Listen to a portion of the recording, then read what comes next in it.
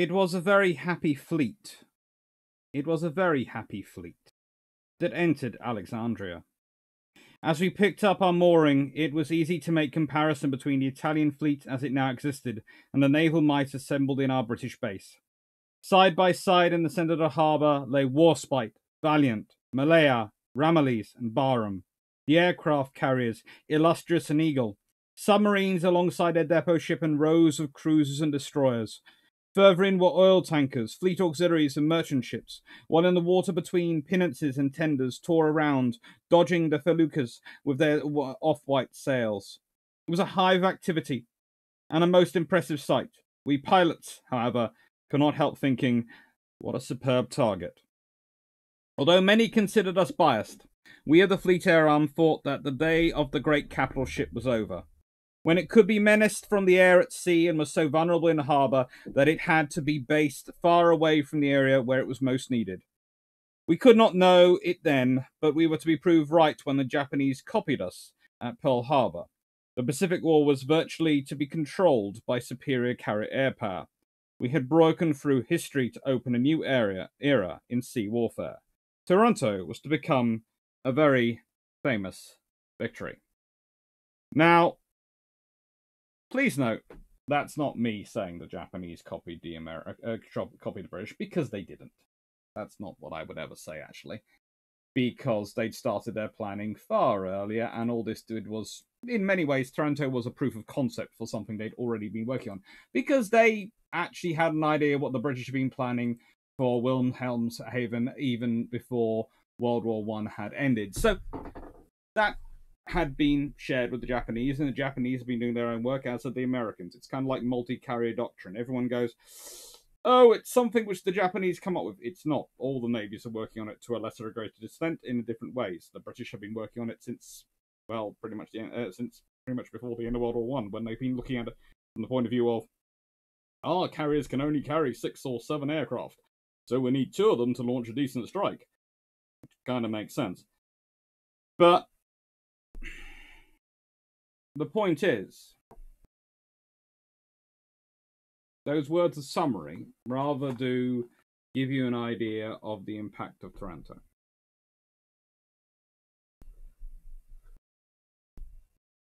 And that's what tonight's about. Tonight is about what created Taranto, what happened at Taranto, and what the impact of Taranto was. So, with that, let's say hello to everyone. Hello, Carl Gasberg. Hello, John Shea. Hello, Dunrick Ironhammer. Hello, Peter Dawson. Hello, Frank Sapato. Hello, Albazaski. Hello, Jonathan Burrow. Sneaks into harbour and creates a ruckus before tea and crumpets. Hmm. Uh, also, 103rd anniversary of Polish independence. Hmm. Next one, Dr. C. What happened to all the men in Taranto attack? Do any of the aircraft survive today or anything from the battle at all?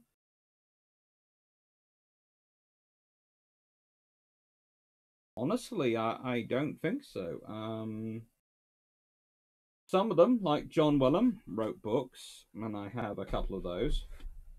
Some they all went on, carried on serving through the war. Some of them survived, some of them didn't. Uh, the ships involved, I don't think any of those are still around. No. I don't think anything of Taranto is being preserved honestly. I don't think any of the current swordfish still in existence and still in, uh, still uh, still able to be seen with one, one some of the ones involved in Taranto. I think if there was such an aircraft still around, I'm fairly sure that would be made a song and dance of every year at Taranto on the Taranto anniversary, and so I I, I don't see it happening. Everyone keeps referencing Pearl Harbor as equivalent, so I'm gonna uh, try to figure out what exactly we done for ship losses? And I think it's eight battleships in Pearl Harbor, correct? Uh, I think roughly. Uh, honestly, it is an equivalent, but it is an equivalent, and this is one of the interesting things. There have been lots, lots of comments over my long, after the long patrol summary where I did draw some parallels between the two. But it's also quite it's different in that this is one carrier because that's what the British have available. They plan for two carriers, they execute with one. and it's 20 aircraft, and it's. How do I put this? It's 20 aircraft, which, yes, to our eyes, they look very old fashioned, but those points, they are mature in service, a mature, very mature capability. They've been around for long enough, their crews know how to get the best out of them. It's kind of like the modern Super Hornet, which we all consider a fairly decent aircraft. But let's be honest, there's the F 22 in the world, there's the F 35, love it or hate it. Um, there's lots of newer, theoretically more advanced, more capable aircraft. We can debate their merits. But the reality is, the Super Hornet's still quite a deadly aircraft. You don't really want to pick a fight with it. You don't really want it coming in to attack you. And that's the same with the Swordfish at this point. Uh, Ian Carr. The ship's bell from HMS Illustrious remains at the Fleet Fleetera Museum, Somerset, UK. Badly damaged during the later Luftwaffe attack. Not sure about other matters you raised. No, I think that's about all that exists. I take it on. I could imagine Taranto is worse if it was illustrious, formidable, and victorious with Fairey Barracudas. Mm, yes, it would be worse if they were had all been armed with Fairey Barracudas. It would have been worse if you'd had more carriers. It would have been worse with HMS Eagle and still flying swordfish. Because of the scenario you're dealing with.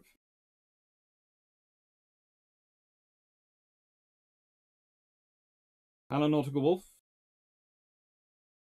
Littorio being uh, 96 Littorio being salvageable is better than uh, MN Leonardo da Vinci, I suppose, has blew up. Mm. Not a golf. Uh, half modern Taranto with US CVGs and, and Queen Lizards. It's turning into a fun thought experiment war game. It's been a while since I fired up Command Modern Ops. Hmm, enjoy. Hello, I'm 35 Benvids. Hello, George Newman. Hello, Jonathan Burrow. Hello, Roland Cash. Yes. Oh! Dang blasted. I walked the dog and I forgot to transfer my poppy. And now it's back in the house. So, sorry, I would be wearing a poppy, but if I go back in the house and disturb the dogs, it will be ages before I get out, and then I'll be running late for everyone, so sorry.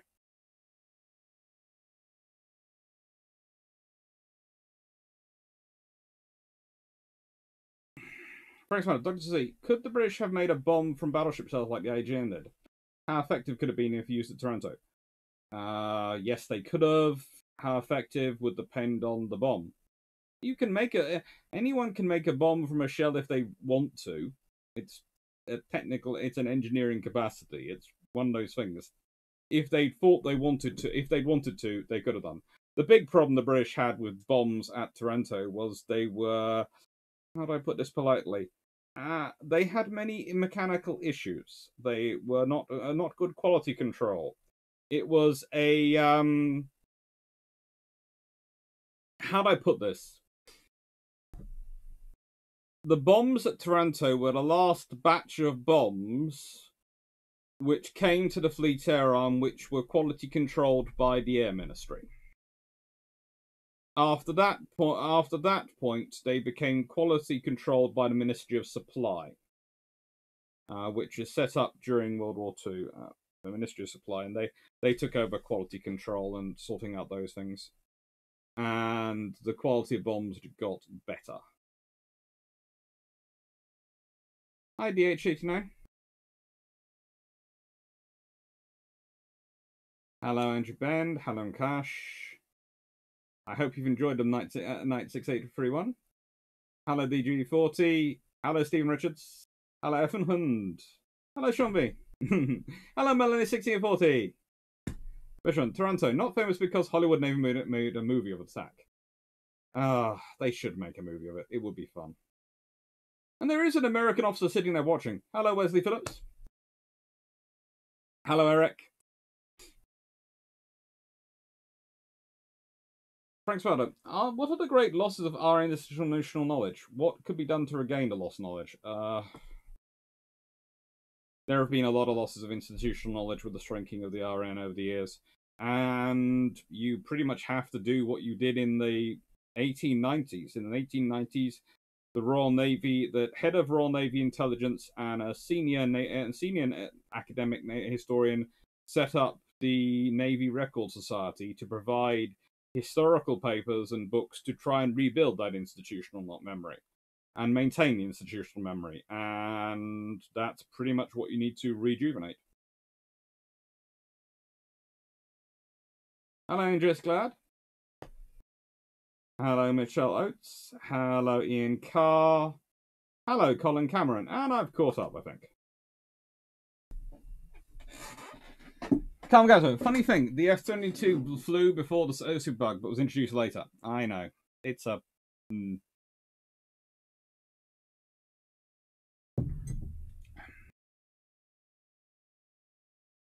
Ian Carr, what would the operation look like if it was launched in mid 30s from HMS Glorious and was she fitted with the, fitted the beacon aircraft homing system there? Yeah, just about had the homing beacon system then, but they had other plans for how to do it at that point, including shining a great big searchlight vertically up in the air.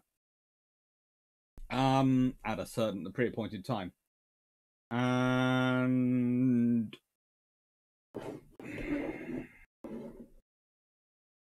and it was interesting.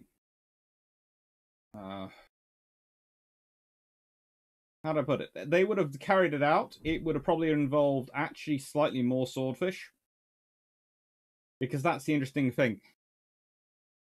Uh, Glorious probably has a 60 aircraft air group in practice, kind of like Ark Royal. If you listen to one of the recent bilge pumps where, no, it's coming out in the pump special, where me and Jamie and Drac are discussing things. You will hear that we're sort of talking and uh, talking it through and going through it and thinking, well, Ark Royal, in effect, has the 60 aircraft air group, and in effect, that's what Courageous and Glorious each operate, in effect. Once you in the Mediterranean, in the North Atlantic, the air group changes slightly because you can't do deck parking and other things in the North Atlantic. Don't do deck parking. It's one of the uh, the old things of history. The amount of people, uh, the Americans and the Japanese both function in deck parking as part of their air groups, and again, this is usually used to go to the Royal Navy, and the Royal, uh, uh, Royal Navy go, well, your air groups are smaller, and the Royal Navy's going, the Americans don't even use deck parking in the North Atlantic. No one uses deck parking in the North Atlantic. It's a nightmare trying to deck park in the North Atlantic. You just don't want to. Sorry, accents coming in. I've spent too uh, too long doing other people's conversations, and um, yeah, it's it's one of those things. But a a, a glorious strike would probably involve mm, about double the number of swordfish. Sorry, I've got someone banging on my door. Oh. Someone has heard, a very helpful sister has heard about the lack of a poppy. Thank you. I won't lose it.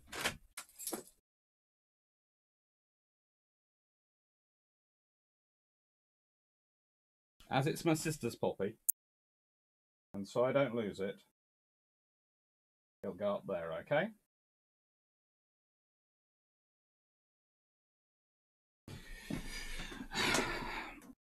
The point I was trying to make was that this all starts out a lot earlier. That they start talking about an aerial attack on a fleet in harbour in World War One, because the Royal Navy is trying to drive the German fleet to sea. All right, let's see. Uh, hello, Spencer Kremen. And Knight 681. Could the Swordfish carry a battleship shell converted into one gun munition? Probably. It would depend how what size and what th- uh, shell you're doing, but she can carry a 1800 pound torpedo, so let's see.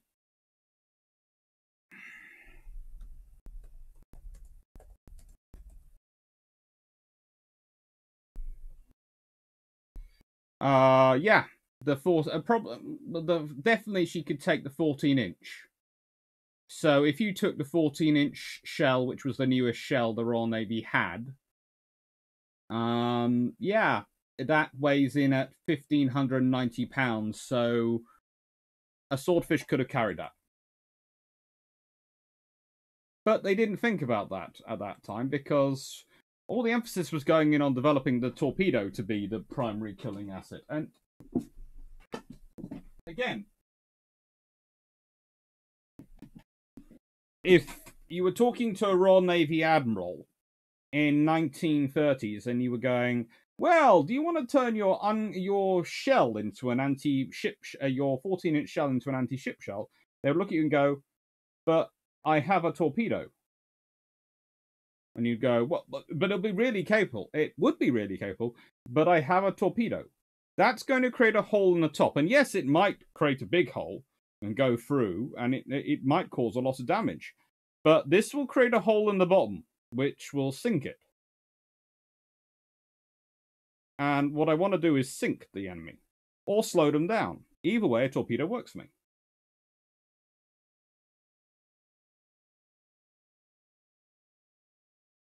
Andreas Glad, hey, regarding your earlier answer regarding the Firebrand, imagine the original spec Firebrand replacing the Stringbag to get to Taranto. Would have been worrying for everyone.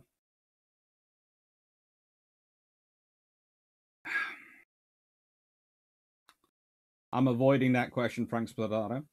Uh, Albert Sasky, question about Italian uh, uh, armor usage. RM ships were armed with 100mm and 90mm air guns. Maybe some leftover 76 and 90mm was also standard air of the Italian army. So while they're 12.5 centimeter, 10.7 centimeters, 8.78 centimeters using defense, can understand 8.8. That's probably German flak, but the other calibers were very odd. They just use everything, is all I can answer, and that's their own list of ammos. So they had some other guns, which were land based guns, which they turned on the attacking aircraft.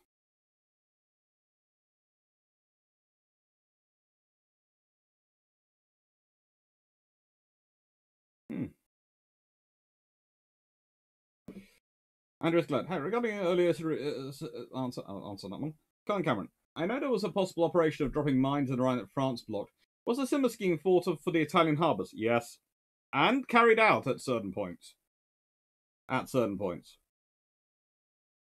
Ian Carr, was Admiral Cunningham convinced in the capabilities of the fleet air arm prior to Taranto, or were his eyes opened by the results?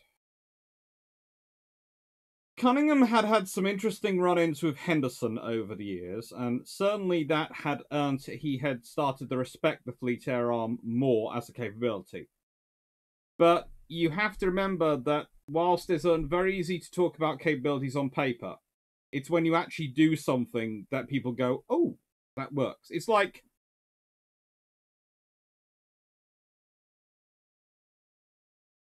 there is the difference between you passing your driving test and the first time you take a parent your parents out on the road. You know, it's a case of they know you can drive in theory, but in practice they've never been driven by you, and then suddenly you're driving. Oh.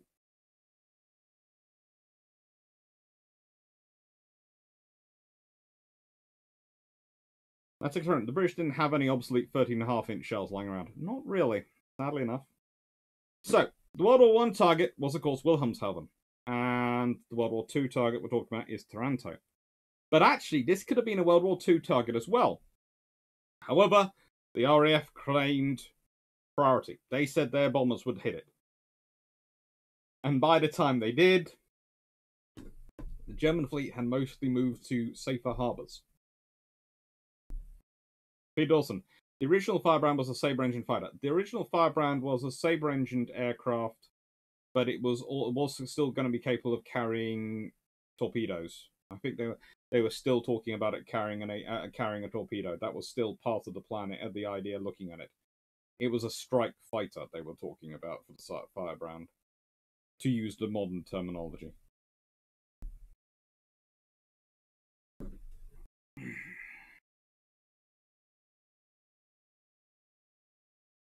It was sort of an extra thing. Ian Carr, lots of obsolete naval guns were used in short batteries, such as the Straits of Dover. Oh yeah. Don't How effective would be parachute drop torpedoes like mo- uh, how modern ASW works for, for uh, from Swordfish? Well, most of the lightweight torpedoes we use these days are actually a lot lighter than the sort torpedo which was dropped from Swordfish. Um, but, well, The question is, how high and how fast are you moving when you drop the torpedo? And that that's the real sort of question. If you're dropping a parachute-based torpedo and you're relying on it slowing it down and bringing it into the water nicely, you need to be flying faster and higher. Uh, and one of the reasons why the Swordfish did as well as it did at Taranto, which is one of the things it had an advantage over the others, was how slow and low it could fly. Because that made it below quite a lot of the AA guns. they couldn't get down to it.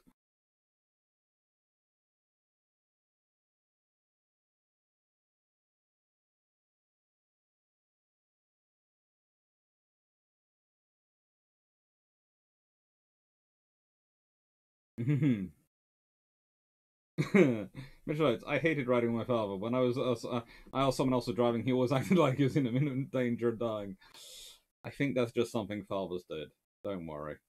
Anyway, Wilhelmshaven. Now, the point about this is that it's a blooming annoying place if the German Navy's in there to try and get them out of. And it's not really, thanks after you lose you lose access to Heligoland, that easy to get your fleet into there to bombard them.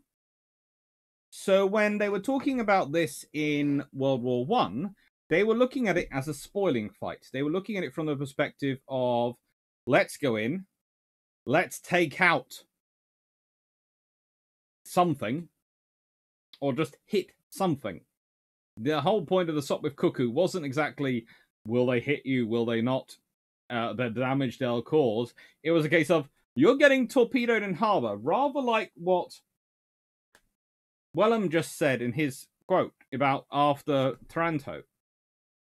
The moment you can start hitting ships in harbor, then the Germans are either forced to withdraw their fleet the other side of the Kiel Canal, in which case they've just handed the British the north coast of Belgium, because the Royal Navy can descend en masse at that point and not worry about anything.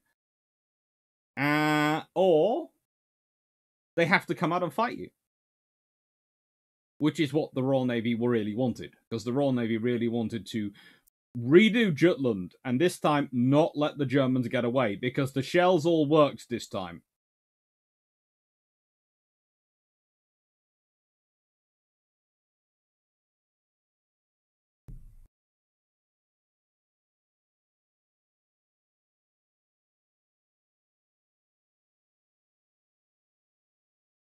John Farm, Arizona and one more sunk permanently, two heavily damaged, and the rest around the San Francisco. Hmm. Jones, how much damage did the Italian AA do to Ferroni ships? Quite a lot.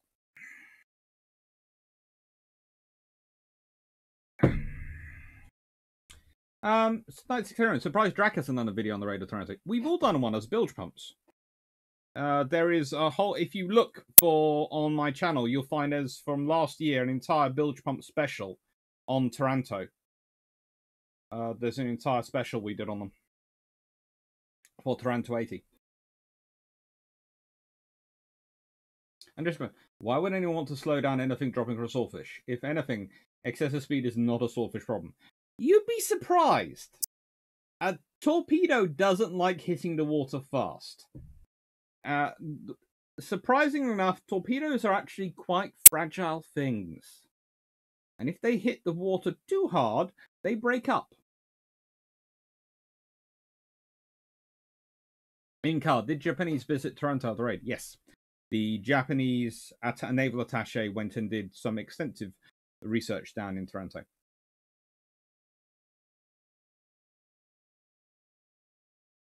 Not a wolf. As an add-on to Jonathan Adams, how much damage did the civilians suffer? Uh, in real life, there was a concern of the Italians. It's a concern of the Italians, and it was a concern of the British pilots. They were all looking at going that they've got. We hope they're in shelters.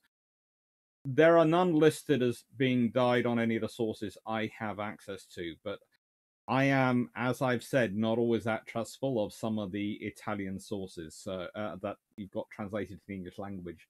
Uh, uh, you know, so if other people have more information on that one, I'd be very happy to hear it. Rex Wonder, did the attacks on Dunkirk and Richelieu help with planning Taranto? Not really. Mostly the plan for Taranto, and this is going to sound really, really nasty, had been concocted in 1933-ish, 1934-ish. Uh, it had been being worked on in at least some extent, as long as there was an aircraft carrying the Mediterranean fleet. And the idea slowly evolved around the fact that the Italians were putting all their eggs in one basket. And this is the other point you have to remember about Taranto, and this is why it gets often linked to Pearl Harbor, is that to an extent the Italians and the Americans have put their eggs in a basket in one basket. But you must remember the Americans always have a lot more eggs in other baskets and are able to build a lot more.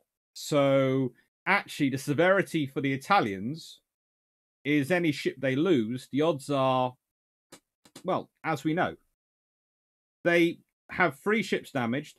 Only one of those gets back in service. Do they build any new ones to really to replace them? Will they just about get Roma to sea when, well, they change sides? So this is the problem. Uh, damage you inflict on the Italians is going to cause far more damage long term and be far more long lasting than any damage you inflict on the Americans, which sort of pushes that up in terms of impact.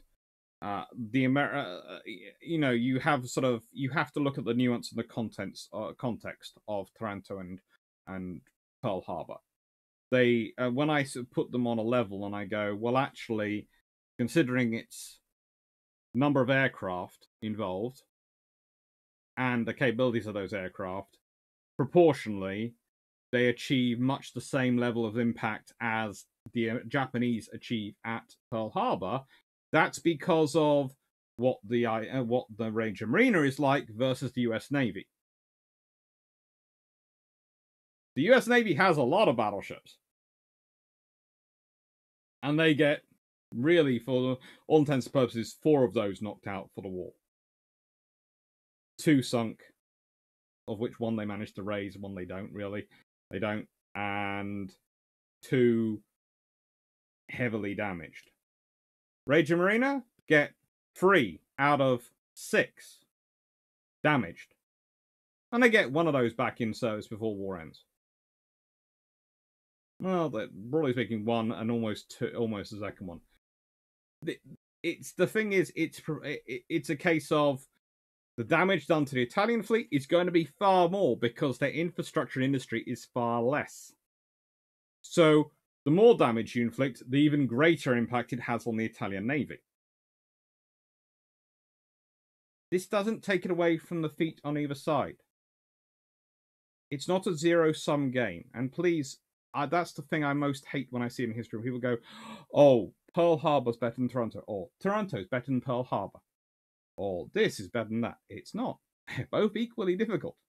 Because, let's be honest, why are the why are the Japanese attacking the Americans during daylight? Because they don't have night strike capability. Night strike capability. And the reason, uh, so they're going in on a Sunday. So they select a Sunday because that's the best time for them. Why the Royal Navy after the 21st of October having to wait till the 11th of November? Because they're waiting for a full moon. Because whilst they have night strike capability, they know full well that a full moon will make it a lot easier. I.e., both strikes are to an extent limited by geography and by weather and by context. And this is, of course, what it all comes down to. The first carrier based torpedo attack aircraft, a Sopwith Cuckoo, laying an egg.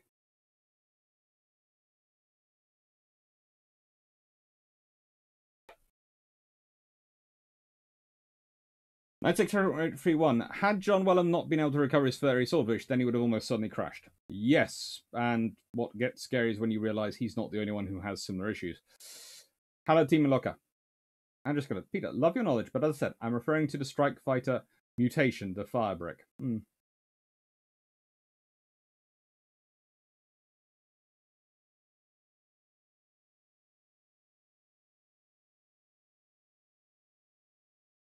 Peter Dawson, yes, the very original, but it very, very quickly changed. Firebrand.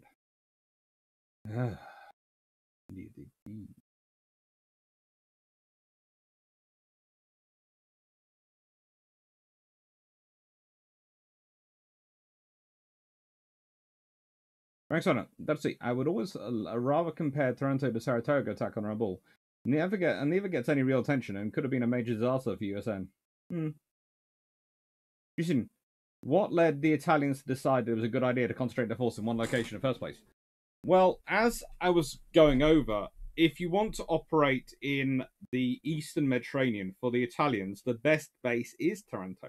It's the best. It's the most secure facility they have there, and they almost consider it impervious because it's it's right in the heel of in the inside heel of the boot of Italy.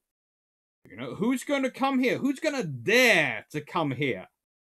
And the thing is, the British rather compound that by adding in going through the Straits of Otranto. And actually, what's worse is because of the direction of attack, because well, they actually attack the convoy on their way out.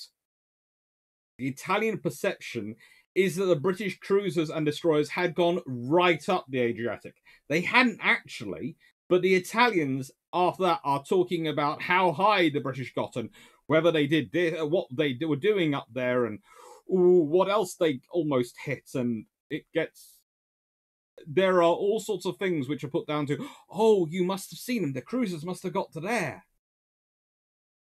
And it was a again the Italians consider it a far larger force than it actually is.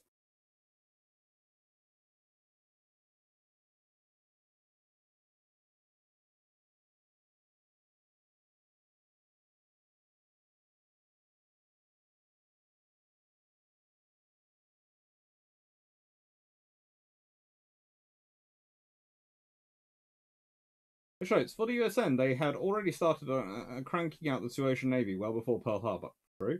That's good. The Royal Navy also had a plan of what to do with naval domination of the Mediterranean in a way that the IJN didn't really have a plan for how to win the war after Pearl Harbor. Uh, pretty much. It, it, it's one of those things. If, as I, point I tried to make in the summary, which if it's if you listen to it, you've heard. So I'm sorry for repeating myself. Was that Taranto is one of those attacks which is both more successful and less successful than it was needed to be. Because if you wanted to launch a spoiling attack, you needed to do, like had been planned with Wilhelmshaven, hit them with a couple of torpedoes, but not much you dent their courage, so they charge out to fight you.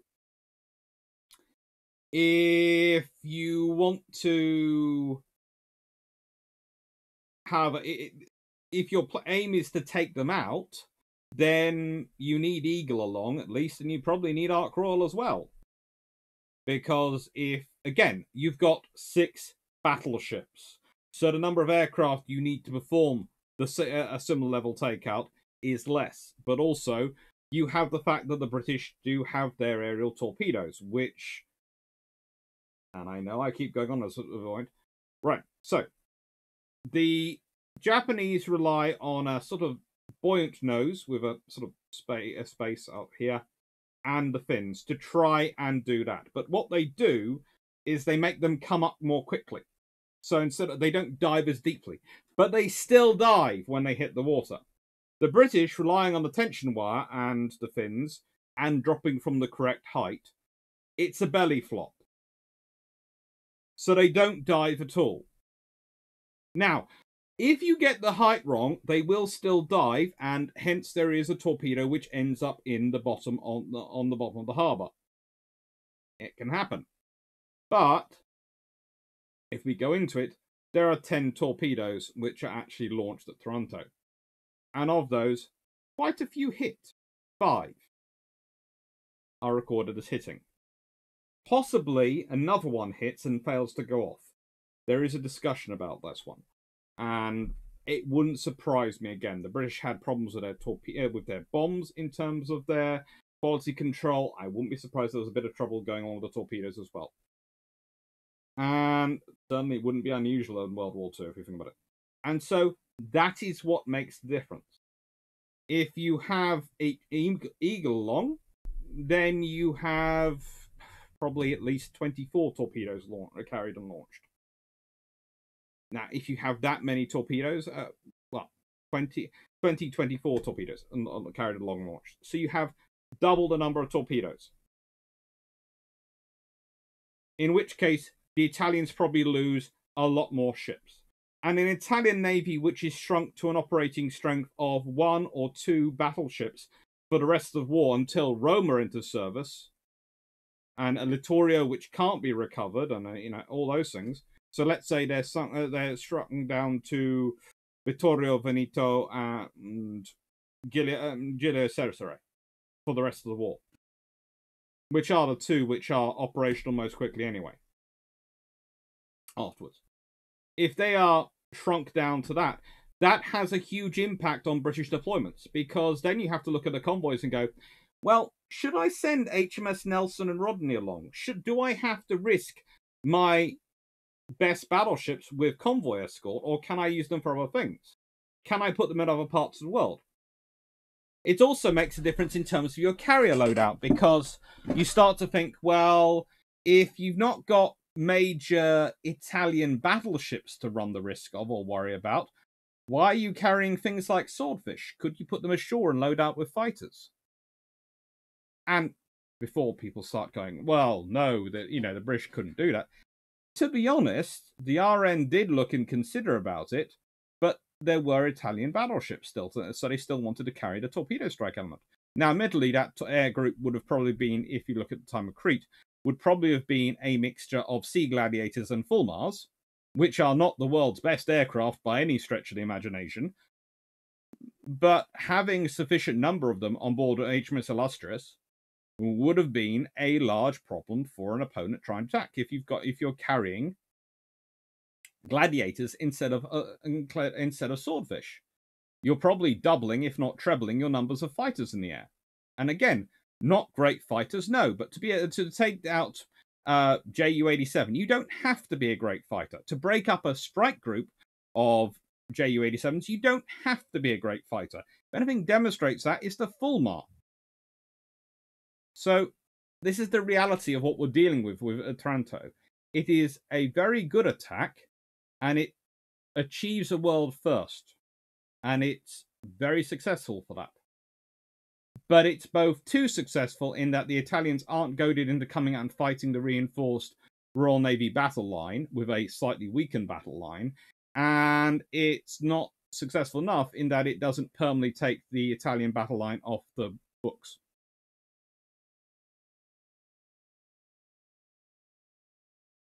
New IKB 47 and new IKB 4472. For military purposes, does the phase of the moon count as weather?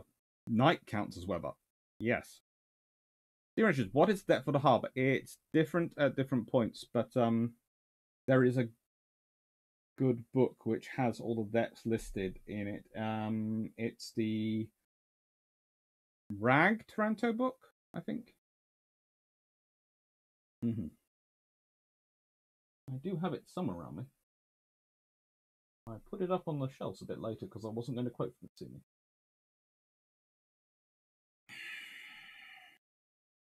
Frank do you think, uh, do you think any of the pilots of Taranto were involved with later attacks on intelligence named Matapan? Yes, they were.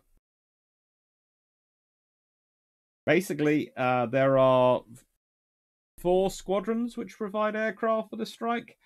Uh, if you track those squadrons and their pilots, you find they are involved in a lot of World War II. That is one of the advantages. They, the, uh, how do I put this? In the the Royal was lucky to an extent in 1939, 1940. The loss of Courageous and Glorious, whilst bad, meant they had a temporary glut in some respects of pilots. Now, yes, they'd lost some to the Battle of Britain, but mostly the fighter part of the pilots they'd lost had been fighter pilots, not torpedo bomber pilots, not str- uh, not the swordfish pilots. So they actually had sort of a glut of strike aircraft pilots, and they they never had an abundance. You never get an admiral go, yes, we have enough pilots, but to an extent, in this period, they have a lot of the veteran of the veteran pilots from the 1920 and 1930s programs who'd been in service for a while and around for a few years were making up a large proportion of the Royal Navy strike forces.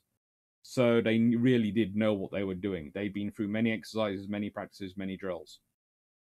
824 Squadron is a very good example of this. It's it's a very considered a very solid squadron, and there is a reason why they bring across pilots from HMS Eagle.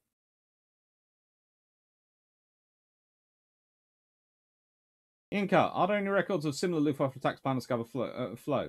They did develop HE11 uh, Treble 1 torpedo carriers that would have had the range.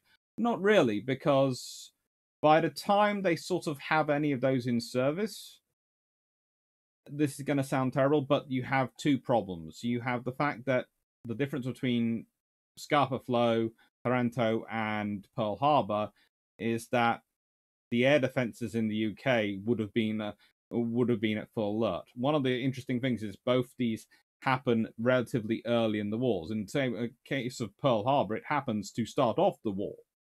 Uh, Taranto, the Italians believe it to be secure and don't think anyone would dare attacking them there. That's the British are planning on that to an extent. So, whereas Scapa Flow, especially after the um, problem with the uh, torpedo submarine, get, uh, the submarine getting in there and attacking uh, Royal Oak, meant that Scapa Flow was not considered the secure hub that the Royal Navy might have portrayed it as. And so there was never really the concentration of force there for long enough for the Germans to really want uh, really consider it worth it. And this this carrier, Ark Royal, is of course the Royal Navy's premier strike asset, and she is built because of that World War One experience, because of the research done by the Harbour Attack Committee and various other committees during the interwar period. This is why you've built Ark Royal. She has theoretically, I know, an air group of seventy-two, but for uh, well, let's be honest, the lower hangar is very good for maintenance. It's basically her own mini version of HMS Unicorn. But the upper hangar and the strike group she can arraign is probably about 60 aircraft. Now, if she had been involved in carrying out the strike, and if she, well, by this point she is also herself is Fulmars and Swordfish. I don't know if she has any Skuas left. She might have some still aboard, but I'm not sure at this point in 1940. Maybe, maybe. But she is your premier strike asset. And Everyone knows this. It's not a secret. The IJN know what the British built Ark Royal for. The Italians know what the Royal Navy built Ark Royal for. The Germans know what the Royal Navy built Ark Royal for. Everyone can work out what the Royal Navy built Ark Royal for. Because they look at the Royal Navy's carrier doctrine and they go, where does a large carrier like Ark Royal fit? Oh, yes, because the Royal Navy have been talking in papers, in meetings of the Na- uh, Institute of Naval Architects, in various discussions mentioned in Parliament and other things. The Royal Navy, it's known, they don't want Peter fleets to be hiding in harbour. And along with Courageous and Glorious, in many respects, she is supposed to be cornerstone of a strike group. And if you look at what they practice in exercises, they do seem to be looking at the idea of a strike group based around free uh, the, those three ships working together, and eventually probably courageous and glorious being replaced by implacable and indefatigable. Well, ships in that mold at that point and able to operate a 60 strike aircraft air group and support and sustain them. In northern European waters, i.e., the North Atlantic, or in the, or in the Mediterranean if she needs to strike there, or in the Far East. And the Royal Navy knows that everyone knows this, and they use it. As part of Operation MB8, which is the whole wider operation which Taranto is part of, and there's a whole maskirovka going on in many ways, you know, to provide cover and to distract the Italians from the British strike coming on Taranto. You've got Ark Royal taking a part in strikes on Sardinia. You've got her taking a part in strikes on there. And then the Italians see her leaving. So the British strike carrier comes in, does strikes as covering, for, uh, covering the movement of ships, and then leaves. And the Italians breathe a sigh of relief. Because their worry, their fear had been that this ship goes past Sicily, carries on the full way to, Mal- uh, to past Malta, and joins up the Mediterranean fleet. Because in the Italian minds, if Ark Royal joins up the Mediterranean fleet, that's when there's going to be a strike on Taranto. Because Ark Royal's the strike carrier.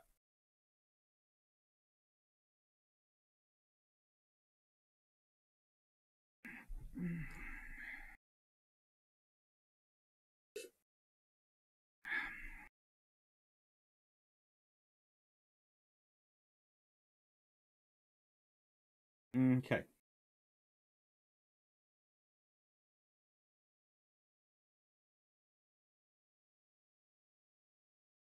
So you can argue it was a strategic failure. Too successful, not successful enough, to an extent, possibly.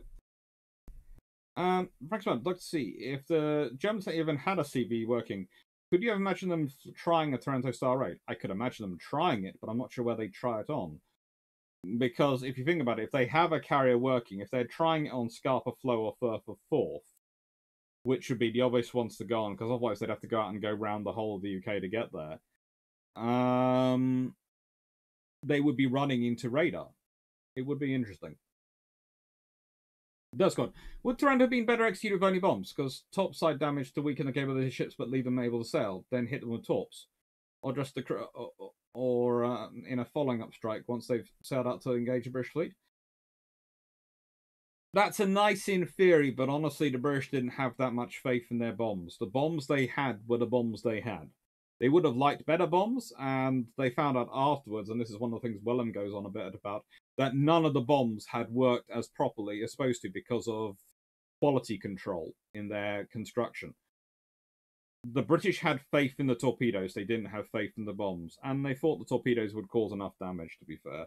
And originally, you have to remember when they're putting together the planning, and this is one of the reasons why they get locked in torpedo. They are planning for two carriers. They are planning for 30 to 36 swordfish. They are they're debating as to whether Fulmars will take part. It's part of the operation being discussed. Uh, John Evans, was there any chance to follow up the attack to finish the ships during the salvage operations, or did the Italians up the defense too much?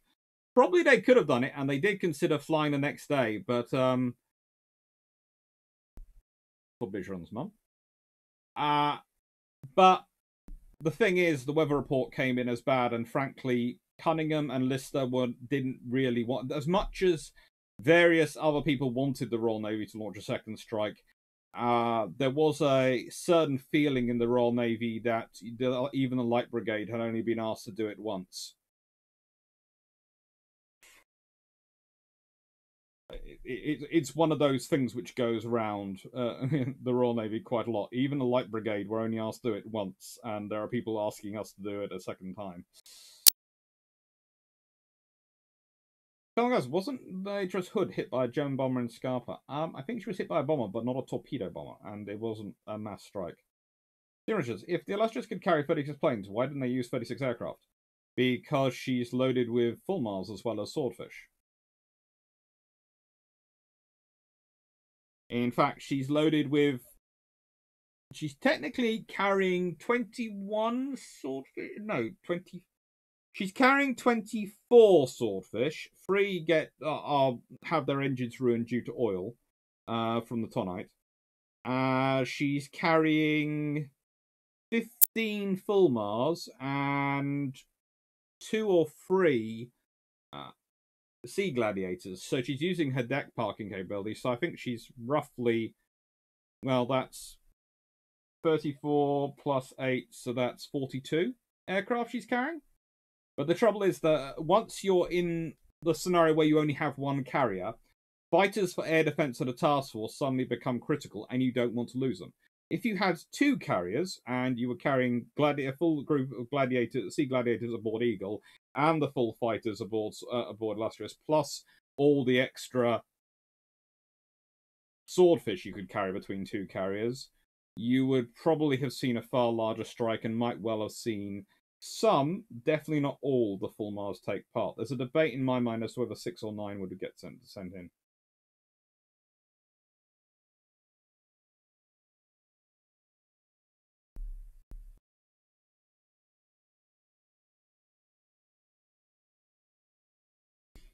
Alexander, let's see. Did the RN have to contend with wind in the Mediterranean by facing away from the direction of attack to launch aircraft like the USN did in the Pacific?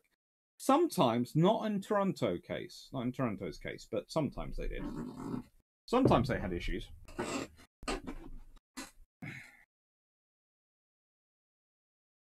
Graham, that that's how they got through and hit the Iron Duke. Early in war, Fortress Orkney wasn't in place yet, but there are plenty pl- German planes wrecked up in Holly Hill, uh, wreckage up in Holly Hills. Hmm. I wonder what would have changed if Grumman Avenger or B5N Kate bombers were used instead of Swordfish. Harder to kill them? More ships possibly hit? That's actually quite an interesting scenario because those aircraft might have actually had more trouble getting through the air defenses. Now, I have a reason for when I'm saying this. When you're considering the balloon defenses and the various other defenses the Italians throw up, the swordfish, in many ways, does as well as it does because it flies as low and slow, as slow as it is possible and it manages to maneuver and avoid those balloons. However, if you'd had, let's say, Grumman Avengers, which are more likely, they can take a slightly larger hitting power and they carry different, slightly different torpedoes. Uh, especially when I'm talking late war, we're talking torpedoes which can be dropped at higher speeds and more uh, and are safer for that. So the answer is it would have been different. That's the answer. But it would have been later in the war. It wouldn't have been, and those aircraft are not available in 1940 to do it.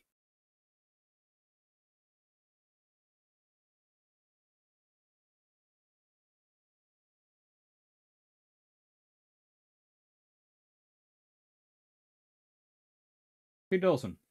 If it had more aircraft, they would have been Fulmars and Sea Gladiator first, not suitable for operation like Taranto. It did have more aircraft, as I said. Um, it's one of those things. Fulmars were fine for an operation like Taranto, and they certainly would have been considered in a larger operation because Fulmars can carry the flare droppers, they can carry a single bomb, and they can use their machine guns to rake enemy uh, air defense positions which is what some of the swordfish were being used for. So the early one of the earlier ideas does use Fulmars as well as swordfish if they're using both carriers, and the idea is that allows you to have more swordfish carrying torpedoes because again, the torpedo is the killing weapon, and this is the point you have to make. The swordfish is not the most advanced, glorious aircraft in the world. Apart from in one capability, is she more advanced and that is that tension wire I'm connecting a torpedo. It's this weapon system, which is her. I don't know. Well, if she's David, this is.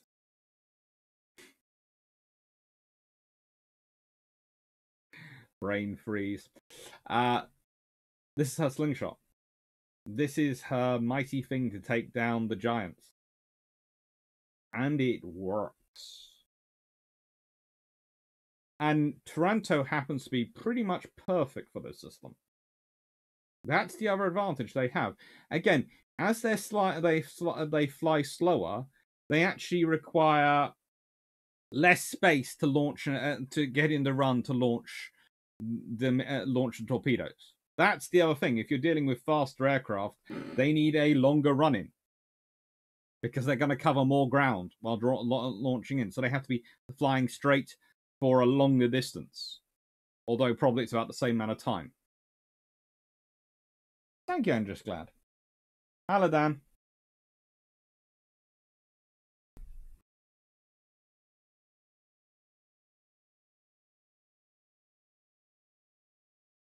Trentelenko. Ark was the brandished sword the Axis was looking for, while the swordfish um, struck in from elsewhere. Well, yes, illustrious and the swordfish snuck in from elsewhere. Dejan uh, Hello. I think it's never bad to sink an enemy battleship, even if they can bring her in, uh, back into service. True.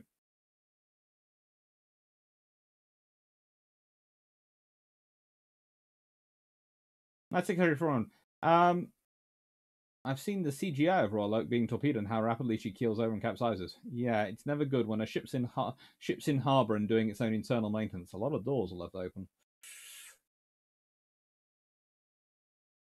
Frank Sinus, Dr. C, do you think that some torpedoes didn't even entirely explode? I'm well, let's put it this way. They launch 10 torpedoes, five hit and go off. They find a couple in, well, one they find in the bottom of the harbour, the other four that are sort of unaccounted for what they do. So they might have gone off outside and not uh, managed to not cause any damage. They might have buried themselves in the bottom, but I doubt they'd have buried themselves bottom. They might not have gone off properly. I think probably you're looking at about a 30% technical fail rate, is my instinct, because I'm not including the one which went into the dirt mud, because that's a aircraft dropping it fail rate. Sorry.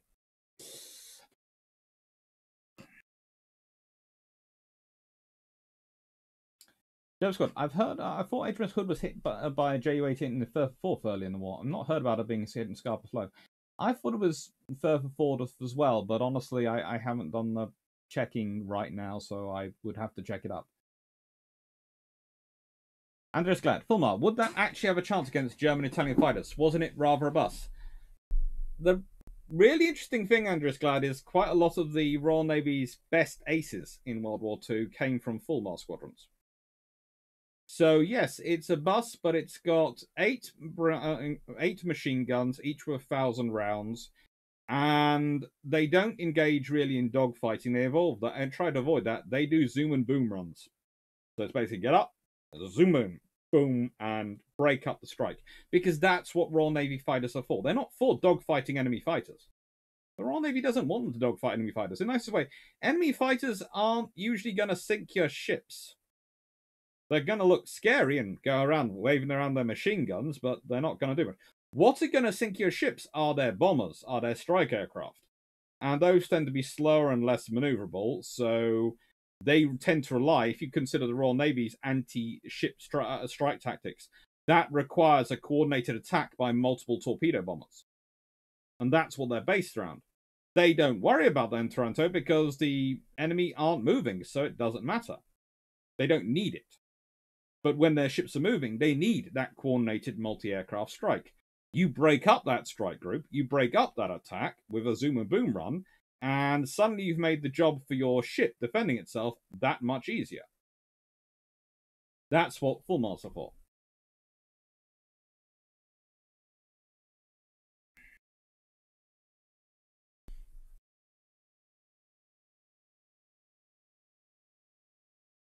Frank Sonic, were the swordfish considered to be only for train only for training by Axis? No. The Axis did consider them a threat. They didn't consider them the greatest threat because they knew, as I can tell you now, the Royal Navy has the Albacore coming in, which was supposed to replace the Swordfish, and the Royal Navy was developing another aircraft because all these things have been put out the public tender. So they knew there that something like the Barracuda probably existed somewhere. And remember, that was supposed to be the Royal Navy strike aircraft by 1942, the Barracuda and probably something like the Firebrand in service as the other half of the air uh, the air group.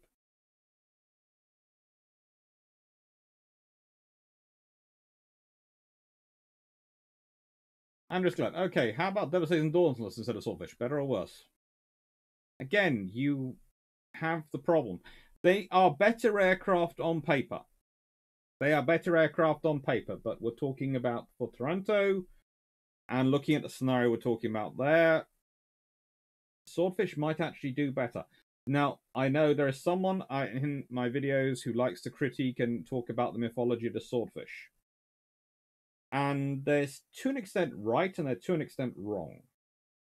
In that, one of the reasons why the swordfish is good is because of the time of service it's been in, since about 1933, 31, 33. The fact is, the Royal Navy's air crew Several generations have run through it. They know it backwards, forwards, and sideways, maintenance, and all these things, which means they have a high level of aircraft availability. They have a high level of capability of the pilots with that aircraft who know that aircraft, and the aircraft is running quite well. And you have people like Admiral Lyster, who's a rear admiral, the rear admiral aircraft carriers from the Mediterranean at this point. Yes, very soon after the creation of Admiral Henderson's post as the first rear admiral aircraft carriers, the Royal Navy ends up with a rear admiral aircraft carriers for the Mediterranean and a rear admiral aircraft carriers for the uh, home fleet. And they're talking about other more senior posts. And the purpose of, uh, you know, as he would say, he's been planning on Swordfish since Glorious, when he was captain of Glorious in the middle of the 1930s. The Royal Navy really does understand the Swordfish. So that is part of the factor in this. So Frank Spanner, Dr. C, if the French had been more helpful, would somehow would Cunningham have still used Béarn? Um, Béarn would have probably been sent to fill in for. Honestly, Béarn could have been used to fill in for another le- another carrier elsewhere, which might have freed up a more, another more useful carrier. That's the thing. Béarn might have been sent to back up the home fleet carriers, which don't have to deal with air defense, are mainly about launching reconnaissance aircraft and strike. So you might then have then used one of the home fleet carriers might have been able to be available in the Mediterranean.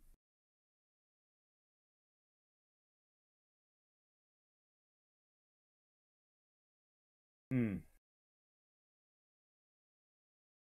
Aircraft at Taranto are, ba- are the bandwidth. The torpedoes were delivering message.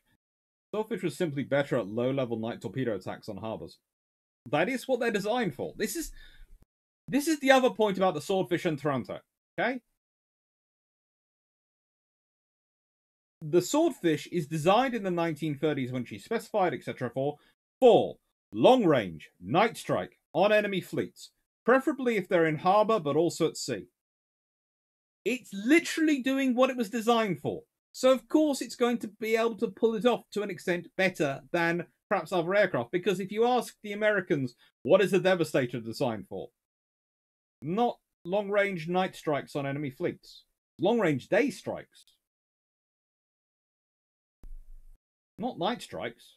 And there's a difference in how you design the aircraft. There's a difference in what you design the aircraft to do. Again, I was mentioning Operation MB8 earlier, and this is what's going on. You have Convoy AN6, you have Convoy MW3. Now, AN6 is running from uh, to Greece from Egypt, and technically it's escorted by a trawler, but that's because Vice Admiral Pridham Wippell's force is um, wandering around doing its thing. And then you have Convoy MW3 running from Alexandria to Malta. And then you have Operation Coat, which is a reinforcement of Malta and of the Mediterranean Fleet. Malta's getting troops and anti aircraft guns and the Mediterranean fleet is getting Barham, Berwick, and Glasgow, plus some destroyers. Operation Crack, which is an attack on Cagliari by HMS Ark Royal, which I mentioned earlier. And this is part of her. Uh, this is carried on alongside Operation Coat. And then there's Convoy ME3, which is merchant vessels sailing from Malta to Alexandria escorted by HMS Ramillies, Coventry, and two destroyers, which means that Ramillies is out of the way of the battle. So basically, Cunningham gets rid of his slur battleship. And he's left with a fairly homogenous force of four Queen Elizabeth's class. And then you have Operation Judgment, which is not just the attack on Taranto, but it's also the force going up into the battle of uh, into Otranto Strait. So it's a real psychological operation on the Italian Navy to try and force them to come out. It's not just attacking them in a harbour, it's we've gone into your backyard. Yeah, what are you going to do about it? It's that's what it's for.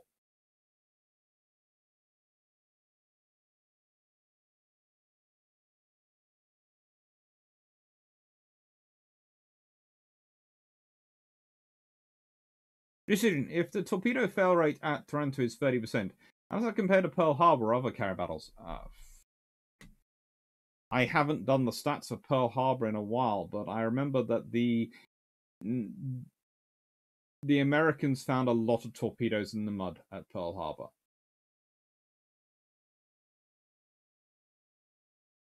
Thank you, Anders Glad.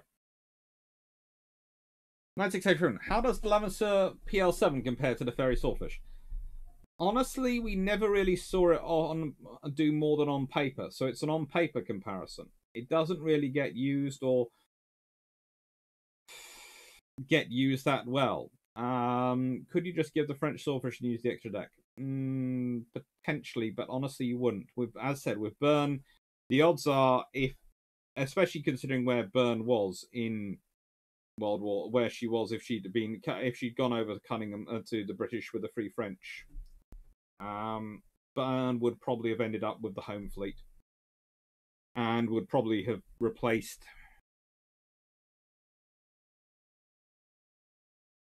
Furious, maybe? Furious could well have been Outer Oval, and Furious could have been. In which case, Furious, if you'd had Béarn go, uh, Furious might well have come and joined the Mediterranean fleet as part of the force actually uh, going across with Barham. Which could have been an interesting scenario.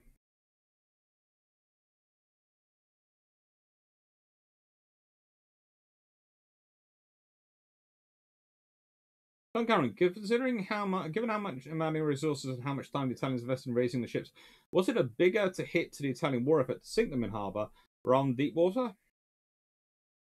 Well, possibly on balance, you are making a good case that it was. But the fact that they actually recovered some in the service is the annoying thing. So the Royal Navy would probably have preferred to hit them where they were so they could try and recover them and use that sources up, but hit them harder so they couldn't become back. In car, are you surprised by the extent of damage caused by iron torpedoes, particularly on the new issue? Not really. Again, the Irons put a lot of effort into developing these to be as good as they could be. As lots of effort they've developed into putting the, making these as good as they could be.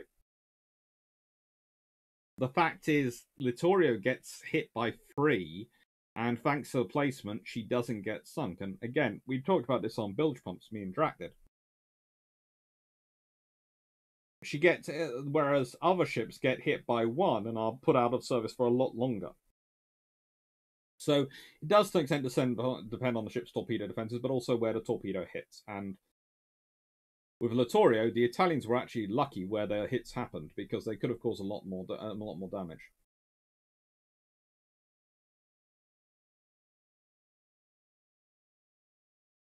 Frank's one, Dr. C, how many different torpedo options did the RN have at this time?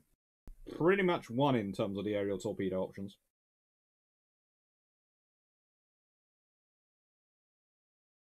I'm just going, ah, full most fight like I do in War of Thunder. Very good. I prefer not to dogfight, and I now I know it's alright. Yeah, if you have a big aircraft, which is not gonna maneuver everyone, use speed and do it. Do the zoom and boom.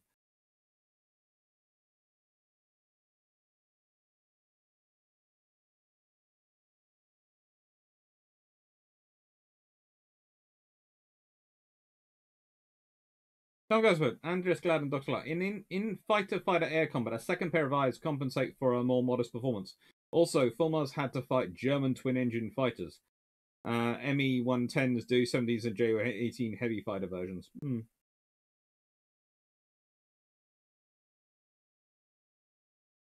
In car, who replaced Lyster when he went to the Admiralty? That is a good question. I did remember. I do have it on my notes.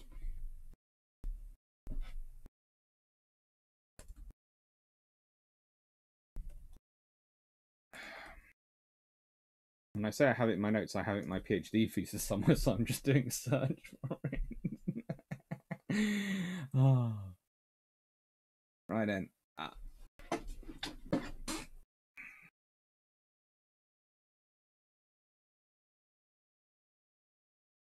Right then, it's Denis Boyd who comes after Lyster, and then it's Clement Moody.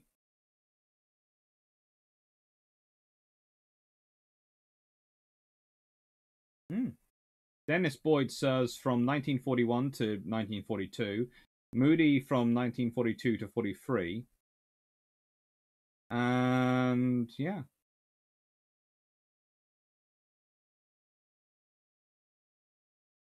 It's kind of interesting when you look through it and you look at some of the admirals who did serve in the role. After Henderson, you have Ramsay, then Lawrence, then Royle, then Wells. Pretty good officers all of them. It's is a kind of list of uh, good quality.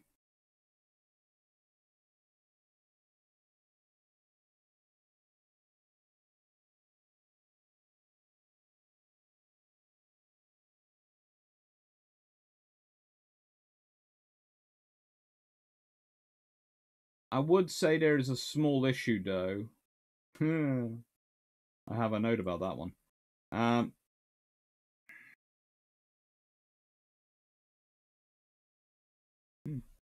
there are some issues out there with some of the uh, some of the stats out there available, but this is all the air, all the ships involved in committed in Operation M8. So the another point I'm making here is HMS Illustrious is what's sent off to do Operation Judgment, but look at all these ships. There are 30 odd destroyers. There is at least seven, eight, possibly as many as nine light cruisers. There are two heavy cruisers. There's HMS Monitor. And again, if we consider the battleships, when good old Ramillies is escorting the convoy back from Malta to Alexandria, that means that Cunningham is at sea with a fleet of comprising Barham, Malaya, Valiant, Warspite. He's got four out of five Queen Elizabeths. Yes, some have been upgraded, some haven't, but he has four out of five Queen Elizabeths.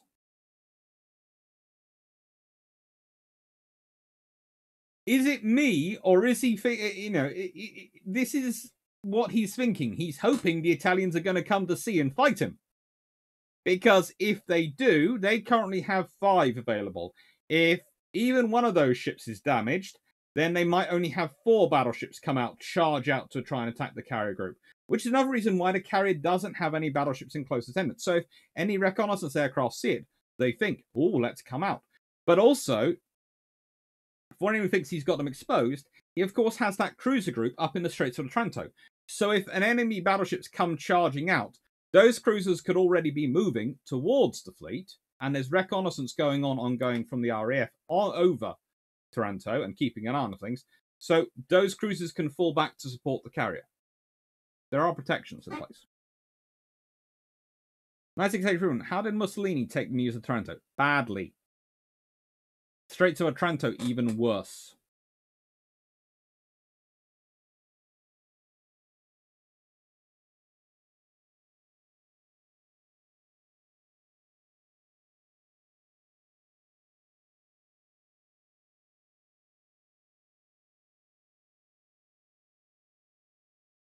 Hmm. And I have a quote somewhere. Where is my quote? My quote is written down. Let's find it again in my PhD thesis.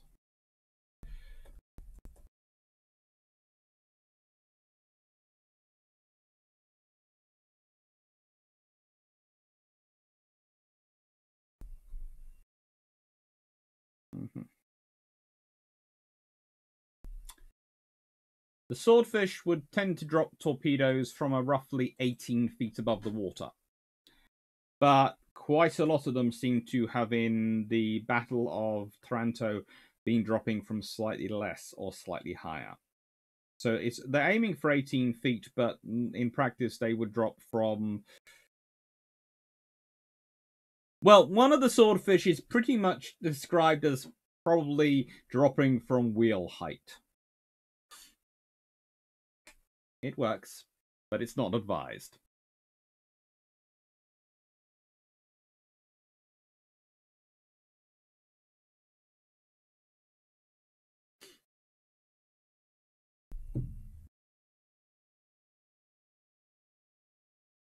John Farr, John van Barra. If Taranto's the gate, then basically the attack is the Iron slapping the Italians and then digging up the backyard. I think. To an extent, you're right. I'm glad it's helping Andres Clay. Anyway, did the RN try any extra attacks on the Italian Navy? I think they did a couple of times look into it. I'm not sure if they ever actually. I'm trying to remember from memory. I think there was one, but I'm not sure about it. They, they X-craft were mainly used off Norway to attack Germans.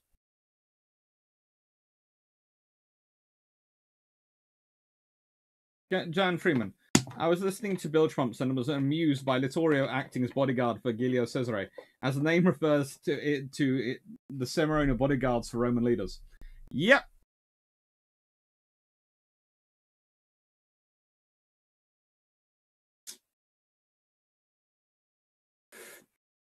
Mm-hmm. Mm-hmm. Inca, were there any follow-up attacks on Taranto while the repairs were going on? British seem to have a habit of not following up operations, e.g. the dams. With Taranto, as I mentioned earlier, they did actually consider flying another strike the next night, but well, A, weather intervened, and B, as quite a few naval officers, including Cunningham, to sent puts and quite a few other junior officers, more junior to it, even the Light Brigade was only asked to charge once. The thing is, if they had done an attack, the Italians would have been to an extent waiting for them, but also there is far more nets put up. One of the advantages you have to remember at Taranto, and this is something you've got to consider it as a factor, the British had uh, been avoiding Taranto and the Straits of Taranto area to try and lull the Italians into a false sense of security. Hence, the Italians had actually removed some of the torpedo nets in Taranto harbour because they were getting in the way of the movement of shipping and they're making it take too long. And some of the balloon, you know, the uh, barrage balloons had been swept away in a storm and not replaced because of lack of hydrogen or lack of attention to detail. Who knows? So the thing is, the moment uh, that you've gone to all this effort, it's the British do consider Taranto a kind of one-trick pony, a one-shot, a one-shot gun. Uh, it, it, it ain't gonna do, work again. So they do it they do consider doing the second night, but they aren't going to go back and repeat it because the Italians never going to be that silly again. They're never going to be all gathered in one place again. And they're never going to have the defenses as weak as they were again. But there was actually, and this is one of the things that they had considered, was they thought that the Italians would end up moving their fleet to Naples. And they did look into it, but Naples isn't as quite as good a harbour for it, of actually Ark Royal both going past Sardinia and then doubling back and striking Naples. But they decided against that one as they thought it might be too high a risk. They thought she might well run into submarines because they knew she was a marked target. So they were using her to draw the Italians away, but that meant they couldn't use her for what they thought would be a likely operation. And that's more what the follow up would have been if there had been any follow up I think they would have done that Naples strike. And that could have been interesting because if you did follow up Taranto with a Naples strike, then you could have well taken out. Well, the Italians have two battleships there, so any strike would have been more concentrated. And again, I, am trying to remember whether she does have any of her Skuas still on the border. If she does, they might actually the bombs might work for them. They might not. Hmm it it would have been an interesting thing if it had been able to be pulled off.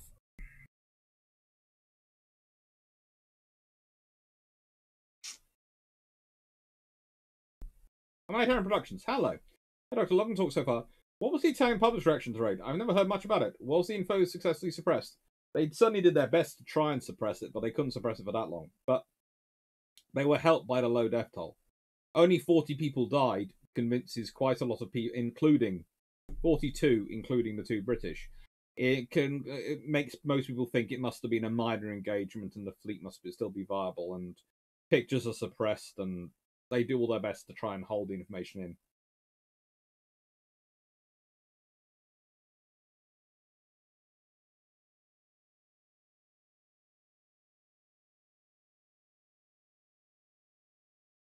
Thunder Academy, what escort did Lustrous have? Why would the Italians send out battleships and not just cruisers? Well, no, it was expected the Italians would send out cruisers as well. That the you know, they you have to remember the British are presuming the Italians are going to send out a full fleet. And when I say they're going to send out their battleships, the British expect they'll send out their cruisers, their destroyers, and everything will come out together. And they do expect. This is the thing. The RN's approach to the Germans is they're expecting them to be raiding. They're expecting a couple of cruisers, a battleship and cruiser or something like that to be coming out from the Germans. When they're fighting the Italians, they expect the Italians to bring the full fleet.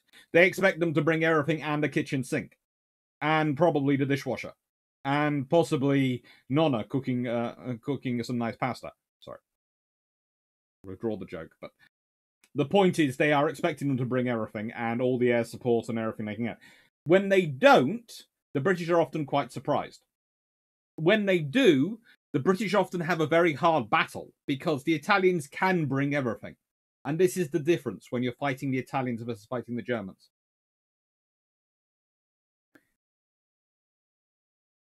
Animal 16365, what did the IJN take away from Taranto? It, that was a proof of concept.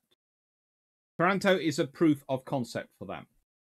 They already have been planning Pearl Harbor. Please, no one go down the old myth that the Taranto happens and the Japanese suddenly go, oh, we can do the same to Pearl Harbor. They've already been working on that doctrine. They've already been developing their own ideas.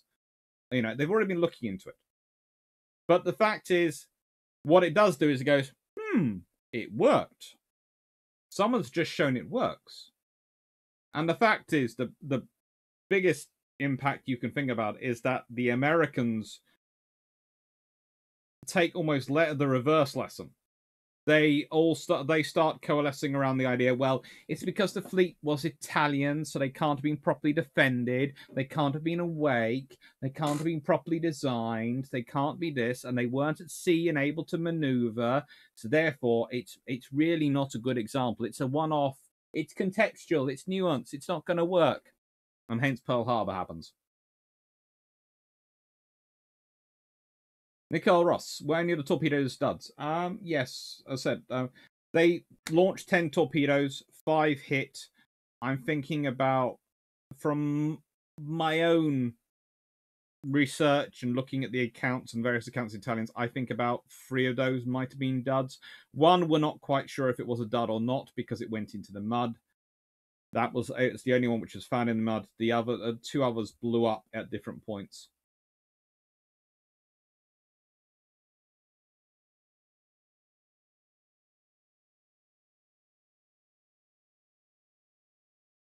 And the escort. I will get into the escort. Let's let me just pull it up.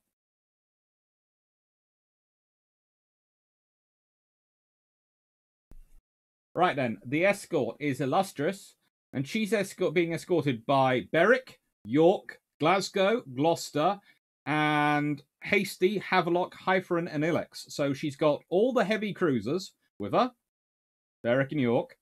She's got two town class light cruisers with her, Glasgow and Gloucester. And she's got four pretty newish destroyers with her. Hasty, Havelock, Hyperion, and Ilex. Oh, and by the way, there's Pridham Wippell's force up doing its damage, and its force includes, if I'm remembering correctly, Sydney, Ajax, Orion, Nubian, and Mohawk.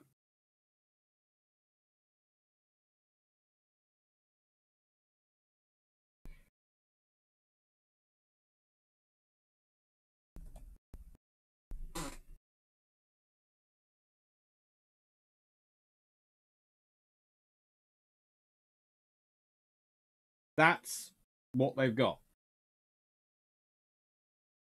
So they have a force of four cruisers and four destroyers with Illustrious.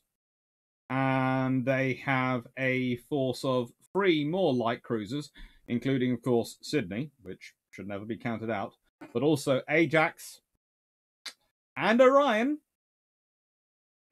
plus two tribal class destroyers setting which would have come from which would have been coming from behind any Italian fleet heading towards them. So we can all presume that this force would probably have ended up causing some trouble because there's also further back there is the Mediterranean fleet. So there is Force X going and doing its strike. There is Illustrious Force going and doing its strike. And they, as you can see from this map, there is the Mediterranean fleet not that far away. The Mediterranean fleet is just behind it. And so they have to race south. The Mediterranean fleet would race north, and behind the Italian fleet would be coming this cruiser force with two tribals in its number. That's the safety protection for the Illustrious class. Or uh, HMS Illustrious.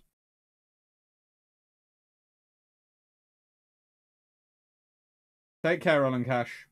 I don't think calling your family the uh, the Axis forces would be would be um is a good thing for you.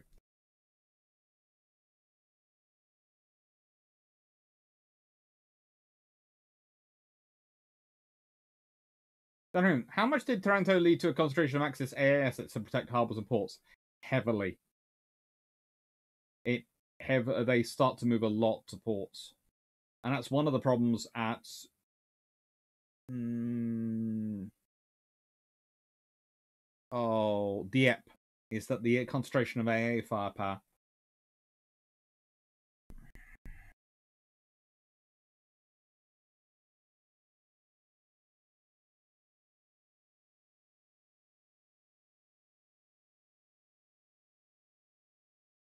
Thanks, man. Doug C. What best evidence, what ships, and how many will escort the sea uh, a carrier for the Orion?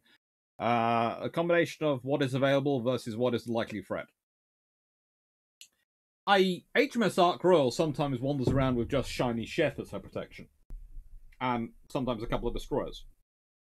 But there again, that is Shiny Sheff. So, you know, it's kind of it's the town class version of HMS Warspite have six inch guns, we'll fire them. Um, but Illustrious rarely goes around without a full escort of at least a couple of cruisers and some, uh, four destroyers. That's half a flotilla of destroyers.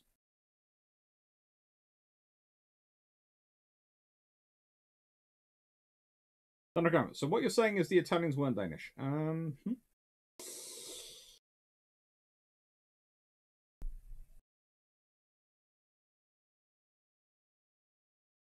Mm-hmm.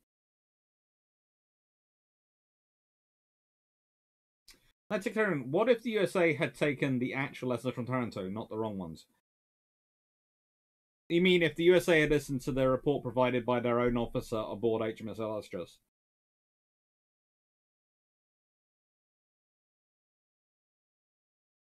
Well, they might have emphasized getting the air defenses of Pearl Harbor set up with radar running properly quicker and more quickly. Remember, there is time. This takes place in November 1940. That's uh, we're talking about December 1941. That's a little bit over 12 months away. A little bit over, nearly 13 months away. So they could have done something. Honestly, the trouble is, the Americans are expecting a sabotage attack, not a carrier attack. They are expecting people to try and, bo- uh, uh, you know, they're expecting people to try and take out the aircraft on the airfields. Uh, they're not expecting a huge fleet of aircraft from carriers to come in. And if they had been, they could have changed things a lot around. They, they might well have dispersed the ships more through other harbours if they felt they could, or they might have put in more air defence around them. Or they might have kept a more alert watch. Who knows? They might not have double stacked their ships to block them in.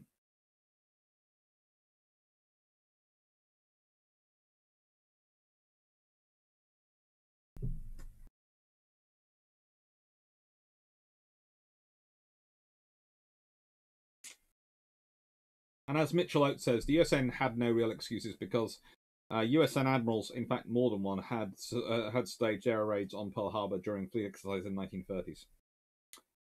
Yes. I'm just glad, uh, glad, off topic, but including ships going down in harbour. Do you know about the Hårsfjärden uh, disaster in Sweden? Three destroyers exploded in harbour. No need for answers here, just a tip.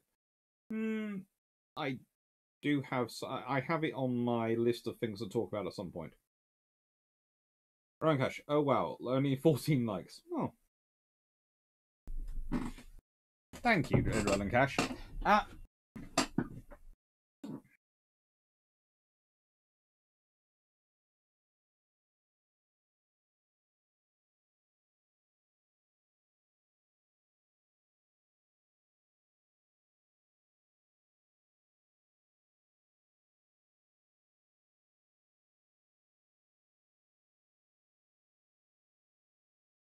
Prince Langen, USN had an observer on board Illustrious during the Taranto raid. Yes, and he was posted at Iceland during the Pearl Harbor. Telling brass what they didn't want to hear has a price. Yeah, yes and no. Yeah, 4472. Uh, my response to the Americans saying it can't happen twice. All that metal is a very good lightning conductor. Hmm. Dan.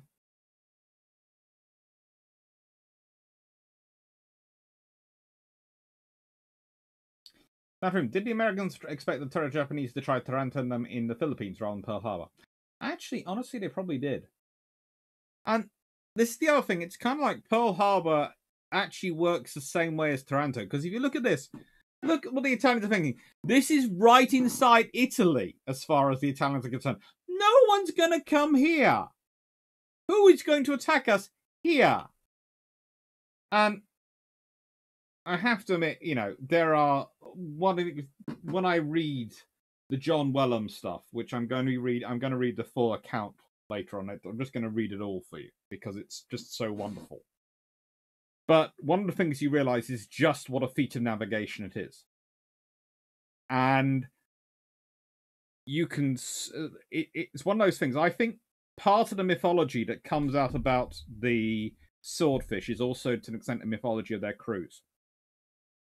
And people don't think about the quality of their fitters, the crews, and the people who look after them. And the fact that they've been, this aircraft have been in service for long enough, they all really knew their aircraft. The Royal Navy observers have been uh, Fleet Air Arm observers have been Royal Navy for the entire of the interwar period. In many ways, the Royal Navy has used them to substitute when they haven't had their own, uh, haven't had control of the pilots and haven't been able to have Navy pilots. So observers have been critical. They have been chosen for their skills in navigation. They are some of the best and brightest the fleet has to offer. And the navigation at night of this strike is absolutely amazing. It's not that there's no GPS, there's nothing that like that available. It's all being done by Dead Reckoning, star charts, and just generally doing the maths in their own head.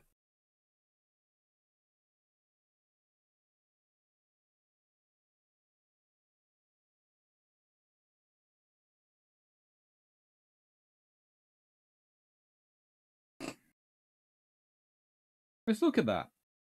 You know, this gives you a real idea of why this this matters because if you don't want to go through the Straits of Messina constantly with your battleships, which you probably don't because those straits aren't that wide and can be mined, then and you've got a, and you'll remember the Italian fleet is not considered the longest range asset in the world. This is the best place for the Italian fleet to base to attack the Eastern Mediterranean to be able to provide forces to support the attack, invasion of Greece and uh, later the attack on Crete. And they're forced to go back to Naples. They're forced to be withdrawn to Naples.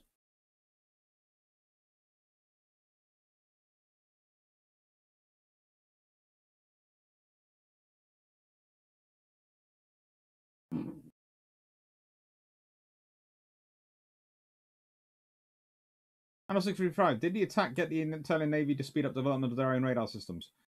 It certainly made the Italians think about it and they tried their best, but mostly they seem to end up with having German radar systems if they have anything.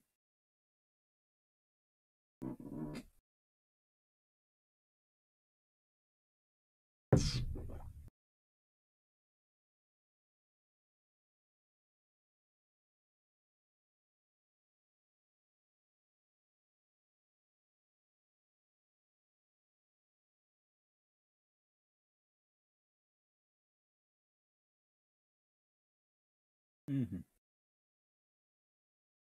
Peter Dawson, how do you find a moving airfield? There's a beacon then within range, but still. That's the case. That is what they uh, when within range. But again, the moving airfield. The Royal Navy had told them a box of where the um, aircraft carrier was going to be, and the observers were navigating to that box. And that's what they were doing.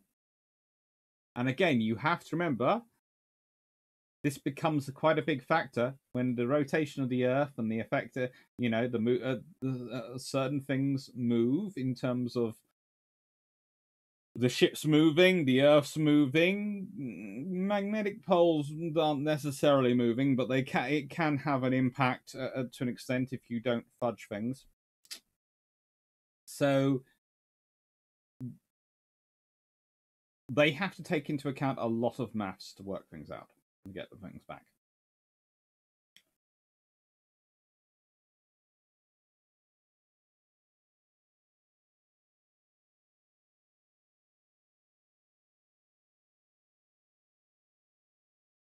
Nine Productions. If the war in the Far East goes better for the British, i.e., Singapore and Malaya, then how feasible would a Taranto style raid in the Pacific be against, say, Truk? It's an option. But again, it's a case of do the British have the carrier out there to do it? And that's the thing. The real the reality is Singapore and Malaya, if we're looking from a naval perspective, would have gone better for the British if the British had had a carrier out there. It would have therefore been. Uh, you could therefore say you have to go back to a the carrier decision, the stall, the stall of construction made by Churchill, as I often do uh, go back to. But you also have to go back to the losses of Courageous, Glorious, and Ark Royal. Ark Royal could have been saved through damage control.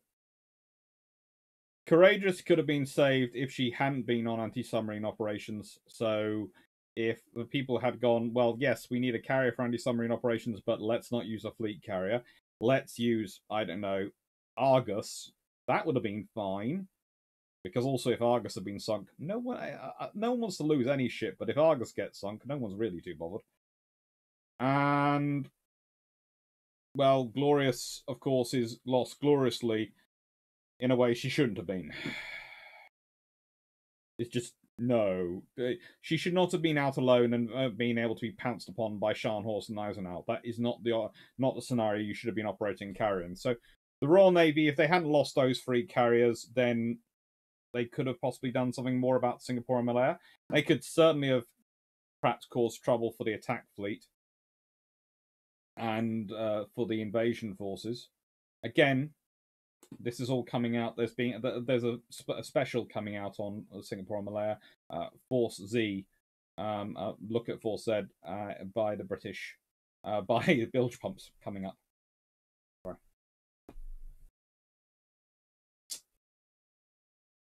John have you heard of Stringbag comics or read any? Yes, I have. I've read it and I think I've reviewed it. Well, I um one of the more thicker books I got sent. One of the hardbacks.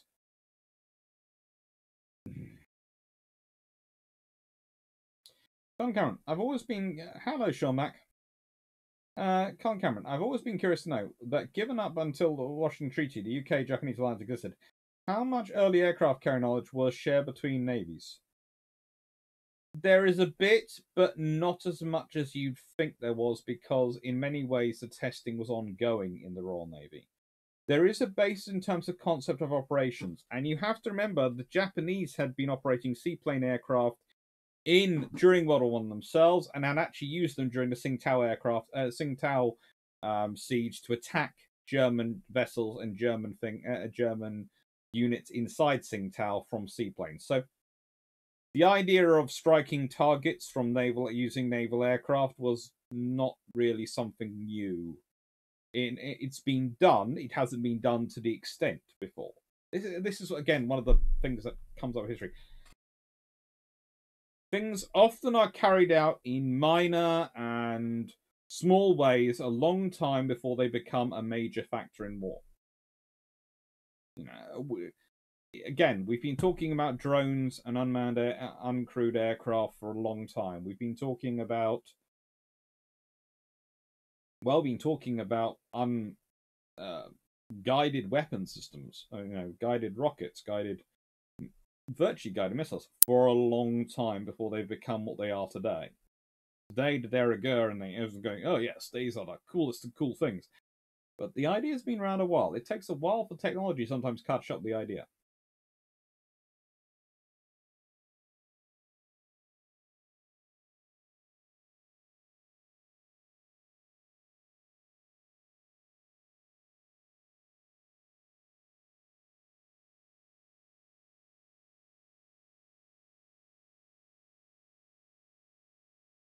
I know, actually. That's why there is a true north grid and a magnetic north. Mm-hmm. And they have to work that out in the dark. In a plane that's moving at 8,000 feet, with the smell of, well, with at the very least, the waft of fumes of aviation fuel vapor all around them. At worst, with aviation fuel cooling around them.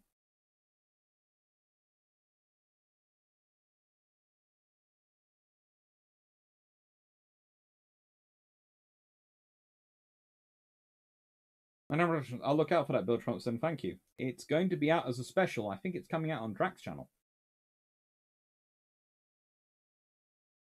Brentlinger, Glorious was lost to glorious stupidity. Not as bad as Pearl Harbor, mind you, but really hard nonetheless. I would say, actually, I would say Glorious is worse than Pearl Harbor. Because honestly, if you consider it, the Royal Navy has been practicing the entire interwar period, and in every single exercise, they have obsessed over securing aircraft carriers from cruiser attacks getting behind their lines. It's become a Royal Navy mantra and it's even a factor in their own battle their their sort of battle book and their com their warfighting manuals in the from the 1920s onwards, and still Lord Cork and Orrery allows the carrier to go off on its own with a couple of destroyers as escort.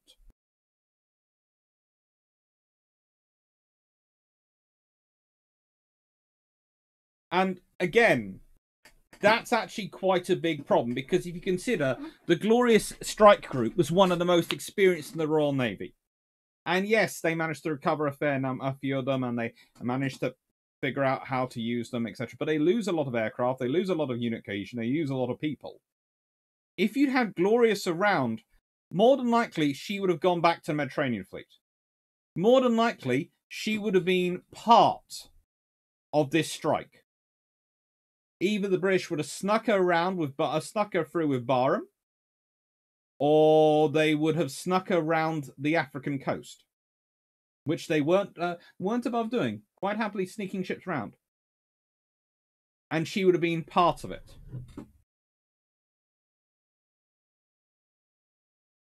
The question is whether Eagle would have still been there to get damaged, or whether Glorious would have got damaged. But I think it would have been interesting that I think you would have been looking at a strike from Glorious and Illustrious on Taranto. And if you if you'd had three carriers and more fighters, therefore, you might have actually ended up with Eagle getting less damage. And we can go through the what ifs and all the scenario uh, permutations of what happens, but you could well have ended up with a scenario where you had all three carriers available, and then that's a far larger strike on the Italian fleet. And more stri- uh, the larger the strike, the more likely the damage. Uh, the more likely the Italian, the larger the strike group, the more likely the Italian navy does suffer a permanent crippling blow. Take care, Jonathan. Thank you for watching.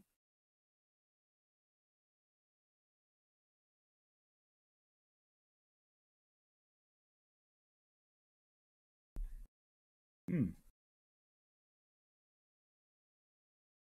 Frank John, don't see. What was the system like for the RN to recover down pilots? Uh, they tended to use walrus and sea otters.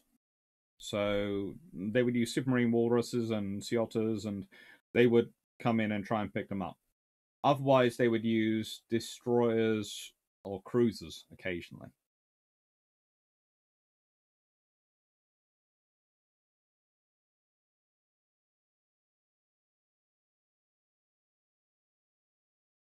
Down the RN's early war losses of capital ships was not a time filled with glory, and highlighted some of the errors that crept in, in uh, during peacetime into thinking.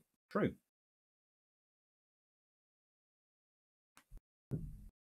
Nicole Ross, was the Gulf of Taranto blanked out? Yes and no. Um, one of the interesting, uh, they did seem to be operating on some sort of air defense parameters, but completely blacked out. I'm not sure but there again, they weren't. It's not as light as it is today. It's going to sound strange. That might sound strange, but there wasn't the. Let's put it this way: you're not dealing with the most developed part of Italy in 1940.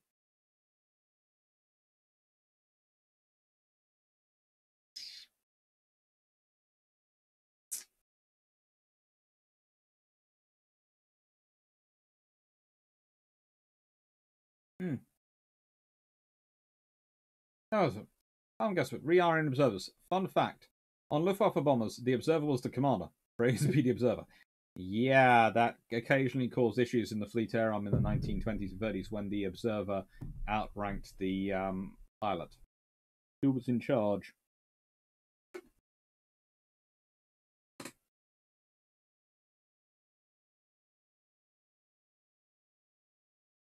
Holding Suez was even more important than holding Singapore and Hong Kong. Yeah. Jonathan Burrow, would the Regia Marina ever have two fleets or more likely two big squadrons in Taranto, Naples? That's certainly what they would have liked to have done, but they didn't have enough big enough ships for that. And again, if you let's say you divide your fleet in half, then the Royal Navy have four battleships in the Mediterranean fleet, and they might they could put four in the H uh, four in uh, four in the um, uh, Task Force H, uh, or they could just leave Task Force H as it was, and the fact you use distance to defend it against the Italian battleships. The fact is, a divided force wasn't a sensible thing for the Italians, and the damage force they had for the rest of the war wasn't always necessarily the most available thing, but it was sufficient enough it tied down a huge amount of British resources.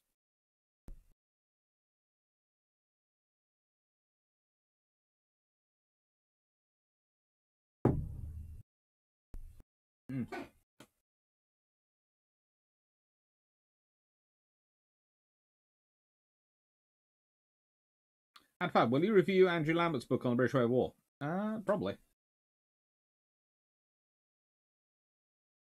Aglyph, you can well imagine people in South Asia believing in that co-prosperity sphere of propaganda. Mm. Mikhail Ross, didn't the RN have the radio beacon that rotated once per minute? The fly, uh, the pilot would fly the reciprocal course. Yes, uh, the observer would sync their watch of it, and yes, it would rotate once per minute. But it wasn't that powerful. The Royal Navy didn't have it outside on max power because it could still lead enemy aircraft to you. So it was basically you would uh, you would have a point to get back, and the carrier will be in this basket area, and in that basket area you'd find it. You'd match up the beep with your when you heard the beep with your watch, and you then go right. Then it's that way to the center. And it's actually quite a clever system for 1940. Okay? I have got into this debate with people in the past where I've talked about it and I've gone, it's a really clever system. Well, it is. And then people go back and go, oh, but they could have done this and this and this. This would all be better. And you go, yeah, can you implement that in time? Can you implement that with the technology available? In 1940, this is good technology. It's actually been in service since about the mid to late 1930s in on the various carriers. It's a very good system, and it's one of the reasons why the Royal Navy carriers are quite so easy and quick to adopt radar because they already have power cables for electronics going quite high up in the ship. It helps. And this, of course, is the Cuckoo, which is the World War One aircraft, and this is the World War Two aircraft, the Swordfish. We're talking about, and the amount of people who tell and tell me, "Oh, they are," you know, this shows the British have barely developed naval aviation. And you go, single seat, probably within visual range, strike range of from HMS Furious. Long range night strike aircraft. Torpedo, as you can see, is dropping free and could well start to nosedive anytime soon. This from the torpedo won't nosedive. It's even painted the right colours. And because of the tension system and because the extended fins. So this is the point. Yes, this might look superficially very similar to that. But in actual fact, there's huge differences. This one has an incredibly reliable engine and is incredibly easy to fly. Because if you want to have a night night strike aircraft, you want it to be as easy to fly as possible. Because to launch a torpedo properly, you want to be flying straight, level, at the correct speed, and at the correct height. And you want to make those things as easy as possible for the pilot to achieve because they're going to have to do them while being shot at. It makes a difference. So, this is a tremendous advancement over this. And yes, it has been iterative development as each generation of torpedo aircraft has come in. And yes, this is technically a torpedo spotter reconnaissance aircraft. So it's technically three rolled in, uh, three types of aircraft rolled into one, whereas this is just a torpedo strike aircraft. But the fact is, it's also able to function as a bomber. So thankfully, it should be a torpedo spotter reconnaissance bomber. But that just getting weird.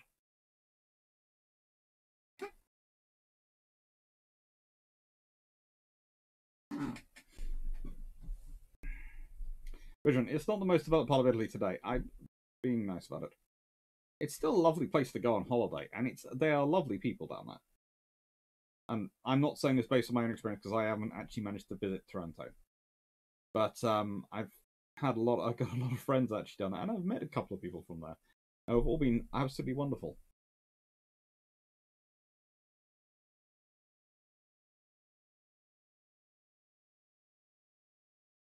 Hmm.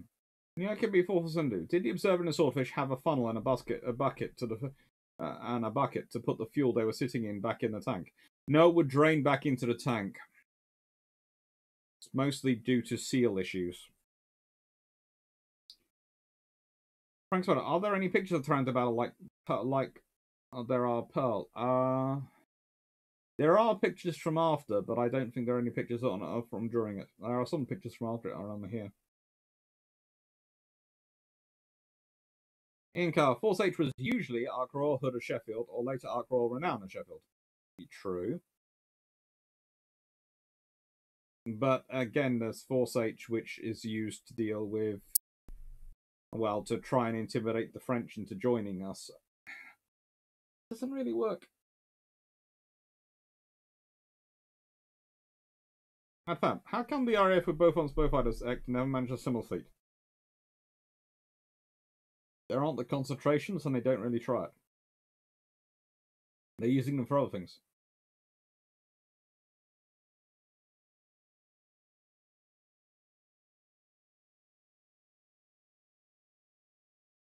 George Newman, USN had introduced the beacon system before Midway, but some of the pilots' crews either couldn't tune it in or didn't trust it. A bit of a issue. Doesn't any uh, beacon risk getting the seat of the carrier discovered? Yes, hieroglyph, it does. But in the end, you want to recover your pilot. So it's a balance of risk. So if you have it on a low power setting, so it's not going to guide the enemy fleet in from a long way away. Remember, the Royal Navy, and this is it's going to sound like a, I'm going to make it using the joke, but we all know the German Navy, whenever they seem to be transmitting on their radios, don't understand the power setting and go just straight full power. Some of them actually do, but they do seem to have a propensity of people who don't. Well, the Royal Navy understands that dialing back the power does reduce the likelihood of the Regia Marina or anyone else detecting that beacon. But it means that you have to give your pilots a your well observers, your navigators, a basket to aim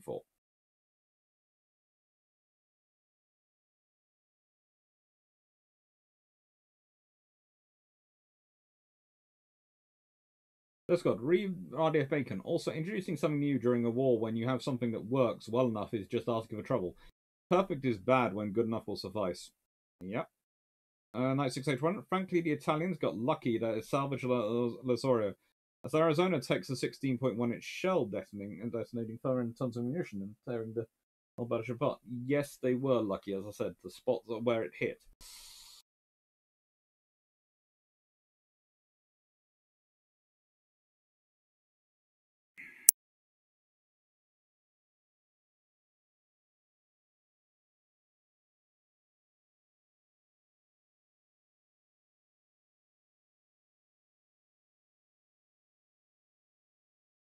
Concurrent. It makes you curious. Was the intermittent signal the sweep from the radio rotating home being fed into and possibly spurred of them the rotating RDF? It does seem to have an impact, and those teams do seem to work together at points.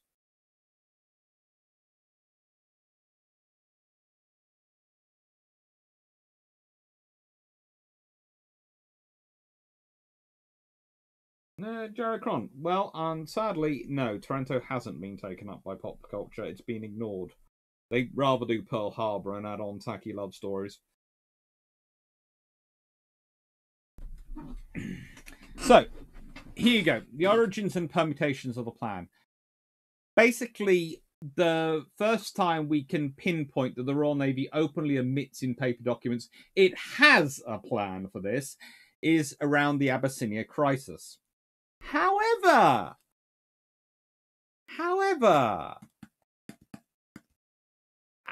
I'm fairly certain they've had it for a while before. Uh, and when I say I'm fairly certain, it's the speed at which there are documents and things produced in that report which seem to date from how do I put this earlier, or rather, I don't expect such reports to be magically written so quickly, unless you're turning the entire carrier air group's officers and probably a healthy amount of their senior NCOs into a intelligence battle staff with all the knowledge to produce the required information. Rather dramatic how quickly it comes about.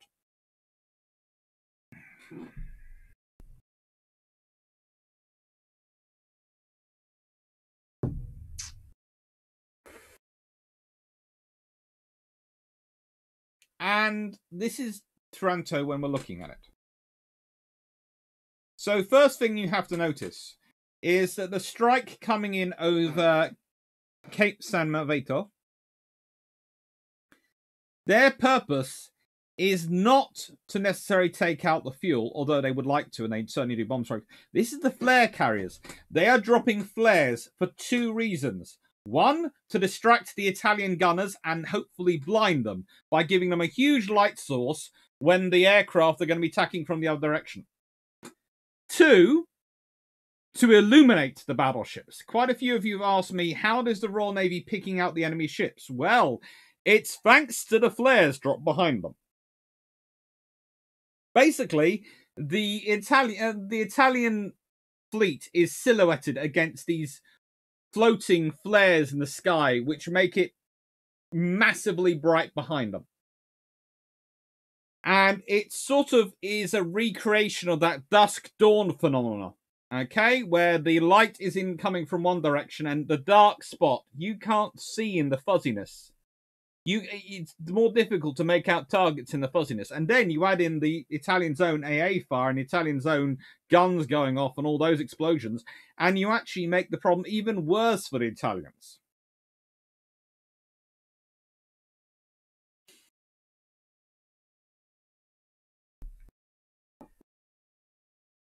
Now,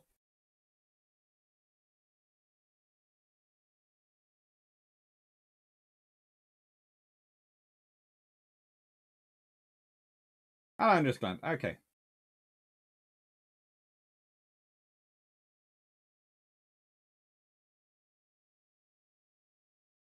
Derp Squad. Uh, my understanding was the Germans transmitted on full power because their radio clarity on anything less caused signals to get statically and become unclear on receiving end. There is certainly a case they make for that. Shomak, you mean 1936 was the time when it was politically convenient to reveal the plan existed? Pretty much. Or rather, 1936 is a very good time that retroactively reveal it existed. It was then around then. Frank Spotto, uh, when was the Italian Navy at its most powerful ever? Probably 1940. This is probably the point at which the Italian Navy are at the most powerful. That room. The RN have been planning and plotting these sorts of attacks in harbour enemy since the Dutch did it to Medway. Uh, it, it's only tools to use that have changed since Copenhagen. Uh, pretty much, that's my theory. My theory is if I'm an Italian, if I'm a Royal Navy admiral and I'm dealing with the Italian Navy, Taranto makes the perfect spot because of this. You can light up one side and come in and sort of strike from the other, and you have space to do the running.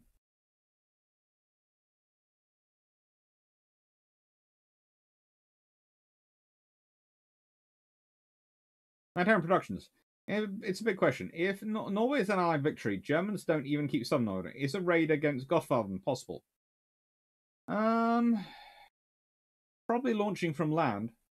And honestly, if you've got Norway, then you've probably got and the and there's been a big victory there. You've probably got how do I put this politely? You're probably now buying as much or iron ore from the Swedish as you can possibly buy, so they can maintain their semblance of neutrality but that's you buying the ore from them. So you're probably building actually quite a lot of ships because otherwise you're just wasting buying a load of iron ore and storing it off your coast. Um, but leaving that to one side, you probably use land-based aircraft from the RAF to attack a lot of German territory from Norway.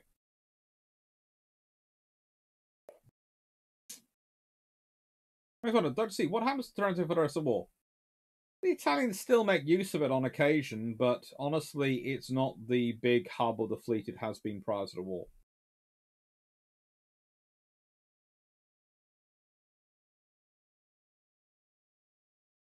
Mm. I'm not sure where Gotten if there is a port of Gottenhafen. Um, hmm. In Sweden. I, I don't think they would make a raid against uh, any port in Sweden.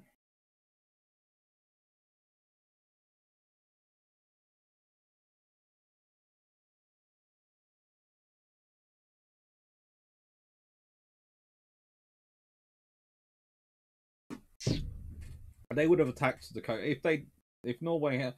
You can safely assume that if Norway had been a win, they would have been using it.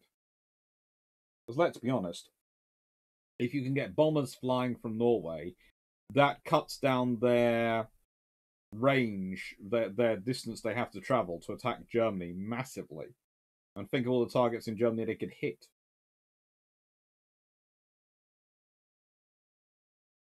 Michael Ross, would you address the landing problem at night? How was the rear of the carrier illuminated? I don't think they had the Fresnel lens system then. I will get into that because I will talk through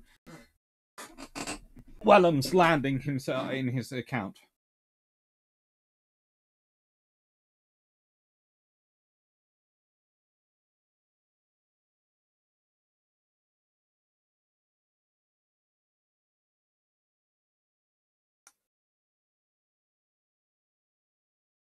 Hmm.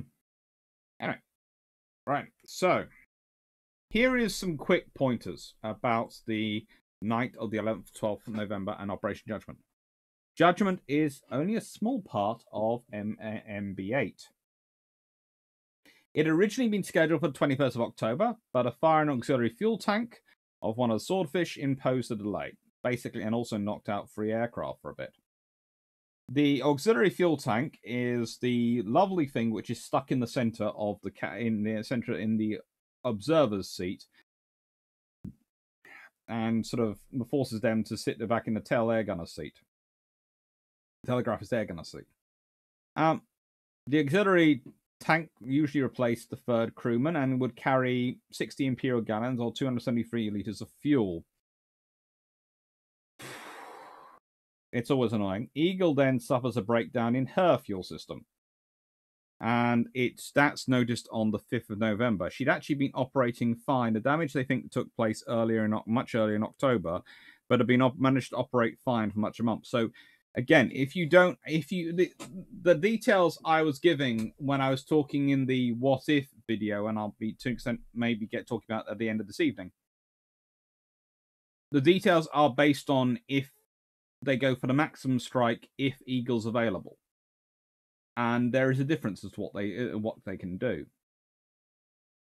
The British Task Force is commanded by Lyster, com- uh, at this point is a Rear Admiral, commanding from Illustrious, who has Berwick, York, Glasgow, and Gloucester, and as said, escorted by the destroyers Hasty, Havelock, Hyperion, and Ilex. They have 24 swordfish uh, aboard Illustrious. Now, three of those get damaged by tainted fuel, which is why they then launch 21, and of which one of those turns out to still be having fuel issues and has to go back. Well, mainly her fuel tank comes loose, and so she has to go back to the ship, and therefore they only actually launch a strike with roughly 20 with 20 aircraft. And that's in two ways 12 and 8. First wave has six torpedo bombers, and the other six carry bombs and flares. Next wave were originally supposed to be five and four, but then are four and four.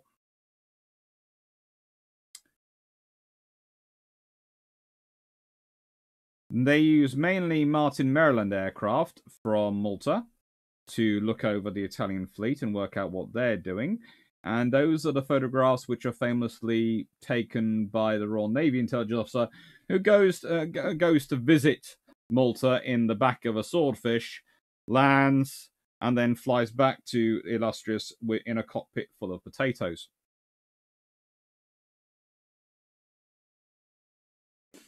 And they also use a short Sunderland flying boat, which goes in at night on the 11th of November to check that the Italians are still there.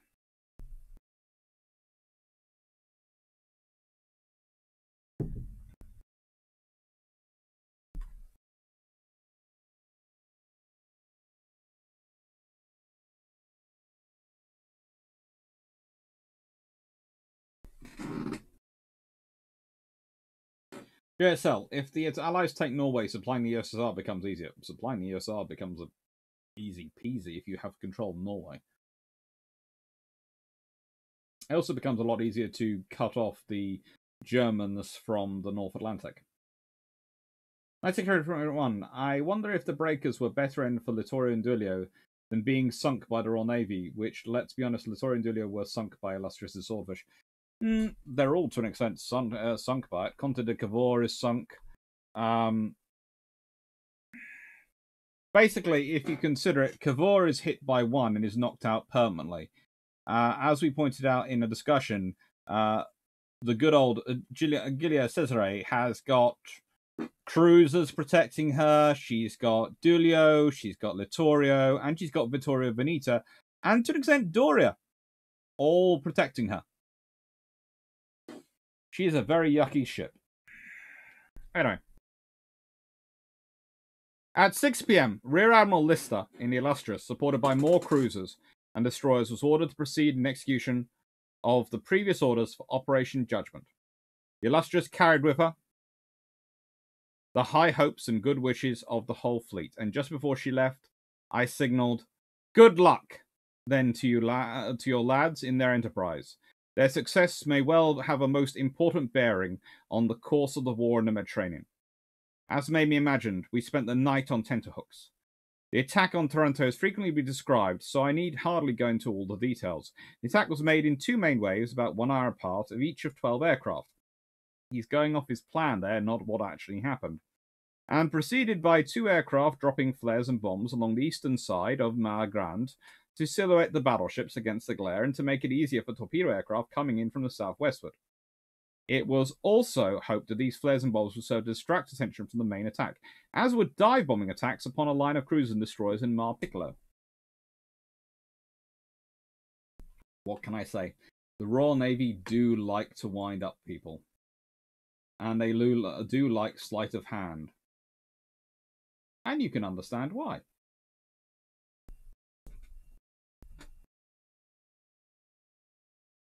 because it works.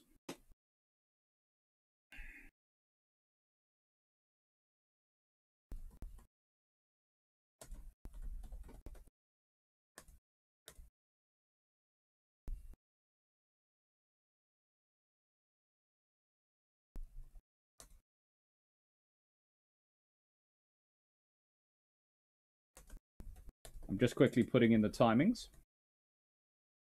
Mainly because if I don't do it now, I will forget.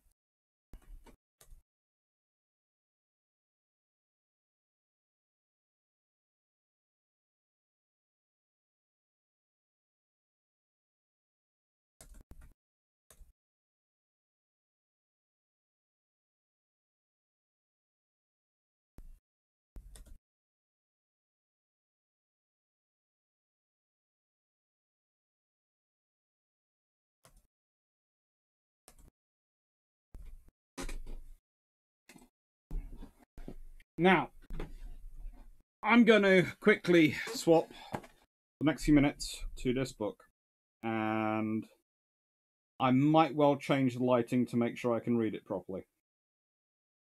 So, I do apologize if you don't like what happens next in lighting, but that's because I need more light to read.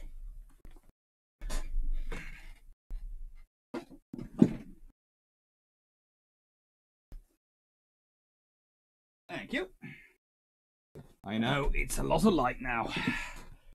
I do apologize. I look like I'm lit from above.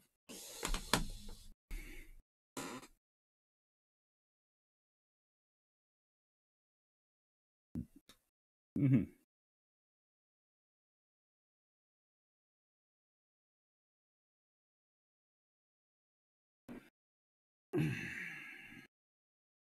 mm-hmm.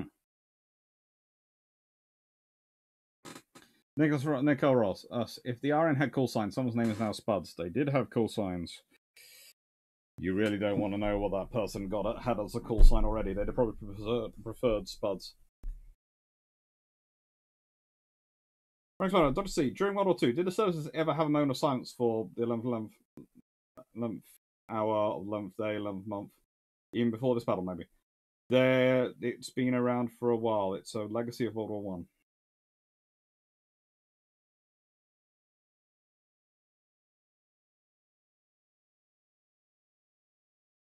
In car, both Cunningham and Somerville seem to have liked to use battleships and cruisers as their flagships rather than their carriers. It makes sense to an extent. They have more space for it. Remember, the aircraft carriers, and this is Philip Vian's trouble in uh, when he's in the well, the Eastern Fleet, don't really have the space for flagship uh, level fleet command because the one which was designed with that space is called HMS Ark Royal and you know it, it, the trouble is she's been lost. And the ones which are built afterwards don't really have the space either because the air groups expand. Whereas the battleships etc are mostly designed with it. Zero hour was fast approaching. By 1930 as the first strike was being arranged at the after end of the flight deck. By 2015 all was ready and the 12 pilots manned their aircraft followed by their observers armed with chart boards and their other paraphernalia. Most of us on the second strike took up vantage points to watch the performance. We soon heard the familiar whine of inertia starters being wound up, the spit and cough as the engines fired, then the increasing roar as the pilots warned them, and ran them to full throttle. Illustrious began to gather speed as she increased to 30 knots to give the maximum possible wind speed over the deck. Lift to lift the heavily laden aircraft into the air. Natural wind was light and variable and gave little help. At 20, 30 hours, the first swordfish went roaring down the deck and lifted easily before it reached the bows. The other nine followed without incident and disappeared towards the northwest. It was all very routine and exciting. As the last aircraft left the deck, the ship rapidly lost speed to give reasonable conditions to the handlers, who were ready to range our strike. It isn't easy to push swordfish around with 30 knots of how- wind howling over the deck. In three quarters of an hour, it would be our turn, so we went below to collect our flying gear and personal items to take with us, such as lucky teddy bears. I did not have anything of that sort, but put my faith in Joey.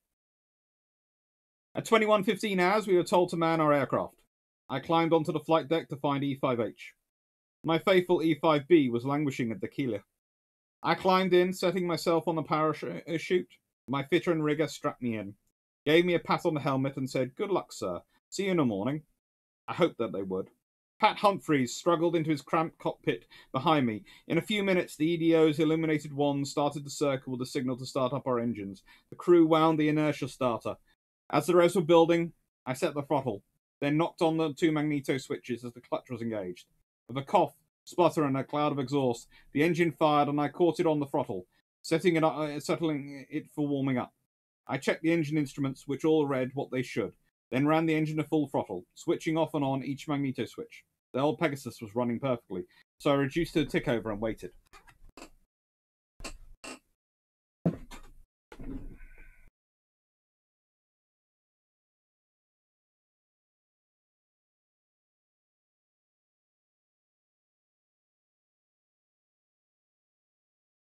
Yes, all prop shafts were working at this point. This was pre her getting damaged.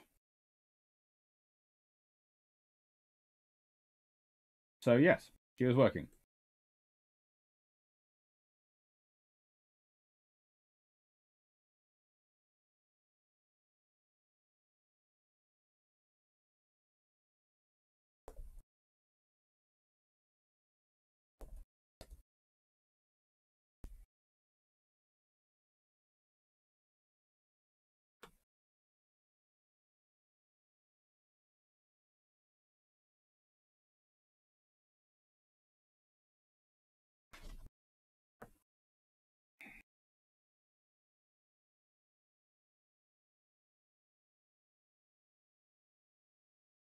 The crew wound the inertia starter as the rows were building. I set the throttle, then knocked on the two magneto switches as the clutch was engaged. With a cough, splutter, and a cloud of exhaust, the engine fired, and I caught it on the throttle, setting it for warming up. I checked the engine instruments, which all read what they should, then ran the engine to full throttle, switching off and on each magneto switch. The old Pegasus was running perfectly, so I reduced to a tick over and waited. I could feel the ship building up speed and turning slightly into the fitful wind. I heard the leader's aircraft open up and roar down the deck. The aircraft handlers were doing their usual hair raising act of ducking around the whirling propellers to pull chocks away. When my turn came, I followed the EDO's signals to taxi into the centre line of deck. Held on the brakes while wings were spread and locked, then opening the throttle fully and easing in the boost override, I let the brakes go and started my takeoff run. With a ship speed of 30 knots, airspeed rose rapidly. As we passed the island, a quick glance at the ASI showed it rising to 70 knots. We rose smoothly into the air, and I climbed away in a gentle turn to port and reduce the revs to normal climbing power. I looked above for other aircraft, and Pat and I saw them at the same time. I slid into my slot formation as we continued to circle the ship. I asked Pat if he knew the reason for delay. He said that he could count only seven. Uh, he could only count seven of us. Then corrected this to eight. As we passed again through the north of the lead, uh, north through north, the leader, Lieutenant Commander Hale, straightened up and set course to the northwest. Later, we found that L5F and L5Q had started to taxi at the same time and had collided. The latter had not been damaged and had taken off to join us, but L5F, with Lieutenants Clifford and Going, had suffered broken ribs and torn fabric, and had to be struck down for repair. Herculean efforts by the riggers had made it serviceable in a quarter of an hour, and the crew, who had begged permission to be allowed to go on on their own, took off only 24 minutes behind after us. We gradually climbed 8,000 feet, passing through a layer of filming cloud. Pat told me that we now seem to be another aircraft short. We did not know at the time, but L5Q had lost her long range tank, when which, as she was one of the bombers, had been strapped to her torpedo rack. The engine had cut, but our pilot, Lieutenant Morford, Morford had managed to restart it. He now had insufficient fuel to fly to Taranto, and back so uh, and back, so had returned to Illustrious, where, not expecting a friendly aircraft, they had opened fire on him, stopping luckily before he was hit. These are the difficulties of night operations. There are often people talk to me and go, "Oh, well, if the British could do night operations in 1940, why weren't they doing them as regularly in 1945?" And you go, "Because they're hazardous. You lose aircraft. You don't do a night operation if you can avoid it, because even and this is before you get into all technology. You have to develop reflective wands that light up and so that people can see the signals and everything you're giving so that you can get the aircraft off the deck. There is a lot more than just saying, I'm going to fly at night when you're operating from an aircraft carrier. Would we've I've had a question already earlier about landing on an aircraft at night. Taking off from a carrier at night is not exactly an easy proposition. Two aircraft collide. One of those manages to get airborne and then has to turn back because she's been damaged. The other one gets airborne and attacks on her own because she's running late.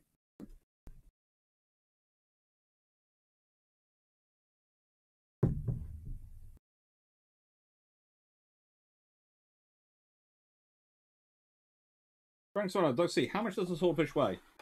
Ooh. Again, I have that figure.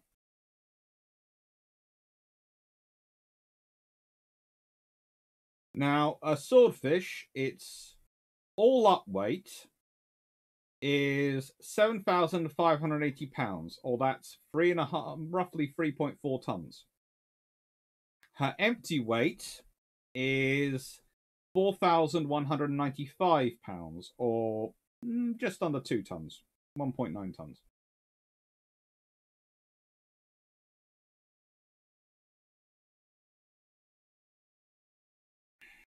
And afterwards, there was actually remarks by people that they are, some of the swordfish should have been carrying mines as well as torpedoes to further impede the recovery efforts. But you know.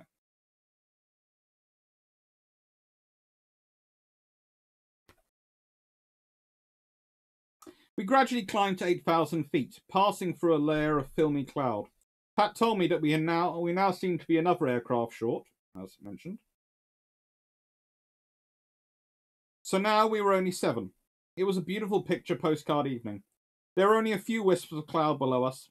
Otherwise, the sky was clear and lit with a blaze of stars. To the south, a three quarter moon was throwing a golden pathway across the calm sea. The air was smooth, given hardly a judder.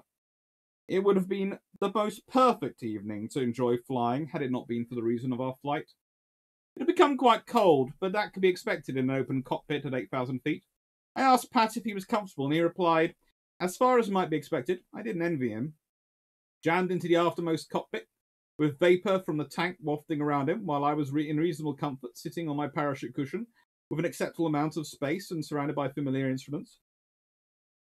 And Pat is one of the lucky observers. Remember, he's just got the waft of vapor of, of uh, fuel, aviation fuel vapors going around him. And let's be honest, aviation fuel vapors are not fun things to have going around you in any circumstances because these are the things which, when they explode, blow up whole aircraft carriers. But some of them, as I said, are actually sitting in cooling aviation fuel.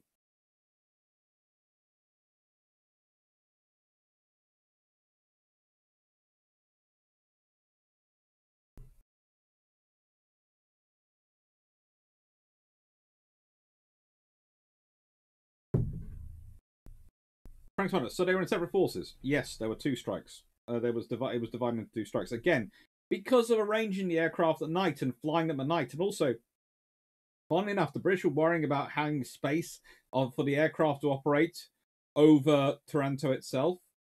They were worried if they had too many, they would chuck the they would get in each other's way and actually make the strike less effective.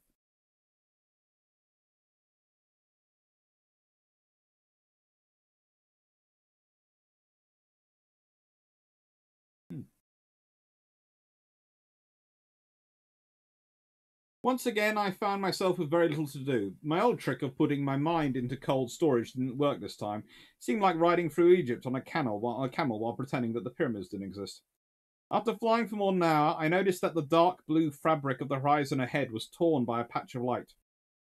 I pointed it out to Pat, who looked through his binoculars and said that it must be Taranto, but neither of us knew why it appeared to be floodlit. As we closed the land, the light seemed to flicker and pulse until, when we were closer still, began to look like a major firework display. With some horror, I realized what it was AA fire. What were they shooting at? The first strike should have been well clear long ago. The boom of the land began to clarify, and our two remaining flare droppers broke away to our right, heading for their zone over the oil storage depot. There was a healthy fire burning over there, so someone in the first strike must have achieved a hit. We were still some 10 miles from the harbour, but at a height of 8,000 feet, it was becoming clearly delineated in the bright moonlight and the glare, glare from the tracer. Although partly obscured by smoke and gunfire, it was a copy of the excellent photos given us to us by the Marylands.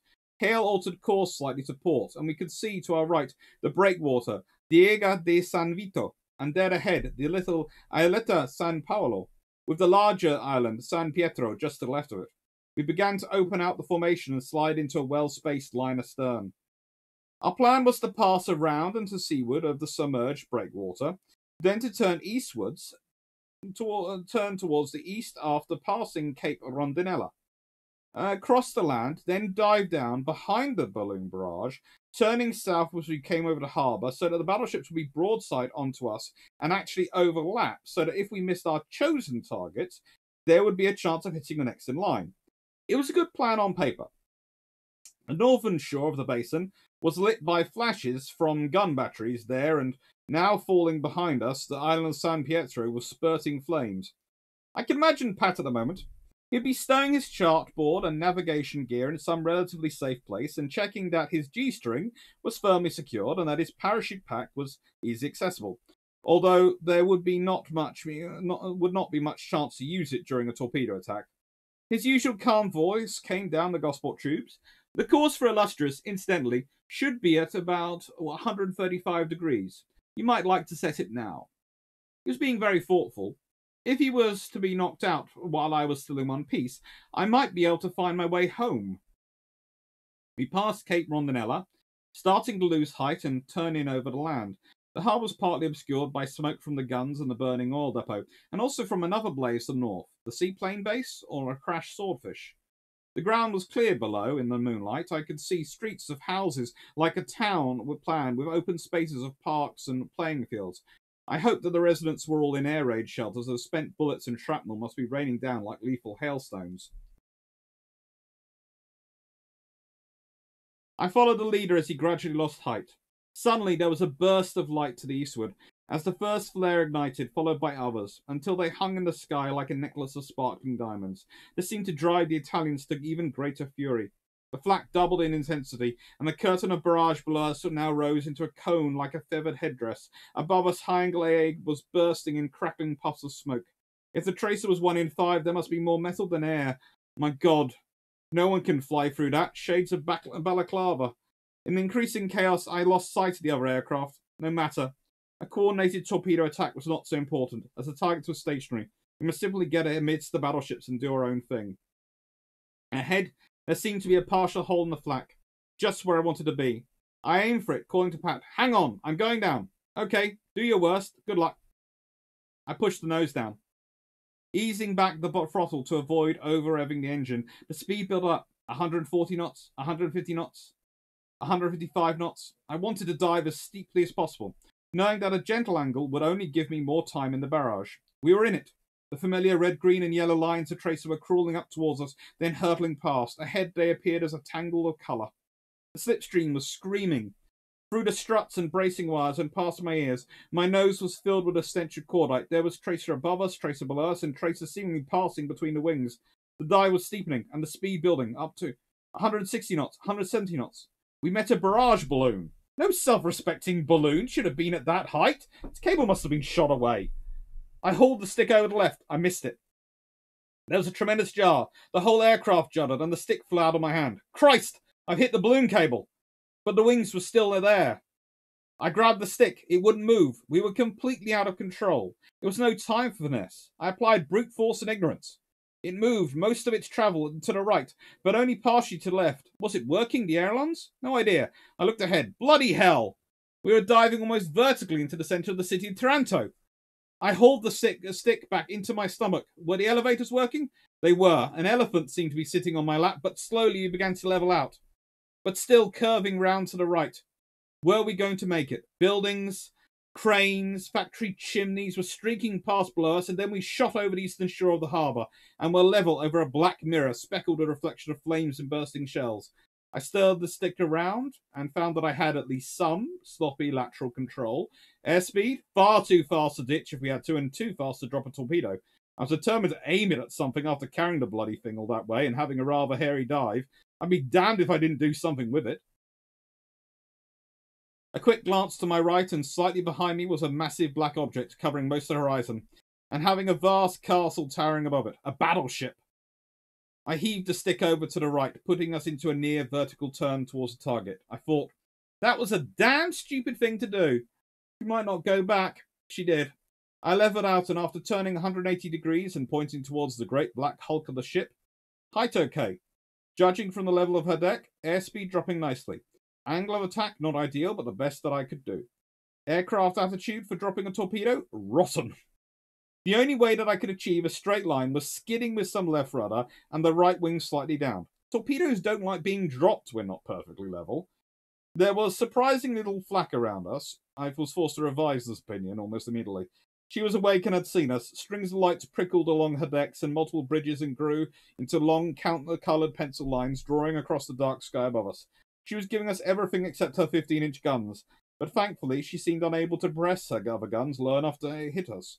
Closer and closer we came, her decks ablaze with muzzle flashes, the superstructure towering above us. Look out! Don't get too close. These things have a safety range. I pressed the button on my throttle lever, felt the torpedo release, held straight for a couple of seconds, then threw the stick over into a vertical turn to starboard. Inevitably, after dropping a nearly 2,000 pound load, an aircraft rises, and E5H was no exception. We rose right into the ship's gunfire. I fought the sloppy controls to force her down, crying, Fly, you bitch. Poor thing, she was doing her best. There was another jar and shut up. We had been hit again. Hell's teeth. Leave me something to take home.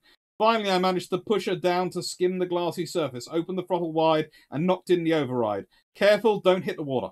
It's difficult to judge height over a smooth surface, particularly at night. Ahead was the Diga di Tarantola, with its balloons. I must avoid that if I could, but mustn't get too far to the right as there were more balloons over there. I edged over to pass slightly to the right of the Diga, which I hoped would take me clear of the balloons on each side. I could see San Pietro, about three miles ahead. Its batteries and those on the floating pontoons across the harbour entrance were still firing, but were aiming towards the centre of the basin. Tracer from the battleship was passing us over from astern of us and disappearing ahead, scraping the surface of the sea. We shot past the island into the wonderful, welcoming anonymity of the darkness.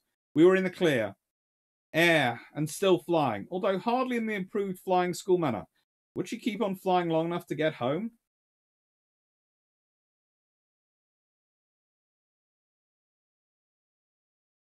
Mm-hmm.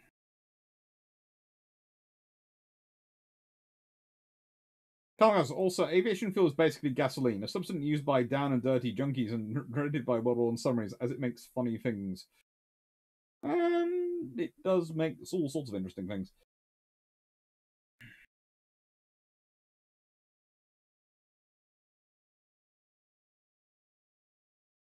Night he should not have been able to recover for that. Wait until you hear what it's like when he gets it home. yes, I know I did say a naughty word. Uh, to my cousins, I apologize. To YouTube, I'm sorry. It's in the account. I eased the nose gently upwards, took over the, out the boost override, and adjusted the throttle to give me normal climbing revs and boost.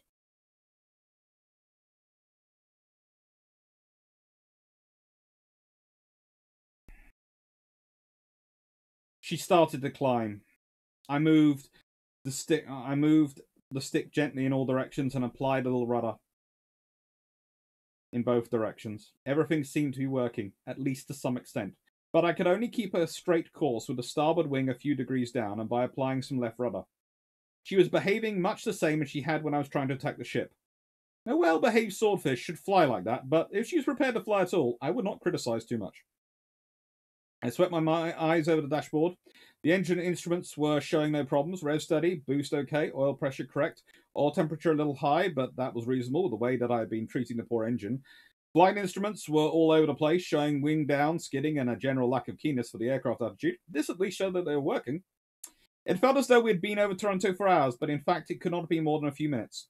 Since Pat was always the perfect observer, who never interrupted when I was involved with things that needed my full attention, I'm not worried about his silence, but I now felt a bit concerned, as I hadn't heard a word since he had, we had left the coast. I lifted the Gosport tube and called rather tentatively, Are you all right, Pat? There was a sound like heavy breathing at the beginning of an obscene phone, telephone call. Then, yes, physically. What is your condition? I assured him that I seemed to be functioning normally, and he said, Oh, that's good. I thought that you might be to be damaged as you have bent the aeroplane a bit. It wasn't my fault, it was the bloody eye ties. He assured me that he had not intended to apply any criticism of my flying, which he felt must have been fairly competent, as I got in and out and we were still flying. And he had had some doubts about that happening when we had entered the barrage. I explained what had happened during the dive and the attack. This caused silence for a few moments, he had not appreciated that we had been completely out of control and nearly in a nasty mess in the centre of Taranto, nor that I had had only partial control during the attack. He had noticed, he had not noticed either, that we were not able to fly straight even now. Eventually he said, I see. I suppose we should consider ourselves fortunate. Do you think that you can get what's left of this machine back to Illustrious? I replied that there was a fair chance and I was going to try, as that I did not fancy eating spaghetti for the rest of the war. He quite agreed and said he left it entirely to me. I suggested that we should be more likely to find the fleet if he would give me a course to steer, and his reply was that I would have to wait a few moments as all his navigation gear was somewhere in the bottom of the cockpit. Meanwhile, I should steer roughly southwest. I was already pointing more or less in that direction, so left him to do some uh, hunting around the floor. After a remarkably short time, he gave me a course. I set it on my compass, but was not entirely happy about it, as magnetic compasses have a dislike of being skidded sideways. We compared it with the two observers, observers bearing compasses in the back, achieved a reasonable average, and set it on my gyro. I had levelled out at 2,000 feet, which I felt was high enough since I had no wish to suffer from the cold as we had it on the way in. The instruments were still reading healthy levels, but the flight instruments were all over the place, which was not surprising in the altitude in which I was forced to fly. At a greater height, I could have saved fuel and made more use of the mixture control, but as by my calculations we had sufficient fuel for at least three hours, I felt that it should be enough to find the fleet or a piece of dry land. Having done everything we could for our own preservation, we had time to discuss the attack. I had been rather too busy when over Taranto to think about things other than my own problems, so I hoped that Pat could tell me something. He could not clearly tell what had happened to the battleships because with Torpex torpedoes, which explode underneath the target, hits are not immediately clear. He had, though, seen an explosion alongside one of the ships, the Littorio he fought, which had looked like a torpedo explosion exploding on contact. He said that it had looked to be down by the bows. Another thing, another which he could not identify, had seemed very low in the water. He had recognized our ship, which he said had been the Vittorio Veneto, but I had to admit that I was doubtful of having hit as our aircraft had been virtually out of control when I dropped. He was able to confirm that seaplane hangars and the oil depot had been blazing. It seemed that we had done some damage. I asked him about the health of our radio. He told me it was thriving, and he could hear a great chat, deal of chatter on the Italian naval channel, mostly in plain language. The word Taranto kept cropping up, but he couldn't understand the rest of it. He was able to get Radio Milan, which was playing gramophone records of the Verdi operas. As my helmet was only fitted with Gosport tubes, I was not able to hear any of it. I just shut up and let him amuse himself. My mind began to dwell on how I was to land this thing on deck, assuming that we found the ship when there was no way that I could keep a level. Furthermore, I had no idea whether we still had any wheels or even undercarriage. I thought that I might be able to level out and kick her straight as I cut the engine. Then, even if she fell to pieces at the point of, I'm uh, at that point, I might, with any luck, manage to sliver into the barrier. When we had been flying for well over an hour since our hurried departure from Taranto, I began to feel we should know we should know something shortly. I was suffering from a very stiff and rather painful left leg from having to hold on left rudder at all time. I asked Pat if he had an ETA, any idea of ETA. In an incredibly calm and confident voice, he replied, "Oh yes, about twenty-five minutes. I'm just going to tell you, I picked up the ship's beacon." My spirits rose about 200%. I asked for a change of course. He told me to carry on as I was. It took a few moments to accept this. We had been flying over sea at night for well over a hundred miles. There had been nothing with which to check dead reckoning navigation other than perhaps a back bearing of Taranto in the early stages. But he had brought us back to a moving fleet without a single alteration of course. I had always known that he was a good navigator, but this was phenomenal. I didn't it didn't hurt his feelings by suggesting that there might have been an element of luck. Think about that skill. And when you look for and read through the accounts of the observers, and this is something the Royal Navy really does benefit from in especially in the early part of World War II. They have very, very good observers. They really do. And if you look at where those observers go on to in naval ranks, they are smart people. Fifteen minutes later, I saw the foaming phosphorescent swirl of a destroyer's wake as we passed over the screen. Then, directly ahead, the bulk of Illustrious loomed and became a familiar shape in the bright, um, bright moonlight. I switched on navigation lights, and then, behind my left ear, came the flicker of Pat's Aldis lamp as he gave the recognition signal. A pinpoint of light from the ship's island acknowledged. I eased the throttle slightly uh, back to lose height. Then, as we passed over a flight deck, banked as far as possible into a left hand turn to make a very wide circuit. Poor old E5H refused to turn to the left any more steeply. I pulled the little lever that should release the arrestor hook and hoped that it had worked. We were losing height at the desired rate, and my gentle circuit seemed about right to bring me in line with the flight deck. As I turned onto the final approach, the lines of lights delineating the landing area and the DLCO's illuminated bats became clear. Good. I eased back the speed to that approved for deck landing a swordfish. The damn thing was immediately out of control. I banged the throttle open and at once achieved the old skidding but controllable attitude. The DLCO was giving me furious too fast signals. Hard luck. Fortunately, he was a very experienced and good at his job. Realized that there must be some reason for my wild progress and gave me a very clear, very early cut signal as I slid up to the round down. We hurtled over the first arrestor wires, missing them all. The left wing started to drop. Here we go. A terrific jerk. We had caught a wire while still airborne. A resounding thud as the wheels hit the deck. Then we were stopped. I couldn't believe it.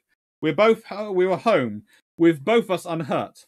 I sat like an idiot holding the brakes on, then suddenly woke up to the furious "Come on!" signals from the FDO. Releasing the brakes, I taxied toward uh, forward onto the lift, where the handlers instantly folded the wings while I cut the initial switches. The faithful Pegasus gave a, spl- a final splutter and coughed, then subsided into glorious silence.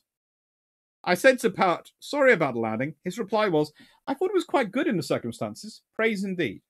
So, This is a damaged aircraft, and it's just done what is basically as close to a controlled crash as you can get. You're going to want to pay attention to this bit. The lift dropped to the hangar level, and we were rapidly pushed into the brilliant lights. I was absolutely astonished at the scene. The hangar was full of swordfish. Nearly everyone must have returned safely. I'd expected that we would have been one of the few to survive. Pulling off my helmet, I heard cries from the fitters and riggers. Fucking hell, mate! Look at him! Look at that ruddy wing! See them bleeding ailerons? I followed my eyes. The rod connecting the ailerons on the port and upper and lower wings was smashed, with jagged ends grinding together, resulting in one aileron being slightly up and the other slightly down. Not surprising that I had suffered a loss of lateral control. The port lower main plane had a hole about a yard long by a half a yard wide. How on earth could any aircraft fly in that state? I did not think that anything but a swordfish could have done it. At that point, I would have happily subscribed towards a statue to the designer. I felt that I had to give Joey some credit, but couldn't help thinking, albeit somewhat unfairly, that if he had concentrated a bit harder, we might not have been hit at all. The lads climbed onto the stub planes. Are you okay, sir? How did he fly in that st- back in that state? Did the fish run all right? Did he hit anything? I told them that I was fine. It must been their good maintenance that kept it flying. The torpedo dropped all right, but I had not got a clue about hits. I promised to tell them all about it when we found the true results.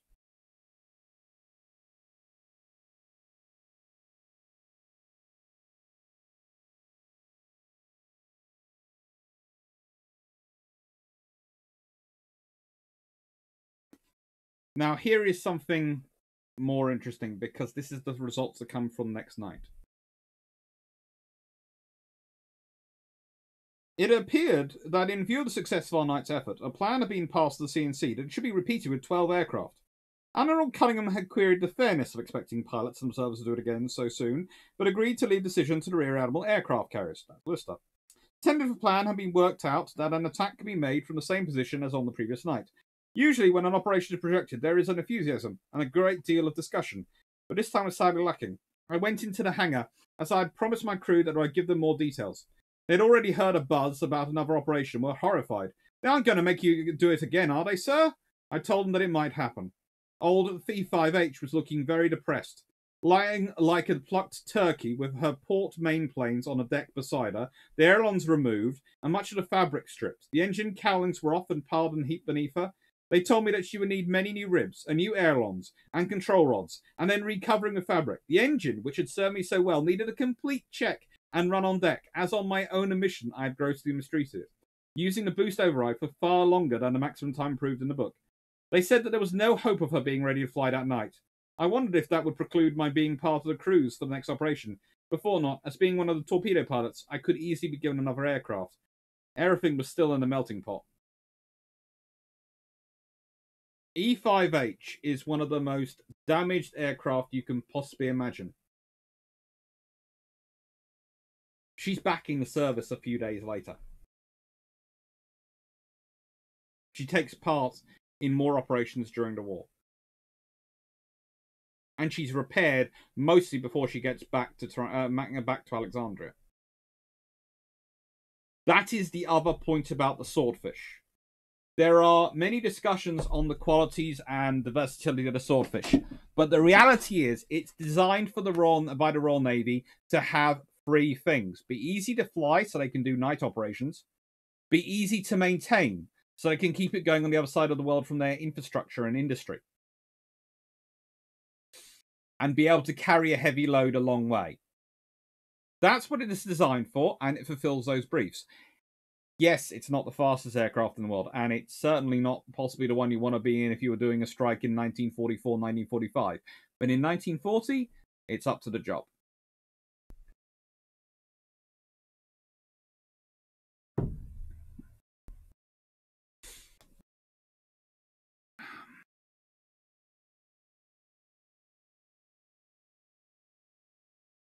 Georgine, I'd say the writer said something far worse, but I won't ask over an open channel.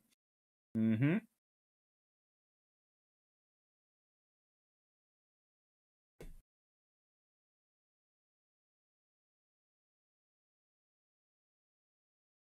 After the attack run, so the pilot slowed back down to avoid getting a speeding ticket.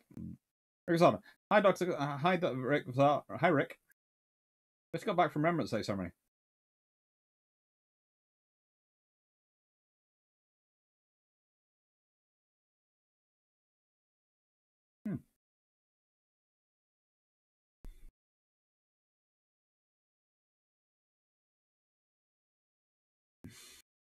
Yeah, it's fun.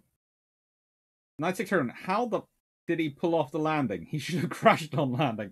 Hey, the, uh, let's put us. Not only that, the plane stayed together on the landing. This is the point. The plane stayed together in one piece. This is, and I realize I am. I sit there. I said, I'm not one of those people who mythologizes the swordfish, but you have to appreciate it for what it did achieve.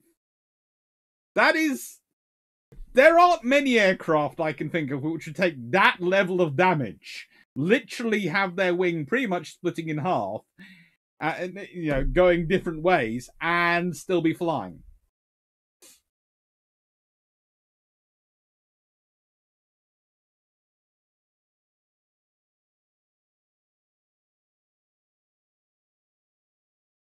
Now, surely that aircraft can't have been repaired. A lot of spare parts are collected together, and a few scraps of the original are kept to make accounting easier. Surely, no, it's it's repaired aircraft. It's rebuilt.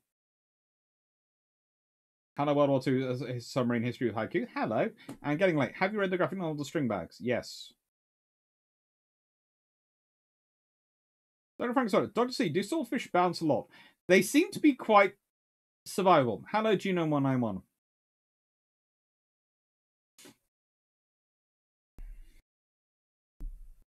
I'm glad you're able to catch the stream, uh, uh, the the, screen, uh, the stream this evening. And as JSL said, if this was a movie, people would say plot armor. They would. They would be screaming plot armor. But it's what happened. It's how she got through.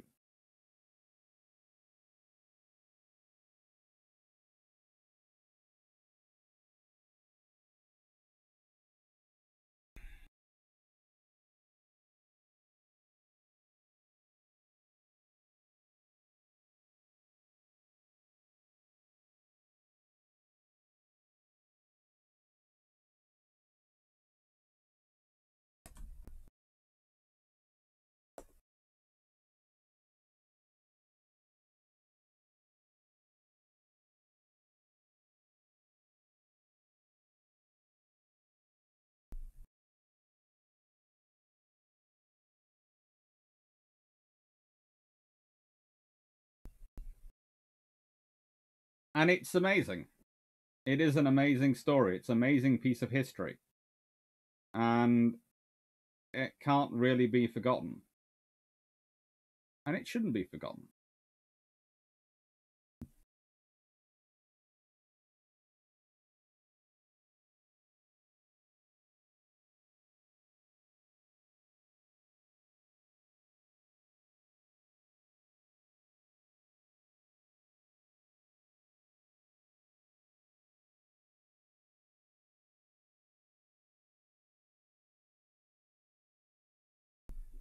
Ian Carr, was HMS Unicorn by any chance in the vicinity? Unfortunately, not. She was still in production. Uh, she was still being built at this time. Colin Cameron, it would be interesting to see the list of spares requested for the air group that was issued minor visitors when the ship got back to port.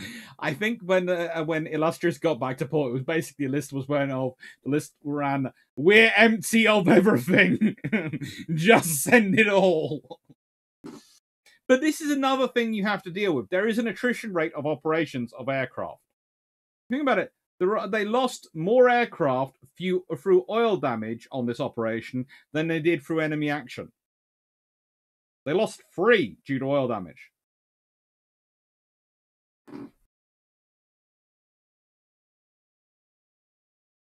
Hello, Yickers.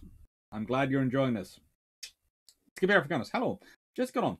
Can someone recommend a magazine that focuses on the history of the Royal Navy, like Naval History Magazine, covers the United States Navy? Um, is Scuttlebutt the best candidate? Uh, probably. Ian Carr, did the author survive the war? Yes, he did. In fact, he goes on to have quite a vivid career. Um,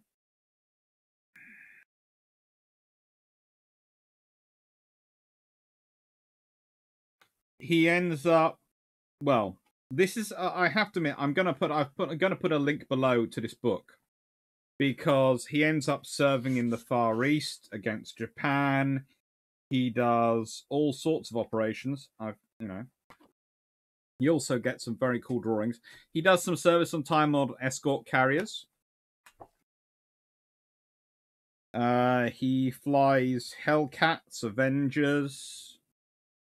He has a really amazing, amazing career. There's his own pictures from this operation: Eagle, Illustrious, Taranto.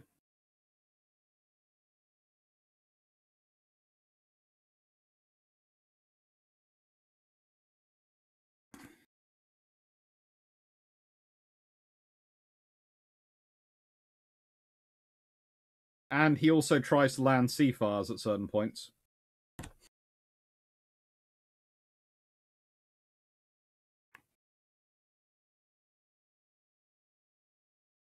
And if you look very carefully at this photo, you can see where it's been altered by the censor.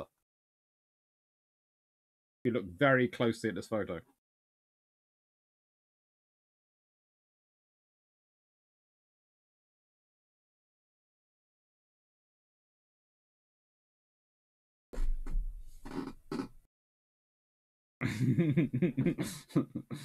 uh, uh. Frank Spanner, did everyone get, did everyone get commendations, or did people who get hits get more anything more? I think it was there was quite a lot of commendations. Um, there's some on global maritime history, but I'm not sure if that's what you're looking for as in terms of online magazine.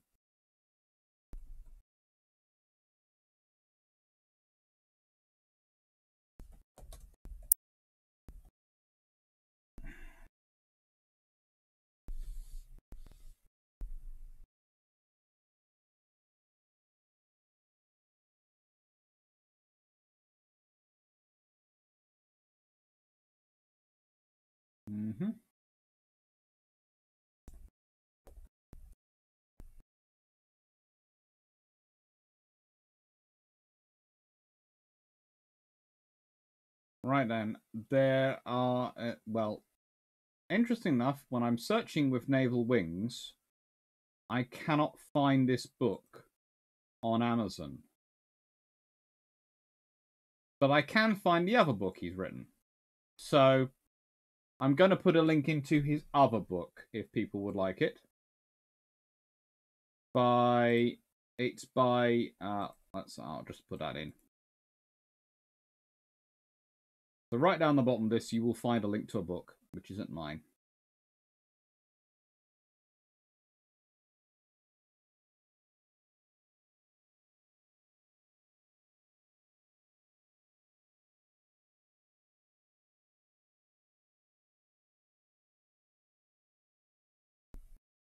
And this gentleman's called John Wellham.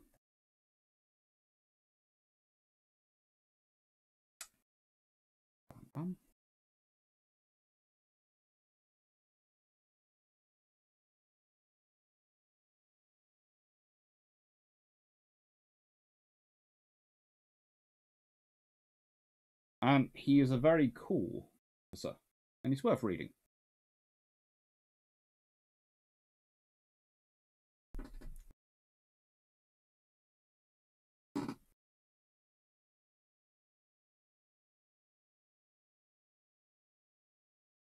John I wonder if this helped with making the case for the AO-196 torpedo bomber in Germany or not.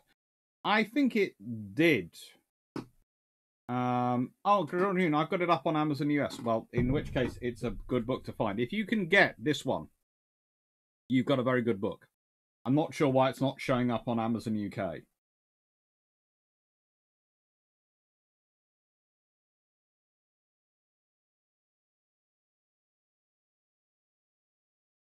No ideas for that.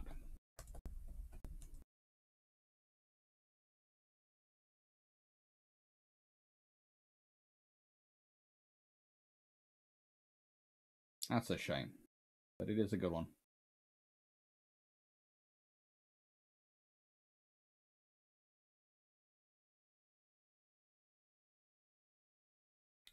Hey, I found it. I have finally got it. I've found it now. So I'll put I'll put his other uh, book, book, both books down there because I've got both and I do recommend both.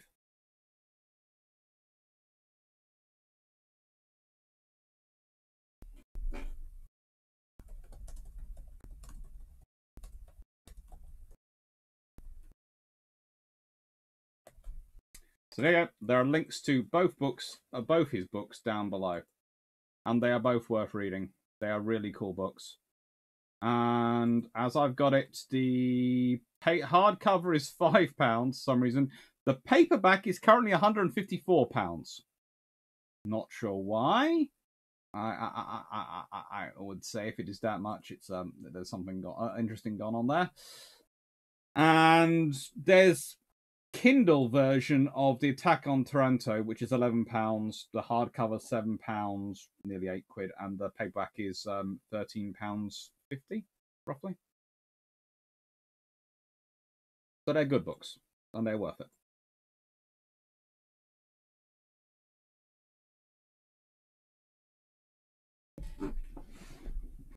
Right, I'm going to turn this light out so I can start seeing my screen properly and answer questions without looking like I'm lit from above as a halo.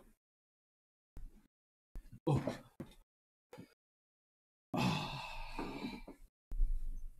Ian Carr, sounds like John Wellham deserves his own episode on the channel. Honestly, if I do an episode on John Wellham, I have to get Jamie involved because this guy is, as far as Jamie is concerned, the Messiah, prophet, and God. Not really, but um, he is certainly someone who is very critical to. Uh, Jamie is very, very interested in and does a lot of considering of.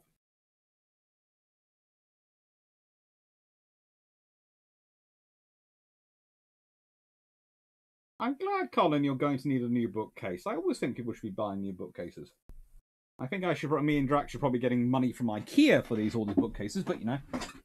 Hmm. Amazon US has a Taranto hardcover for eight hundred nine dollars. Yowza! I think Taranto books are going to be next ones. Me and Drach are going to have to deal with for scalping. Oh well. Right. So here is the damage assessment, and as said, I used Jamie's list of damage assessment as the basis of my damage assessment because there is no one on Earth, barring possibly myself, who's done as much research into Taranto recently, other than well, maybe David Ragg and um, a couple of other ones, uh, uh, sort of those authors. But um, I would. This was a cornerstone section of my PhD, and Jamie as said, is an is the armored carrier specialist, and as far as I can tell, mo- every, most people use his assessment as the basis anyway, and I think it's a sensible one to go with, as he's done a lot of work with Italian records as well as British records. The battleship damaged beyond repair, Conte di Cavour, hit by a single torpedo.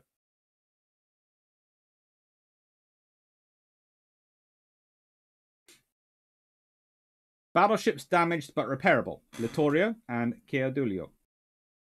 The harbour and facilities, while the seaplanes facilities were severely damaged. Lots of other systems taken out. Um, they lost a lot. They had a lot of infrastructure damage they had to repair, and you have to remember the damaged infrastructure often is cumulative.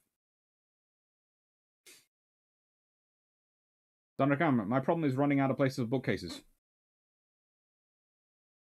Outdoor office. Um, material. Uh, Italian expenditure on ammunition, well, had been about 1,430 12.5 centimeter rounds. That's 125 millimeter rounds. Or 5 inch rounds? Um, 313 107 millimeter rounds, or 4.1 inch. 6,000 uh, 6,854 8.8 centimeter rounds or 88 millimeter rounds. 2,635 20 millimeter rounds, which I consider incredibly light, but it's the best re- referenceable source we have suggests that. But I, I would argue, and so would Jamie, that both 20 millimeter and 40 millimeter rounds seem rather light for rate of fire and how much they should provide. Either those guns were very poorly su- uh, supplied with ammunition, in which case that's another reason why the attack is as successful as it is, or the Italians are underestimating how much ammunition they used. It could be a mixture of both. And 931 40mm rounds. Because if you consider it, I would expect, this might just be me, but the cannon with the very high rate of fire, i.e., the 20mm, to have probably expended, and considering the number of 20mm around, more rounds than the 88mm. I can accept due to their number the 107s doing less than the the 12.5 uh, the 125s. I can accept that. But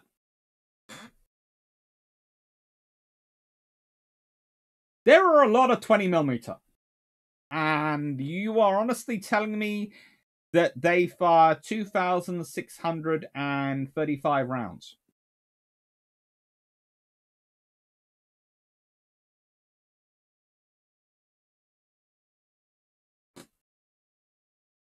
Hello, Dekasu. Uh, for Naval Wings, you should be able to get a good copy of Navy books. Hopefully.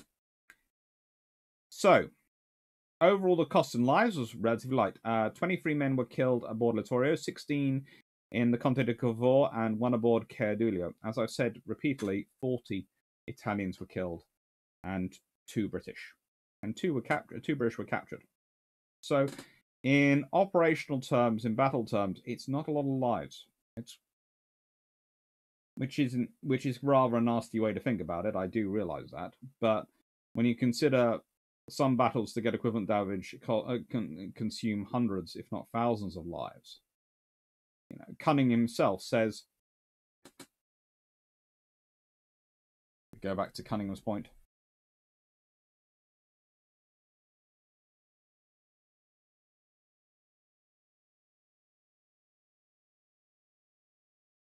Taranto and night of 11th, 12th, 11th to 12th, 940 should be remembered forever as having shown once and for all the fleet air arm in the Navy, eh, that in the fleet air arm the Navy has its most devastating weapon. In a total flying time of about six and a half hours, carrier to carrier, 20 aircraft inflicted more damage upon the Italian fleet than was inflicted upon the German High Seas Fleet in daylight action at the Battle of Jutland. That's the point. No casualties are listed as carrying ashore.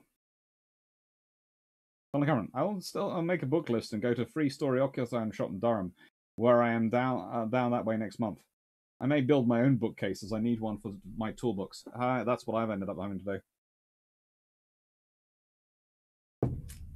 And it's a good store, that one in Durham.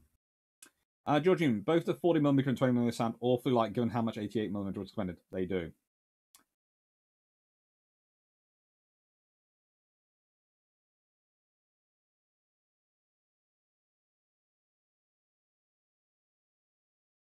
Next one up.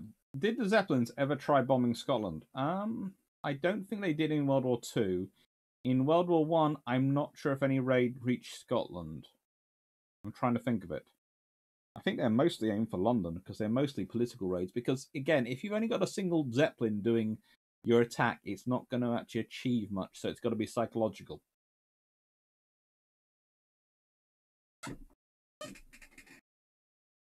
Um, that's got no, that's not what they're listed. They're listed as rounds. So it yes, you are right. There could be someone making that error, but in the documents we've got, those are listed as rounds.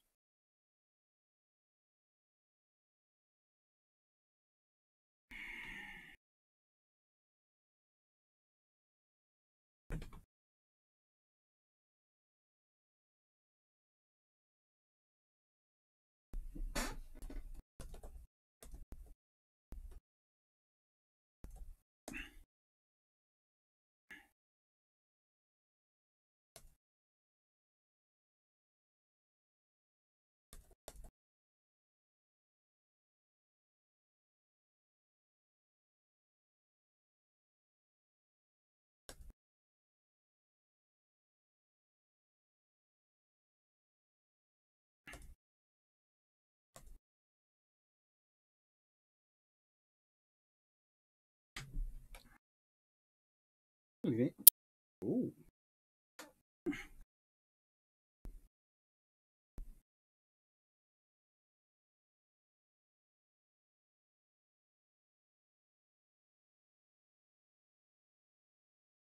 Sorry. I just got a notice flash up on my phone, and I'm not sure how it does on my computer, and I'm not sure how it does does it. That my phone battery was low. That takes skill.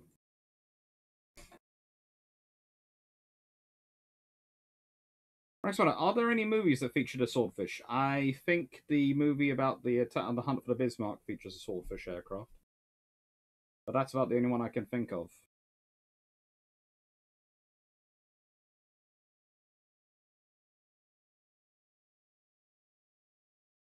Dan Freeman, I can only think that the lighter waited to fire while barrages put up from heavier and lighter. They may not have got the uh, ammo restock, just so just had to re- ready lock around. It's potential, but there is a huge amount of 20 millimeter around that. I mean, all the ships are festooned in the stuff. There are all these other things which have 20 millimeter put in place. I would Let's put this way: from the number of them and the time we're talking about the attack going on, especially the fact that there's an individual aircraft which turns up, and so it turns up early, which is why they're all lit up fighting. And there is the other strike. There's the first strike and second strike. I would expected far more to be used.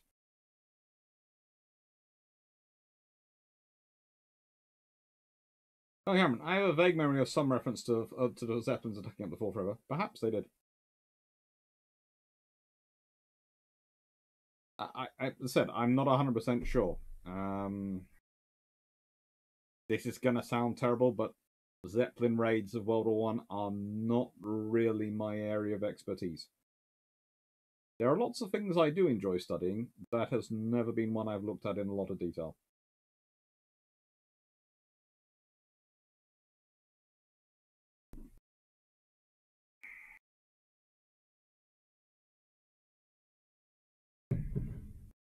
That's got my other figure guess for the low figure, so 20 millimeter, 30, 40 millimeter, is that the worry of strafing the decks of friendly ships rather than hitting planes. Heavy air firing doesn't risk it. Essentially. I certainly have a feeling that it's not so much the guns can't depress low enough to fire at the aircraft. It's that if they do depress low enough to fire at the aircraft, they're going to be hitting them, uh, hitting each other. I think that might well be a factor in the swordfish being able to slip under. But again, that's an advantage the swordfish can exploit by being able to fly as low and slow as it could.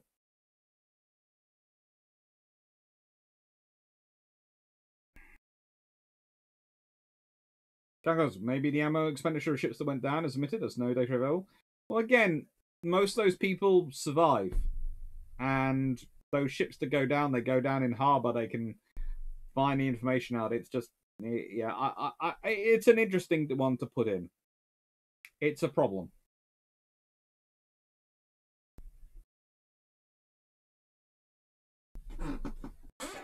It is a problem.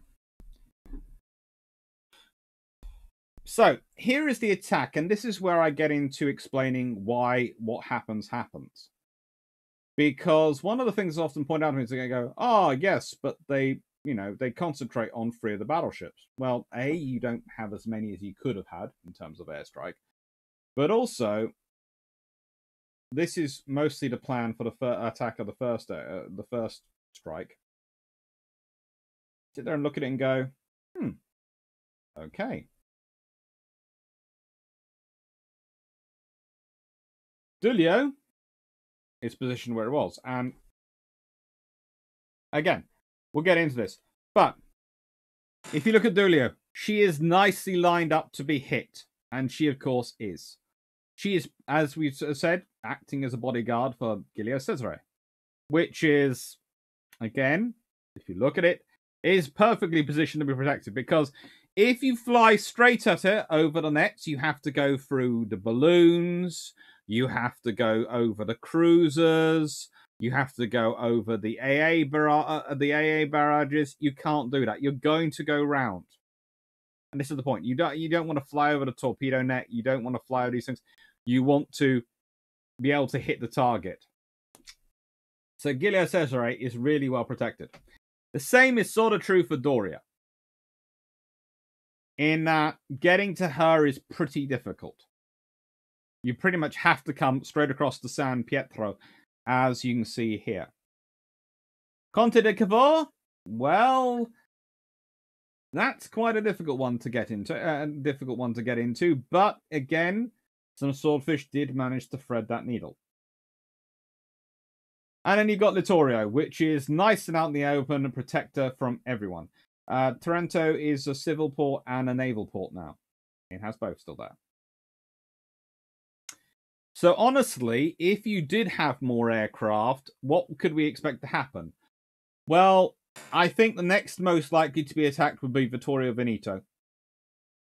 And there are potentially uh, uh, there are potentially strikes against her and Doria. So my view is whatever happens, no matter how many torpedo aircraft the RN shows up with, the odds of them getting an actual hit on Giulio Cesare is very, very low.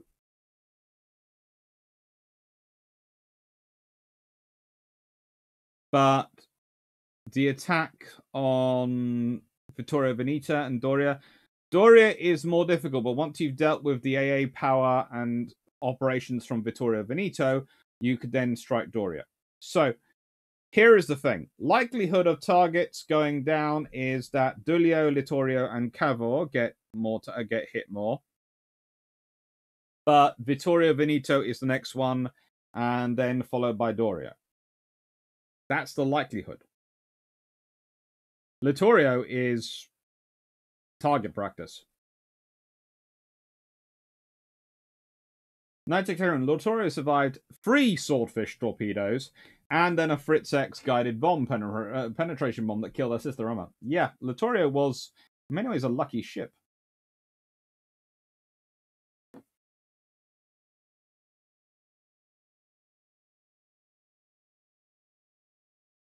Uh, Scott, what weapons were the Italians using? I know the early to mid war Joan 37 was semi automatic and had to be loaded for each shot, resulting in a very low rate of fire. Again, there is a mixture. In Car, a few more swordfish, the cruisers look like prime candidates. Honestly, the Royal Navy, the swordfish are hunting down those battleships. And also, again, if you look at the cruisers, you actually notice something. The cruisers are actually more defined by the space between them in terms of the torpedo nets than the battleships. There's actually more space to run up against the battleships than there is the torpedo cruisers. I think if anything does get hit, it'll probably be Gosia. And it might well be her rather than Doria which gets taken out.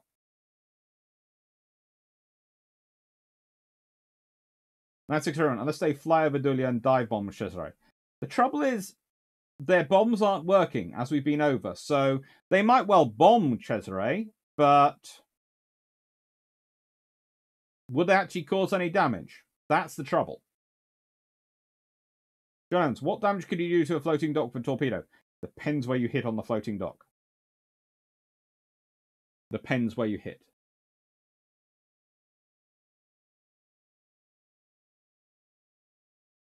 And this is some of the comparisons. I know there is. I know specifically which of my normal viewers will make a be very upset about me doing this comparison, but this is the comparison you've got. You have. You look. you've got video, uh, you've got images of Pearl Harbor while it's under attack. You don't have them for Taranto. And this is the Conte di Cavour after the attack. She is hit by one torpedo. And that is what happens to her. If you get a torpedo in the right place, you can do a lot of damage. This is what the Royal Navy knows. This is why the Royal Navy are focusing in on a torpedo. There's a lot of people keep coming back and commenting, oh, bombs and bombs and bombs. In 1940, this is the weapon. Yes, it's difficult to use. Yes, it's temperamental. Yes, it's annoying. But this is what one hit does with a torpedo in the right place. You get the right place for torpedo, you knock a battleship out permanently. Go back here. Conte di Cavour. Taken out. One torpedo. One torpedo.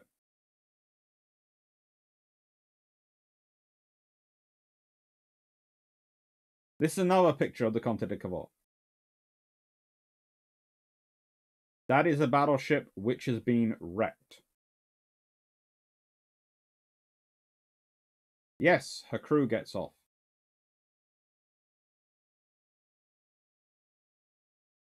No, she doesn't roll over. Because she's in shallow enough water that she can't roll over. And this is another advantage which happens at the difference at Taranto. They the ships can't roll over, the water isn't deep enough. Not where they're parked.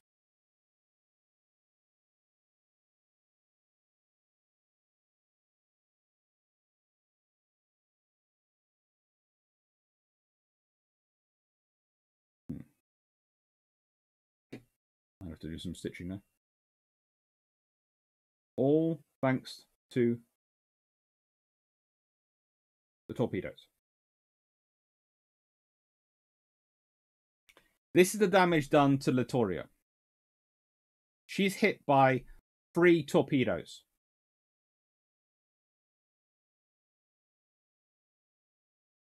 Three torpedoes.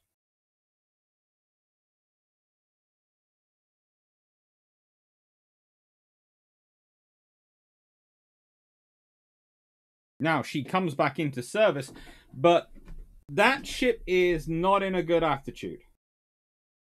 And if you think about it, if the third hit had been a little bit further back, she might have suffered a lot more damage. If this hit, it's not far from where it could cause a lot of damage to the ship.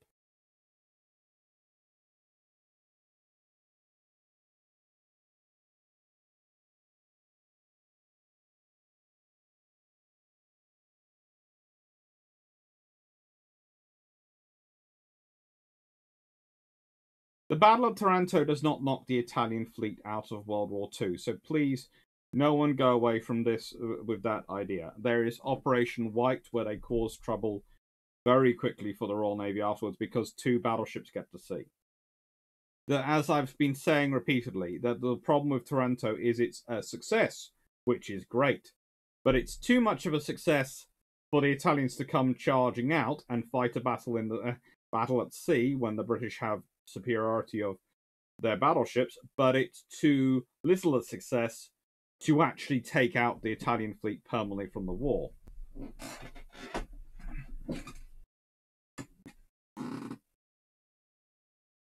What did Regia Marina do? They well, they moved to Naples, which actually also causes trouble for Operation White, because Operation White is the resupply of Malta with more aircraft, and this means that you actually have the battleships on the right side to, influence, eh, to interfere with Force H.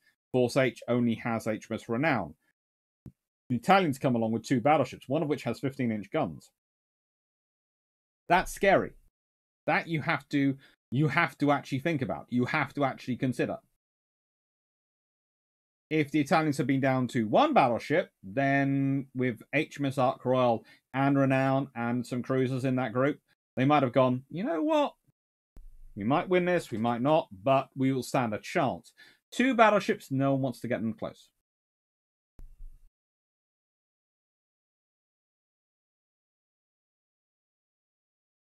Well, Cameron, would you say that in, then that in the torpedo in 1940 is equivalent to the Exocet in 1980?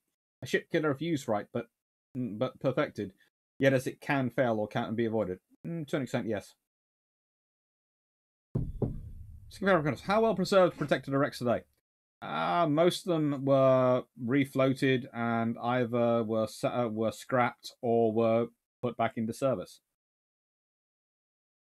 Um, both. Let's see. Go back. Uh, Littorio and Car- uh, were managed to be repaired.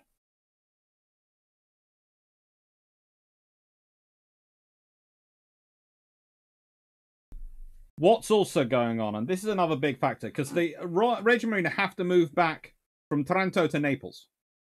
But also, the RN does this in the Strait of Otranto. At the same time as this is going on, at the same time as the Royal Navy, this is one of the reasons, again, why I say this is about drawing out the Italian fleet. Because here's the reason the Italian fleet should go out to sea.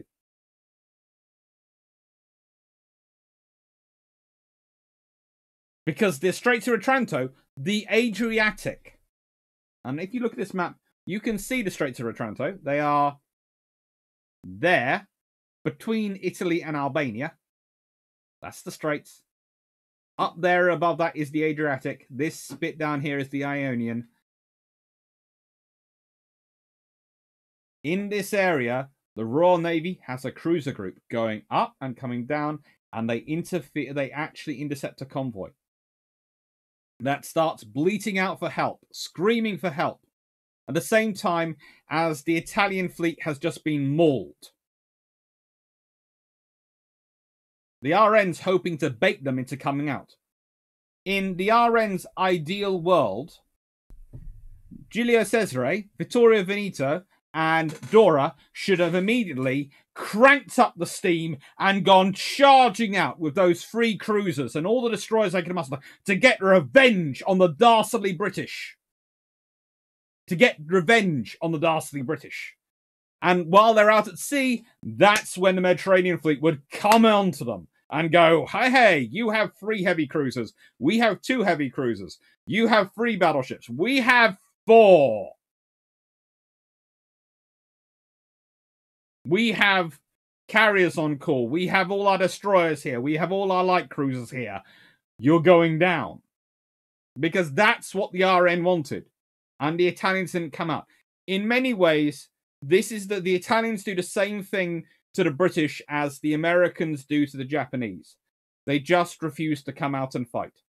The as we've talked about before, the Kantei Kessen, the Americans defeat that by just refusing to come and slowly building up the forces and then advancing and then advancing. Instead of coming charging out because they've been incensed to fight the enemy while they're weak in their weakened state. We don't often credit the Italians with a lot of strategic intelligence, but at this point they do. Because, well, when I say we don't credit the Italians with that, we taught most of the senior admirals were disappointed during World War time, as we have said many, as I've said many times, and other people said, are actually of the political variety rather than necessarily of the naval variety.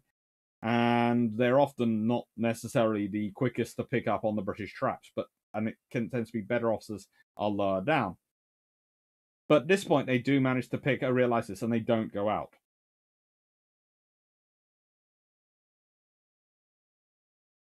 And the force sent to do that? Well, that's under Vice Admiral Henry Pridham Wippell, and it's the light cruisers, Sydney, Ajax, and Orion, and the Tribal class destroyers, Nubian and Mohawk. Mm-hmm. Georgian, the rear starboard hit looks just forward of a magazine. Yes, it is. A little bit further back and it hits the magazine.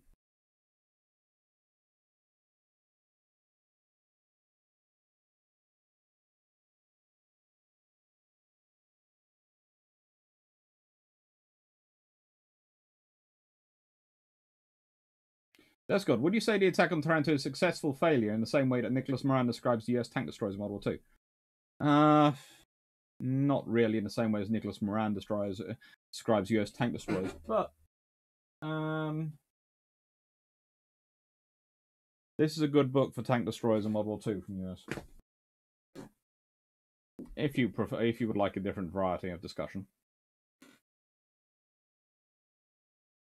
I'm sorry, I missed it, but were there attempts to salvage the Bretanya ships, or how does it compare to Pearl Harbor? They did. They salvaged all three of them. They did a tremendous effort. They went into straight uh, uh, straight work, and um, Littorio and Duilio are both eventually returned to service. Duilio just before uh, the Italians switched sides, and Conte di Cavour um, is well. They att- look at it, attempt it, and then scrap it.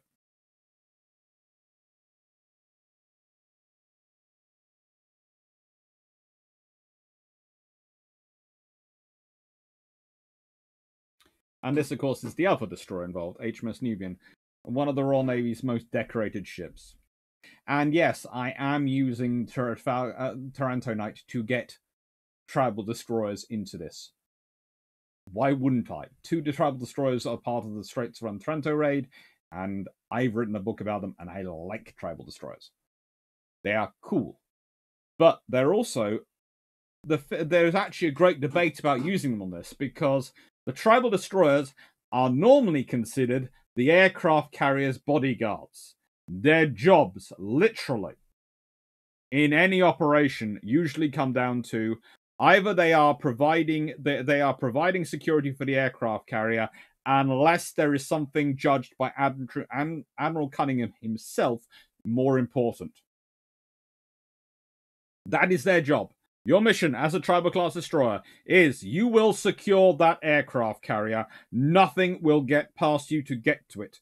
Whatever you have to do to keep anything away from it is whatever's necessary. And that's their rule.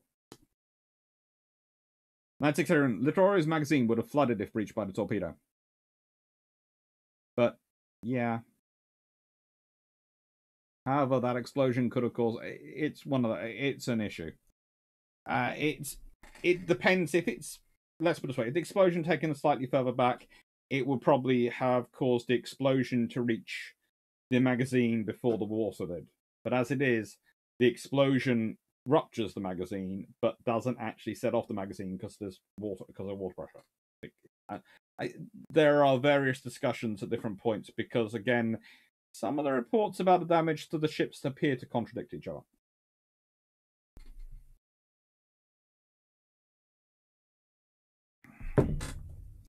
Right. So, the other point I'm going to talk about is the bonus is what happens if HMS Eagle is evolved, if the attack had taken place on 21st of October. Well, let's put it this way let's first discuss why she's not in judgment. She's not in judgment because while covering another convoy on Malta on 12th October, she's damaged by near misses from SM 79s based in Sicily. The damage to her aviation fuel system is not immediately apparent and she actually covers another convoy uh, later in the month, including taking part in an attack on Maltezana's seaplane base in on Rhodes on 27th of October. So she was in operation less than, well, let's be honest, the 27th.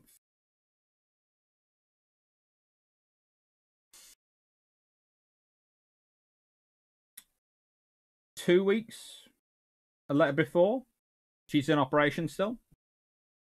Um, four of her swordfish from 824 Squadron are disembarked earlier and flown to Fuka landing ground for a night attack on Tobruk Harbour.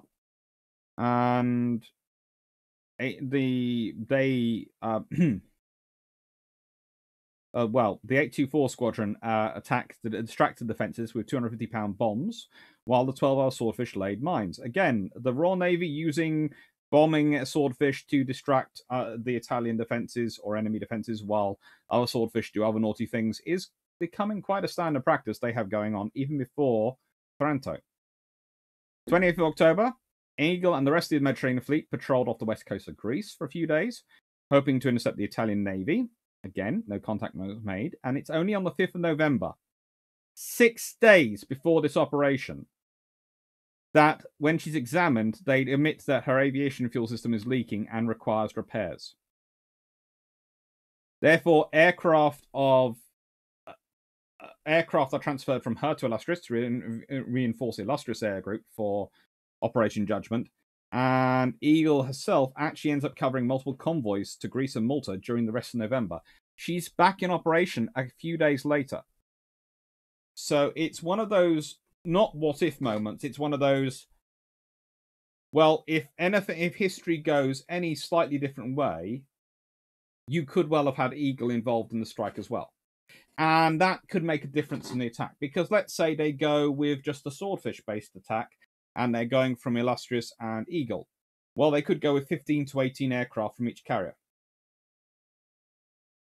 If they go with 18 from each carrier, and that's let's say they get Mac, uh, they do max south and they do get 18 ca- 18 swordfish from each carrier, that's 36 strike aircraft rather than 20. That's probably 24 between 20 and 24 torpedoes.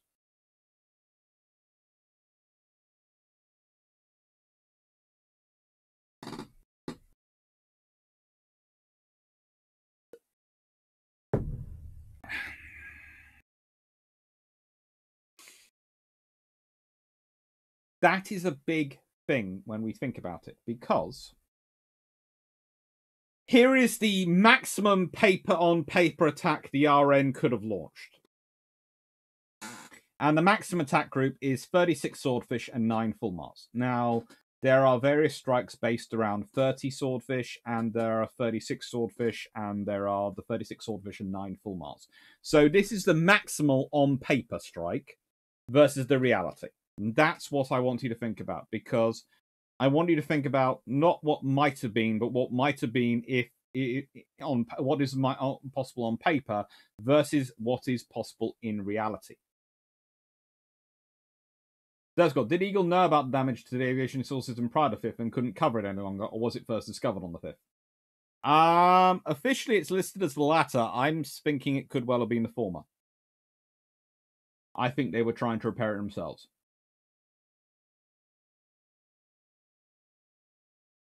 Mikaros, I wouldn't be quite that bad. I'd probably mention if some of the carriers or the, the carriers or battleships by name, if along with the tribal. Um, Inkar, Aedros Fiegel the only two funnel carrier? I'm not sure about that. I'm fairly sure uh, uh, Queen, the current Queen Elizabeth and um, Prince of Wales have two funnels. For some reason. Ian Carr, was Eagle a much more capable ship than Hermes? Yes. A much more capable ship than Hermes.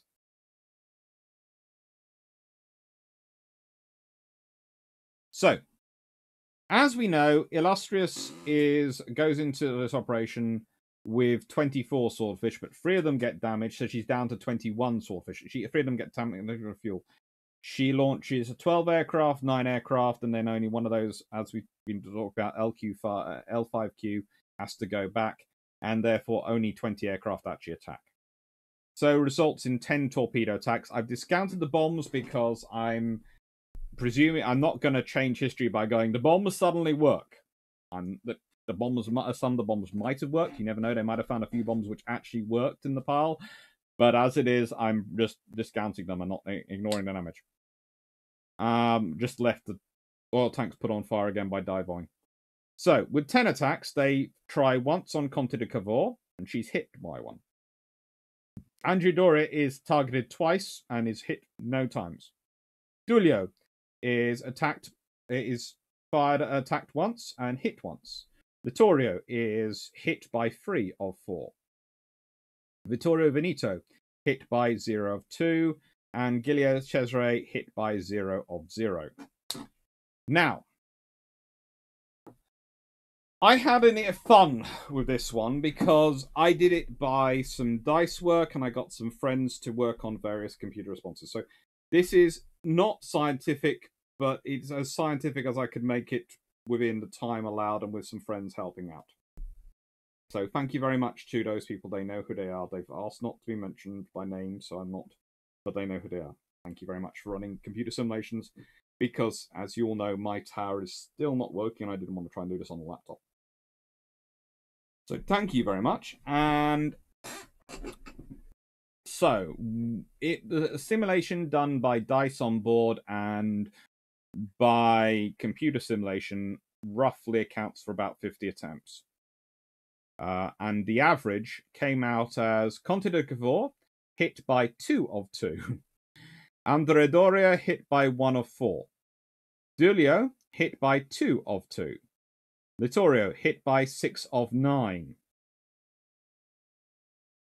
There's actually a debate at that point at how many until she blows up. And this is the other thing. Usually, when it's less than six, she a there are less attacks made because she gets blown up, and b those attacks start to focus on the cruisers if they don't. So that's the the variable at play. Is also the variable play that Giulio Cesare we pre we pre uh, suppose that the bat of the cat of the swordfish as the basis were targeting the carriers.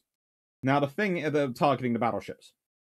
Now the thing that might have changed is if they realize they can't get Giulio Cesare, which they might have realized they couldn't, they could well end up targeting the cruisers. So you could end up with four, possibly five torpedoes targeted on those cruisers with results on that.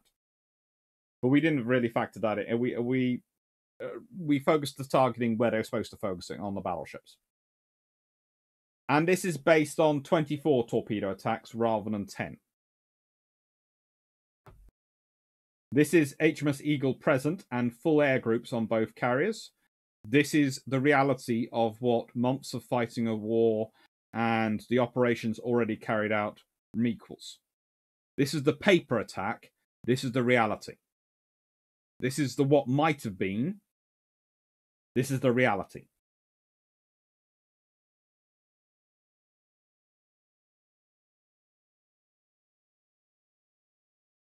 Frim, uh, did the RN have US surplus torpedo detonators fitted to their bombs? No, they had their own problems. Silly Manicots. Hello, Silly. I don't think I've seen you so far this evening. Was the raid an opportunity to take taken or an opportunity missed? Wouldn't postponing attack until more force could be gathered provide better results, or was the immediacy of the plan gains too good to ignore? Well, that's the thing. Cunningham has already put it off on the 21st of October because of a fire in HMS Illustrious. So he's put that off, and then he's going for this as his last date. He he wants to get it while the Italian fleet is still all together. And before they can interfere too much in Greece. That's the plan. Because they know Greece is hotting up and they want to stop the Italian fleet being a factor in Greece. And that's the fact. That's what they're trying to do. Colin Cameron. Were there any RAF bombers based in North Africa that could have been sent in supporting raid via Malta if needed? And, or was this too much of a security risk to be tried? Uh, a bit of the latter, but also very few bombers, uh, uh, bombers, and they were needed for other things. And also, it's the logistics of supporting them. 96831. If Littorio's 15 inch gun magazine blows, that would maybe damage the barrage balloons and anti torpedo nettings it would have damaged a lot more. It's actually one of the interesting things is if Littorio's, and if we go back to this map, you'll see. Basically, my functioning theory is if Littorio does get her 15 inch magazine hit by any of those hits of the torpedoes, then Giulio Cesare gets damage from that as well. So there might well be, she might be, uh, let's put it this way under those scenarios, pretty much all these ships are out of action for months, if not permanently out of action. And I don't see it as hard to think it actually could be all of them out of action, and the Italians trying to repair them and sucking even more of their industry into trying to repair them because they can't build the new ones. But Uh, the Giulio Cesare, as I said, is just very, very difficult to stri- uh, to hit with torpedoes.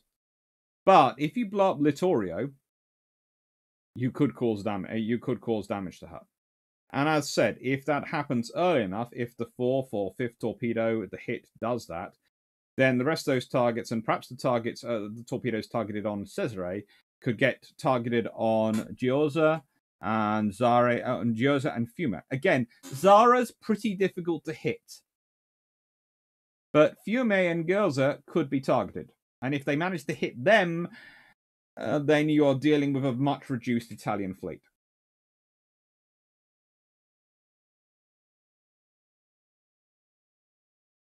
Dan Freeman.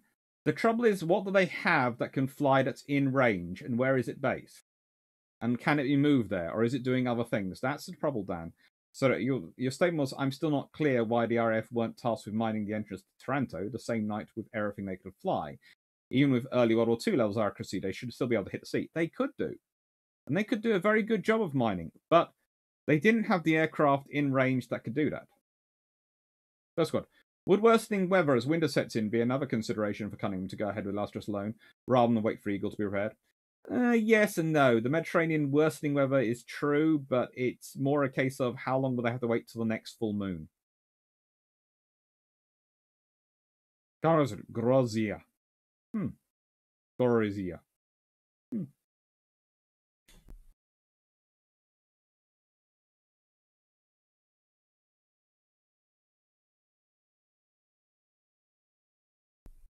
So really the point of this is the lesson from Taranto is you go to war with what you have available, not what you have. We've often talked about if you don't have ships, if you don't have on build trumps and various other things, the ships built on your list, that's got what you have. What you're building, you don't have until you have it. There's no point planning for what you might have. You have to plan for what you actually have. Well, in reality, you have to plan for what you actually have available. Because If you launch on the 21st of October, Eagle takes part.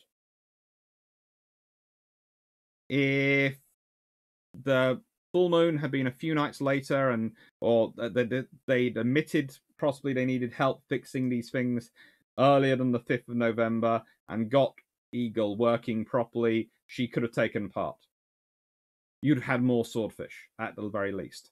The lowest level you'd have dealt with from two carriers would have been 30 swordfish. Okay? 30 swordfish. Of which you're probably dealing with at least 16 torpedo bombers. So an 8 7 ratio,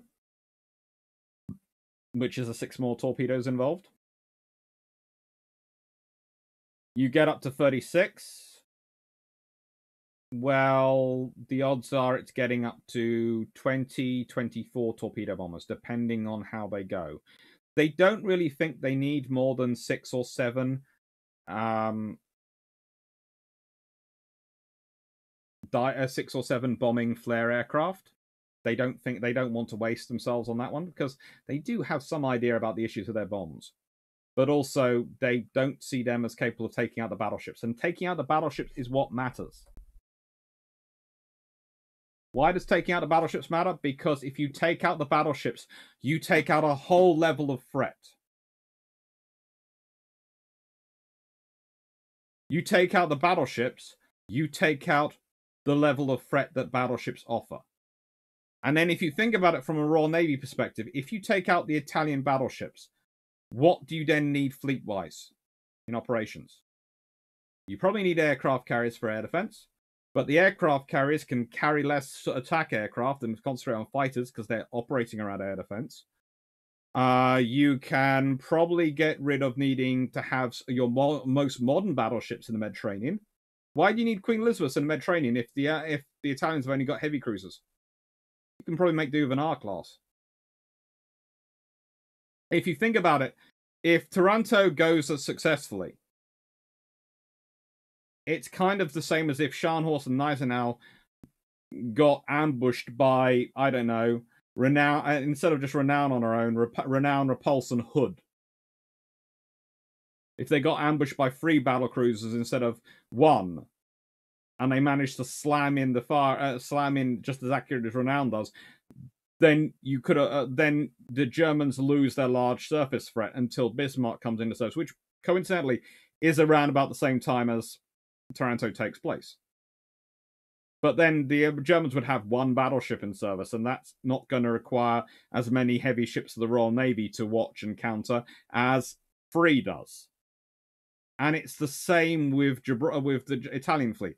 If you take out the the more Italian battleships you take out, the less the Royal Navy has to commit heavy ships to the Mediterranean, which means the less heavy ships they have going into the range of enemy aircraft, the less like wear and tear they're going to put on enemy uh, ships, and the more they can gather them in other places around the world. So, if you want to build up a fleet in the eastern let's say in the Indian Ocean, nice and safe so it can go in the surge into the Mediterranean if it's needed for operations, but can sit in the Indian Ocean to deter the Japanese in the Far East. You can do that if you've taken out the Italian fleet.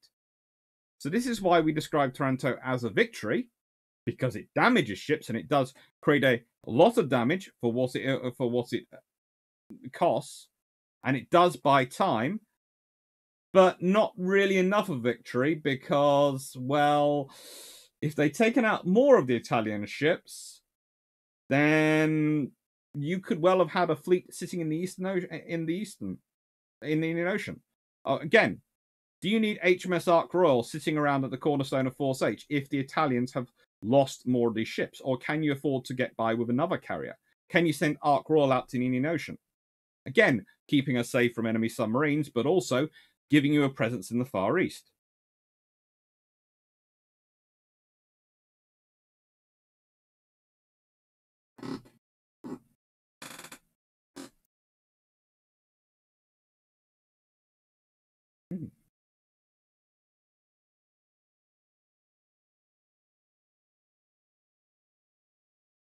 Karen. So Littorio had went up. Do you think it would have been done more or less damage, uh, more or less damage than the Clan Fraser did in Greece? Uh, probably about the same level.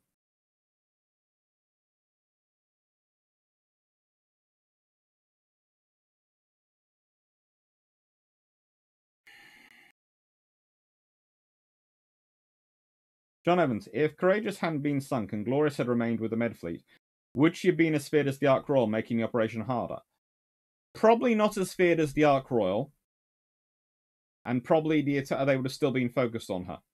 They would have still been focused on the Ark Royal, but also you might have seen. It's going to sound strange. You might have had to see a more elaborate maskirovka. It might have been that uh, Glorious goes off to do in one task force as if she's covering a convoy to Greece, and then Illustrious goes out covering the fleet movement, so it looks like they're separate operations going on. They'd have come with a way. Dan Freeman, according to Wikipedia, not checked other sources, Bismarck only fired her guns for the first time in late November 1940. Yeah, she's technically commissioned in August 1940, but um, as we all know, a ship, uh, even when it's been commissioned, technically, is still not actually probably up to service.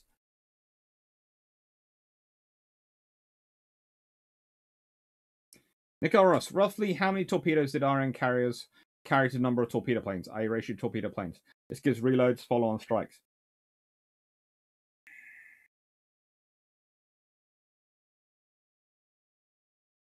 I have the notes somewhere here.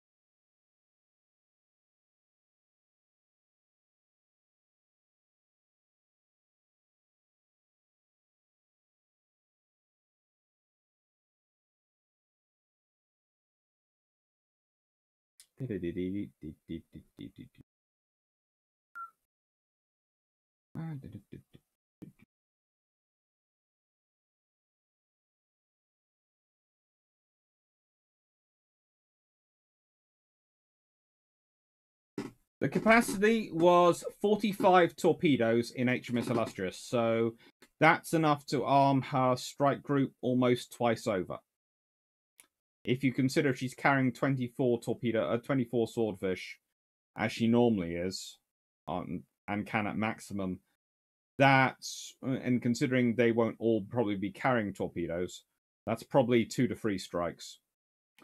Uh, 250 times 500 pound SAP bomb, the SAP bombs, that's semi armored piercing bombs. 400, 250 pound semi armored piercing bombs.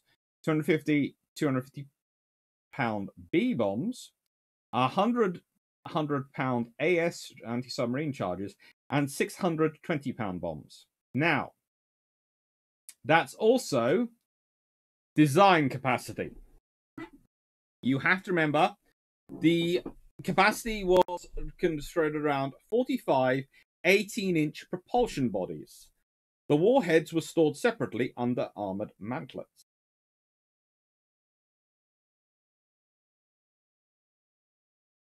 Now,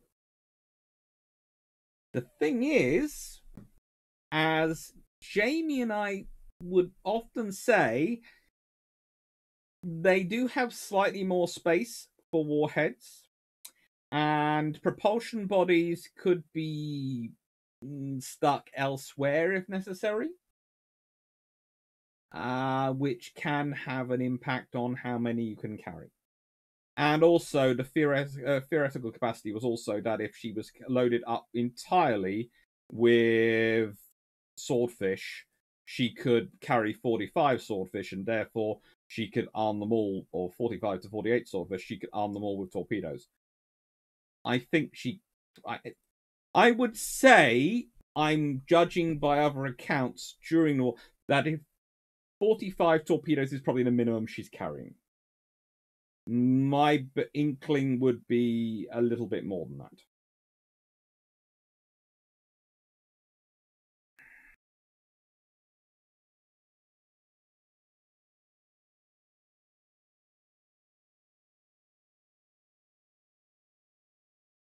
That's good. Uh, as follow up to Nakora question, I well, I've sort of covered that. How many did the paperwork say they had, and how many found their way on board hiding away in corridors? Like, well, as said, it's technically she carries 45 bodies and 45 warheads stored separately. The 45 warheads being stored in a special section magazine. You have a capacity for a few more warheads, you know, just in case of maintenance issues, in case you find that you have a dud warhead. Because you do do testing and try and check and make sure you don't have a dud one. And they have to sort of occasionally be calibrated. So, um, you know, and maybe some extra bodies appear somewhere. They're, they're, they're supposed to be all stored in one place, but, you know, you might spread them out around the ship just in case you get a you get hit or something. You want them some bodies to survive. So, yeah. B nineteen hundred. problem. Did RN carriers have low frequency homing beacons at this point? Well, as we hello, we did cover this. Uh, hello, I presume you missed earlier section when covering this, but happy to answer it again. Yes, they did. In fact, they'd had them since the mid to late 1930s. Different carriers had them introduced at different times.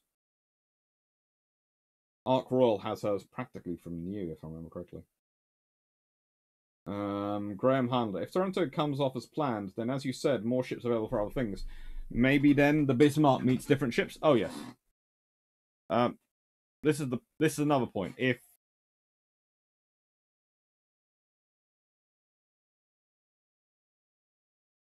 if this happens, then maybe some of the Queen Elizabeth class actually go to the far uh, go to the Indian Ocean, but some of the Queen Elizabeth class might well come back to the UK. In which case, instead of Hood and Prince of Wales, Bismarck might bump into HMS Warspite and HMS Malaya. And we can all work out what might have happened then. Because let's be honest, Warspite and Malaya versus Bismarck and Prinz Eugen. Yes, Bismarck is good, but is she gonna? Uh, she's then fighting two battleships, worked up battleships, rather than one tired battle cruiser and one not quite worked up battleship. It's a different scenario.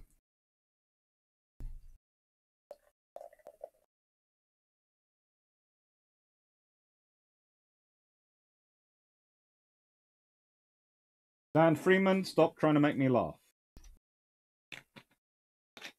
John Evans, how do you test a warhead? Bang, that one worked. Actually, you they had some instruments and they would try and test them and check the cal- uh, they were testing and checking the duplex pistols okay the calibration of the magnetic pistols they did some work on trying to test them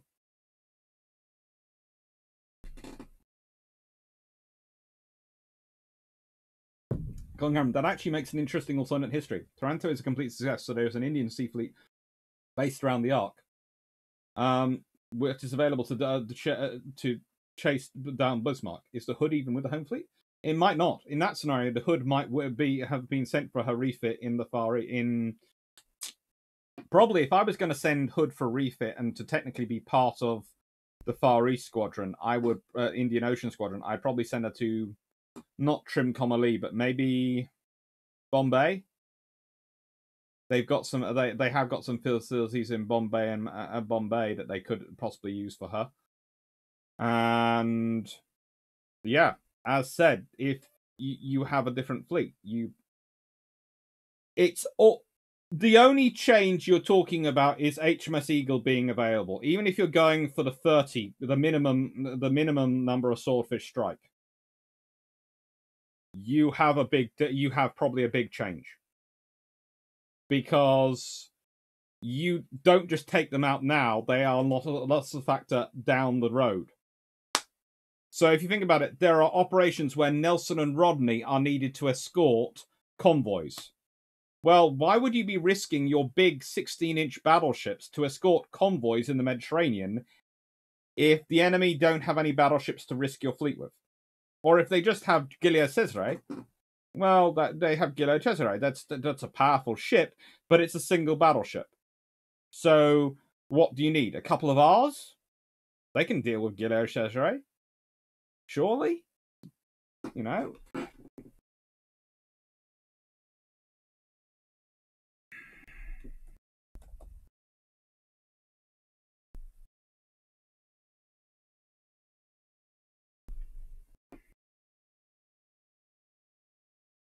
It is the one which ends up going and suppo- uh, going and serving with the Russians as um,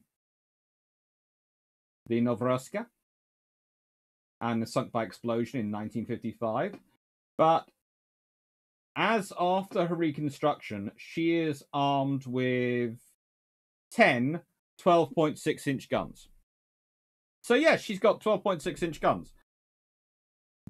A couple of ours, they have 16, 15 inch guns. Does she really want to tangle them? Probably not.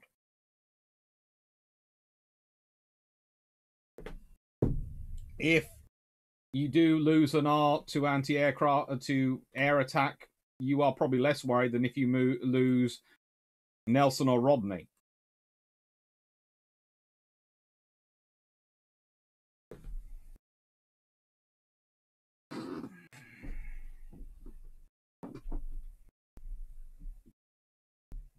Mm-hmm.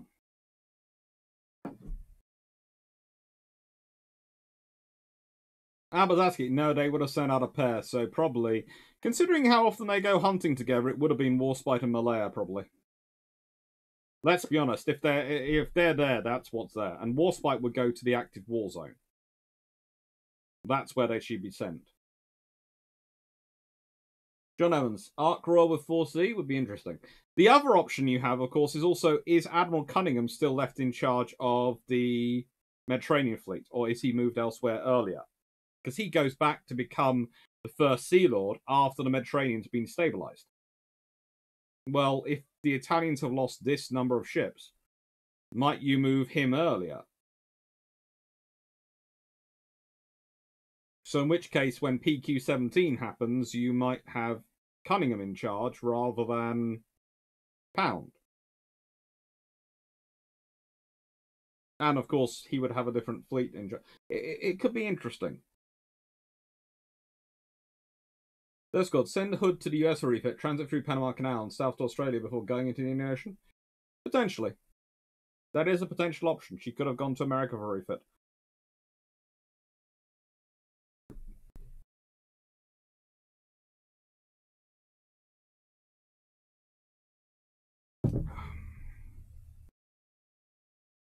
B-19 Anapilot, on a US CV CVN, the weapon bomb assembly area is on the mess decks.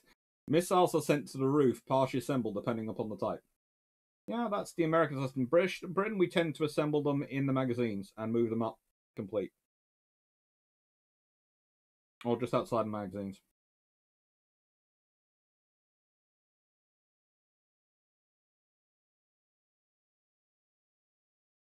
That Malaya and Barham would be less vulnerable to exploitation of that upgraded, uh, their upgraded, unupgraded AA in the far north compared to places like the Mediterranean or South China Sea.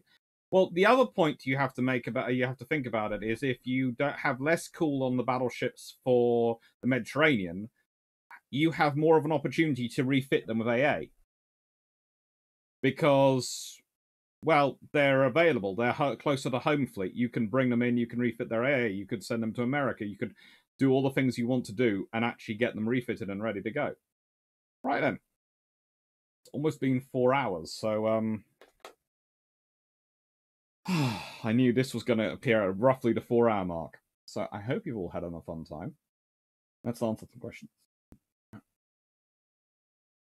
Any last questions? Because I'll go in and put the doggies to bed then. And um, yes, today was, of course, the November, the 81st anniversary of Battle of Taranto. 14th of November, we'll be having Brewship 60. On the 15th of November, it's Guadalcanal and Armchair Admirals. On the 18th of November, it's Patreon 36, evaluating the RN, RAN, and RCN T 26 frigates against their World War II ship classes. And 21st of November, Brewship 61. 25th of November, Patreon 35, repair ships from the Age of Sail, if any. Through Steam and Steel, the Kamchatka and the USS Vulcan to the future. We're looking at. And then 28th of November, we have Brewship 62. On the 16th of November, we're looking at Sherman's March to the Sea in a long patrol. I hope you're going to enjoy that. There should be another long patrol come out probably Saturday morning, which is one I've been talking about for a while from last week's live. Mm, and I hope you've enjoyed the streams. And there's also going to be 23rd of November, the sinking of HMS Royal Rawalpindi. 96 Veteran, HMS Eagle being in the raid on Taranto is a perfect example of the butterfly effect. Yes. Dan I thought part of the lack of AA was not enough being built. Mm, that's part of it, but mostly, uh, but also a large chunk of it is where are they when they can be repaired and refitted? And by the time they can get back, there is a lack of AA. But if you have the battleships closer to home in the 19, uh, in, uh, in you're just about to send them out to the Far East, you might well upgrade their AA.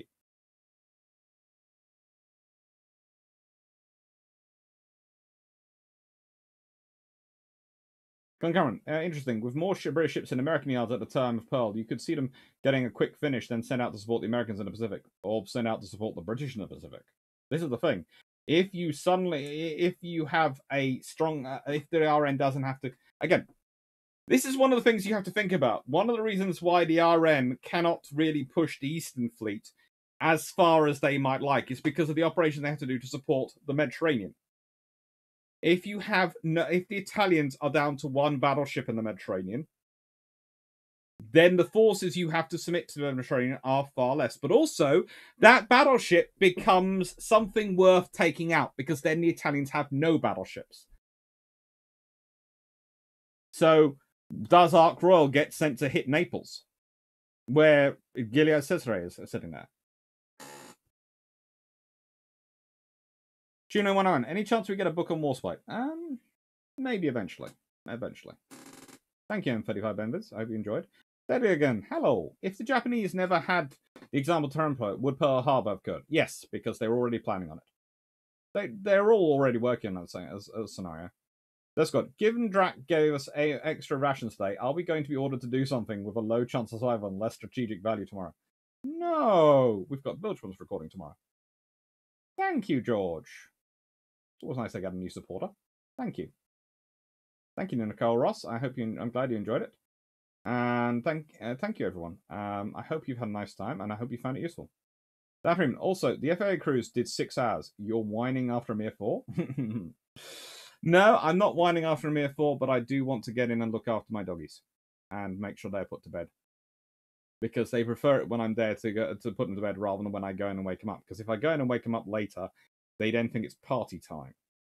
And that causes fun for me because it means I spend the next 30 minutes on the floor being covered by puppy licks. Which is not a bad thing, but you know. Okay.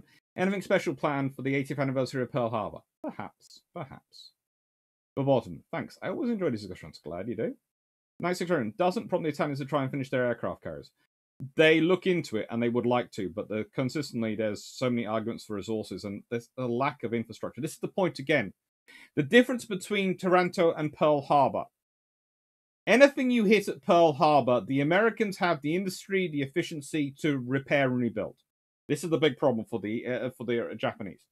At Pearl, Taranto, if you take out and do enough damage, the Italians can't repair it. As I said, Littorio gets back in service, but Gilead, uh, but the um, other vessel, the not the Conte di Cavour, the let me just remember Duilio. It is the Duilio, isn't it? Yes, the Caio Duilio. It takes till pretty much nineteen uh, till end of nineteen forty three to be back in repair, and that means she's no longer useful for anything. Right. That's good. If the Italians only have only have one battleship left, they may all decide to put it up in, uh, uh, put it up in Venice as its value is now much higher. That also could be an option. In which case, the British really don't worry about it. Take care, everyone. Thank you, John Evans. Thank you, DG40. Thank you, Melanie1640. Thank you, Nicole Ross. Thank you, um, Jess P. Uh, Nicole Ross, uh, when are the research assistants going to publish their thesis? Oh, good lord. Don't get me started on that. That's a mess. Take care, Donner Guy and Hammer. Take care, Night 6031. Um, thank you, Silo Manicos. Thank you, everyone. Thank you, John Evans. Thank you, John South.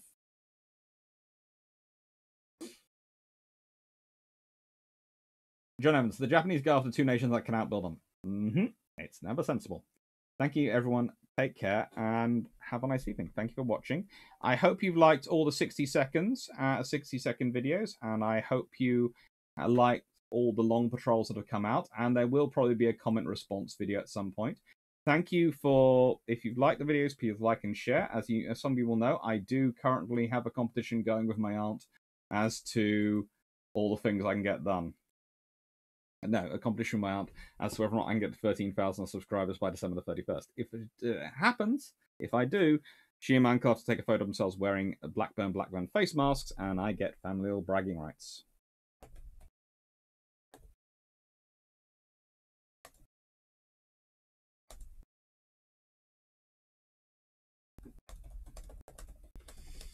Thank you, everyone. I hope you've enjoyed, as said, and um, take care. It's been a pleasure. It's always a pleasure to chat with you all, and I hope you found it interesting. Thank you, 96831, George Newman, Frank Spardo, and Jonathan Burrow, Derp Squad, and B1900 pilots. Take care, everyone. Thank you.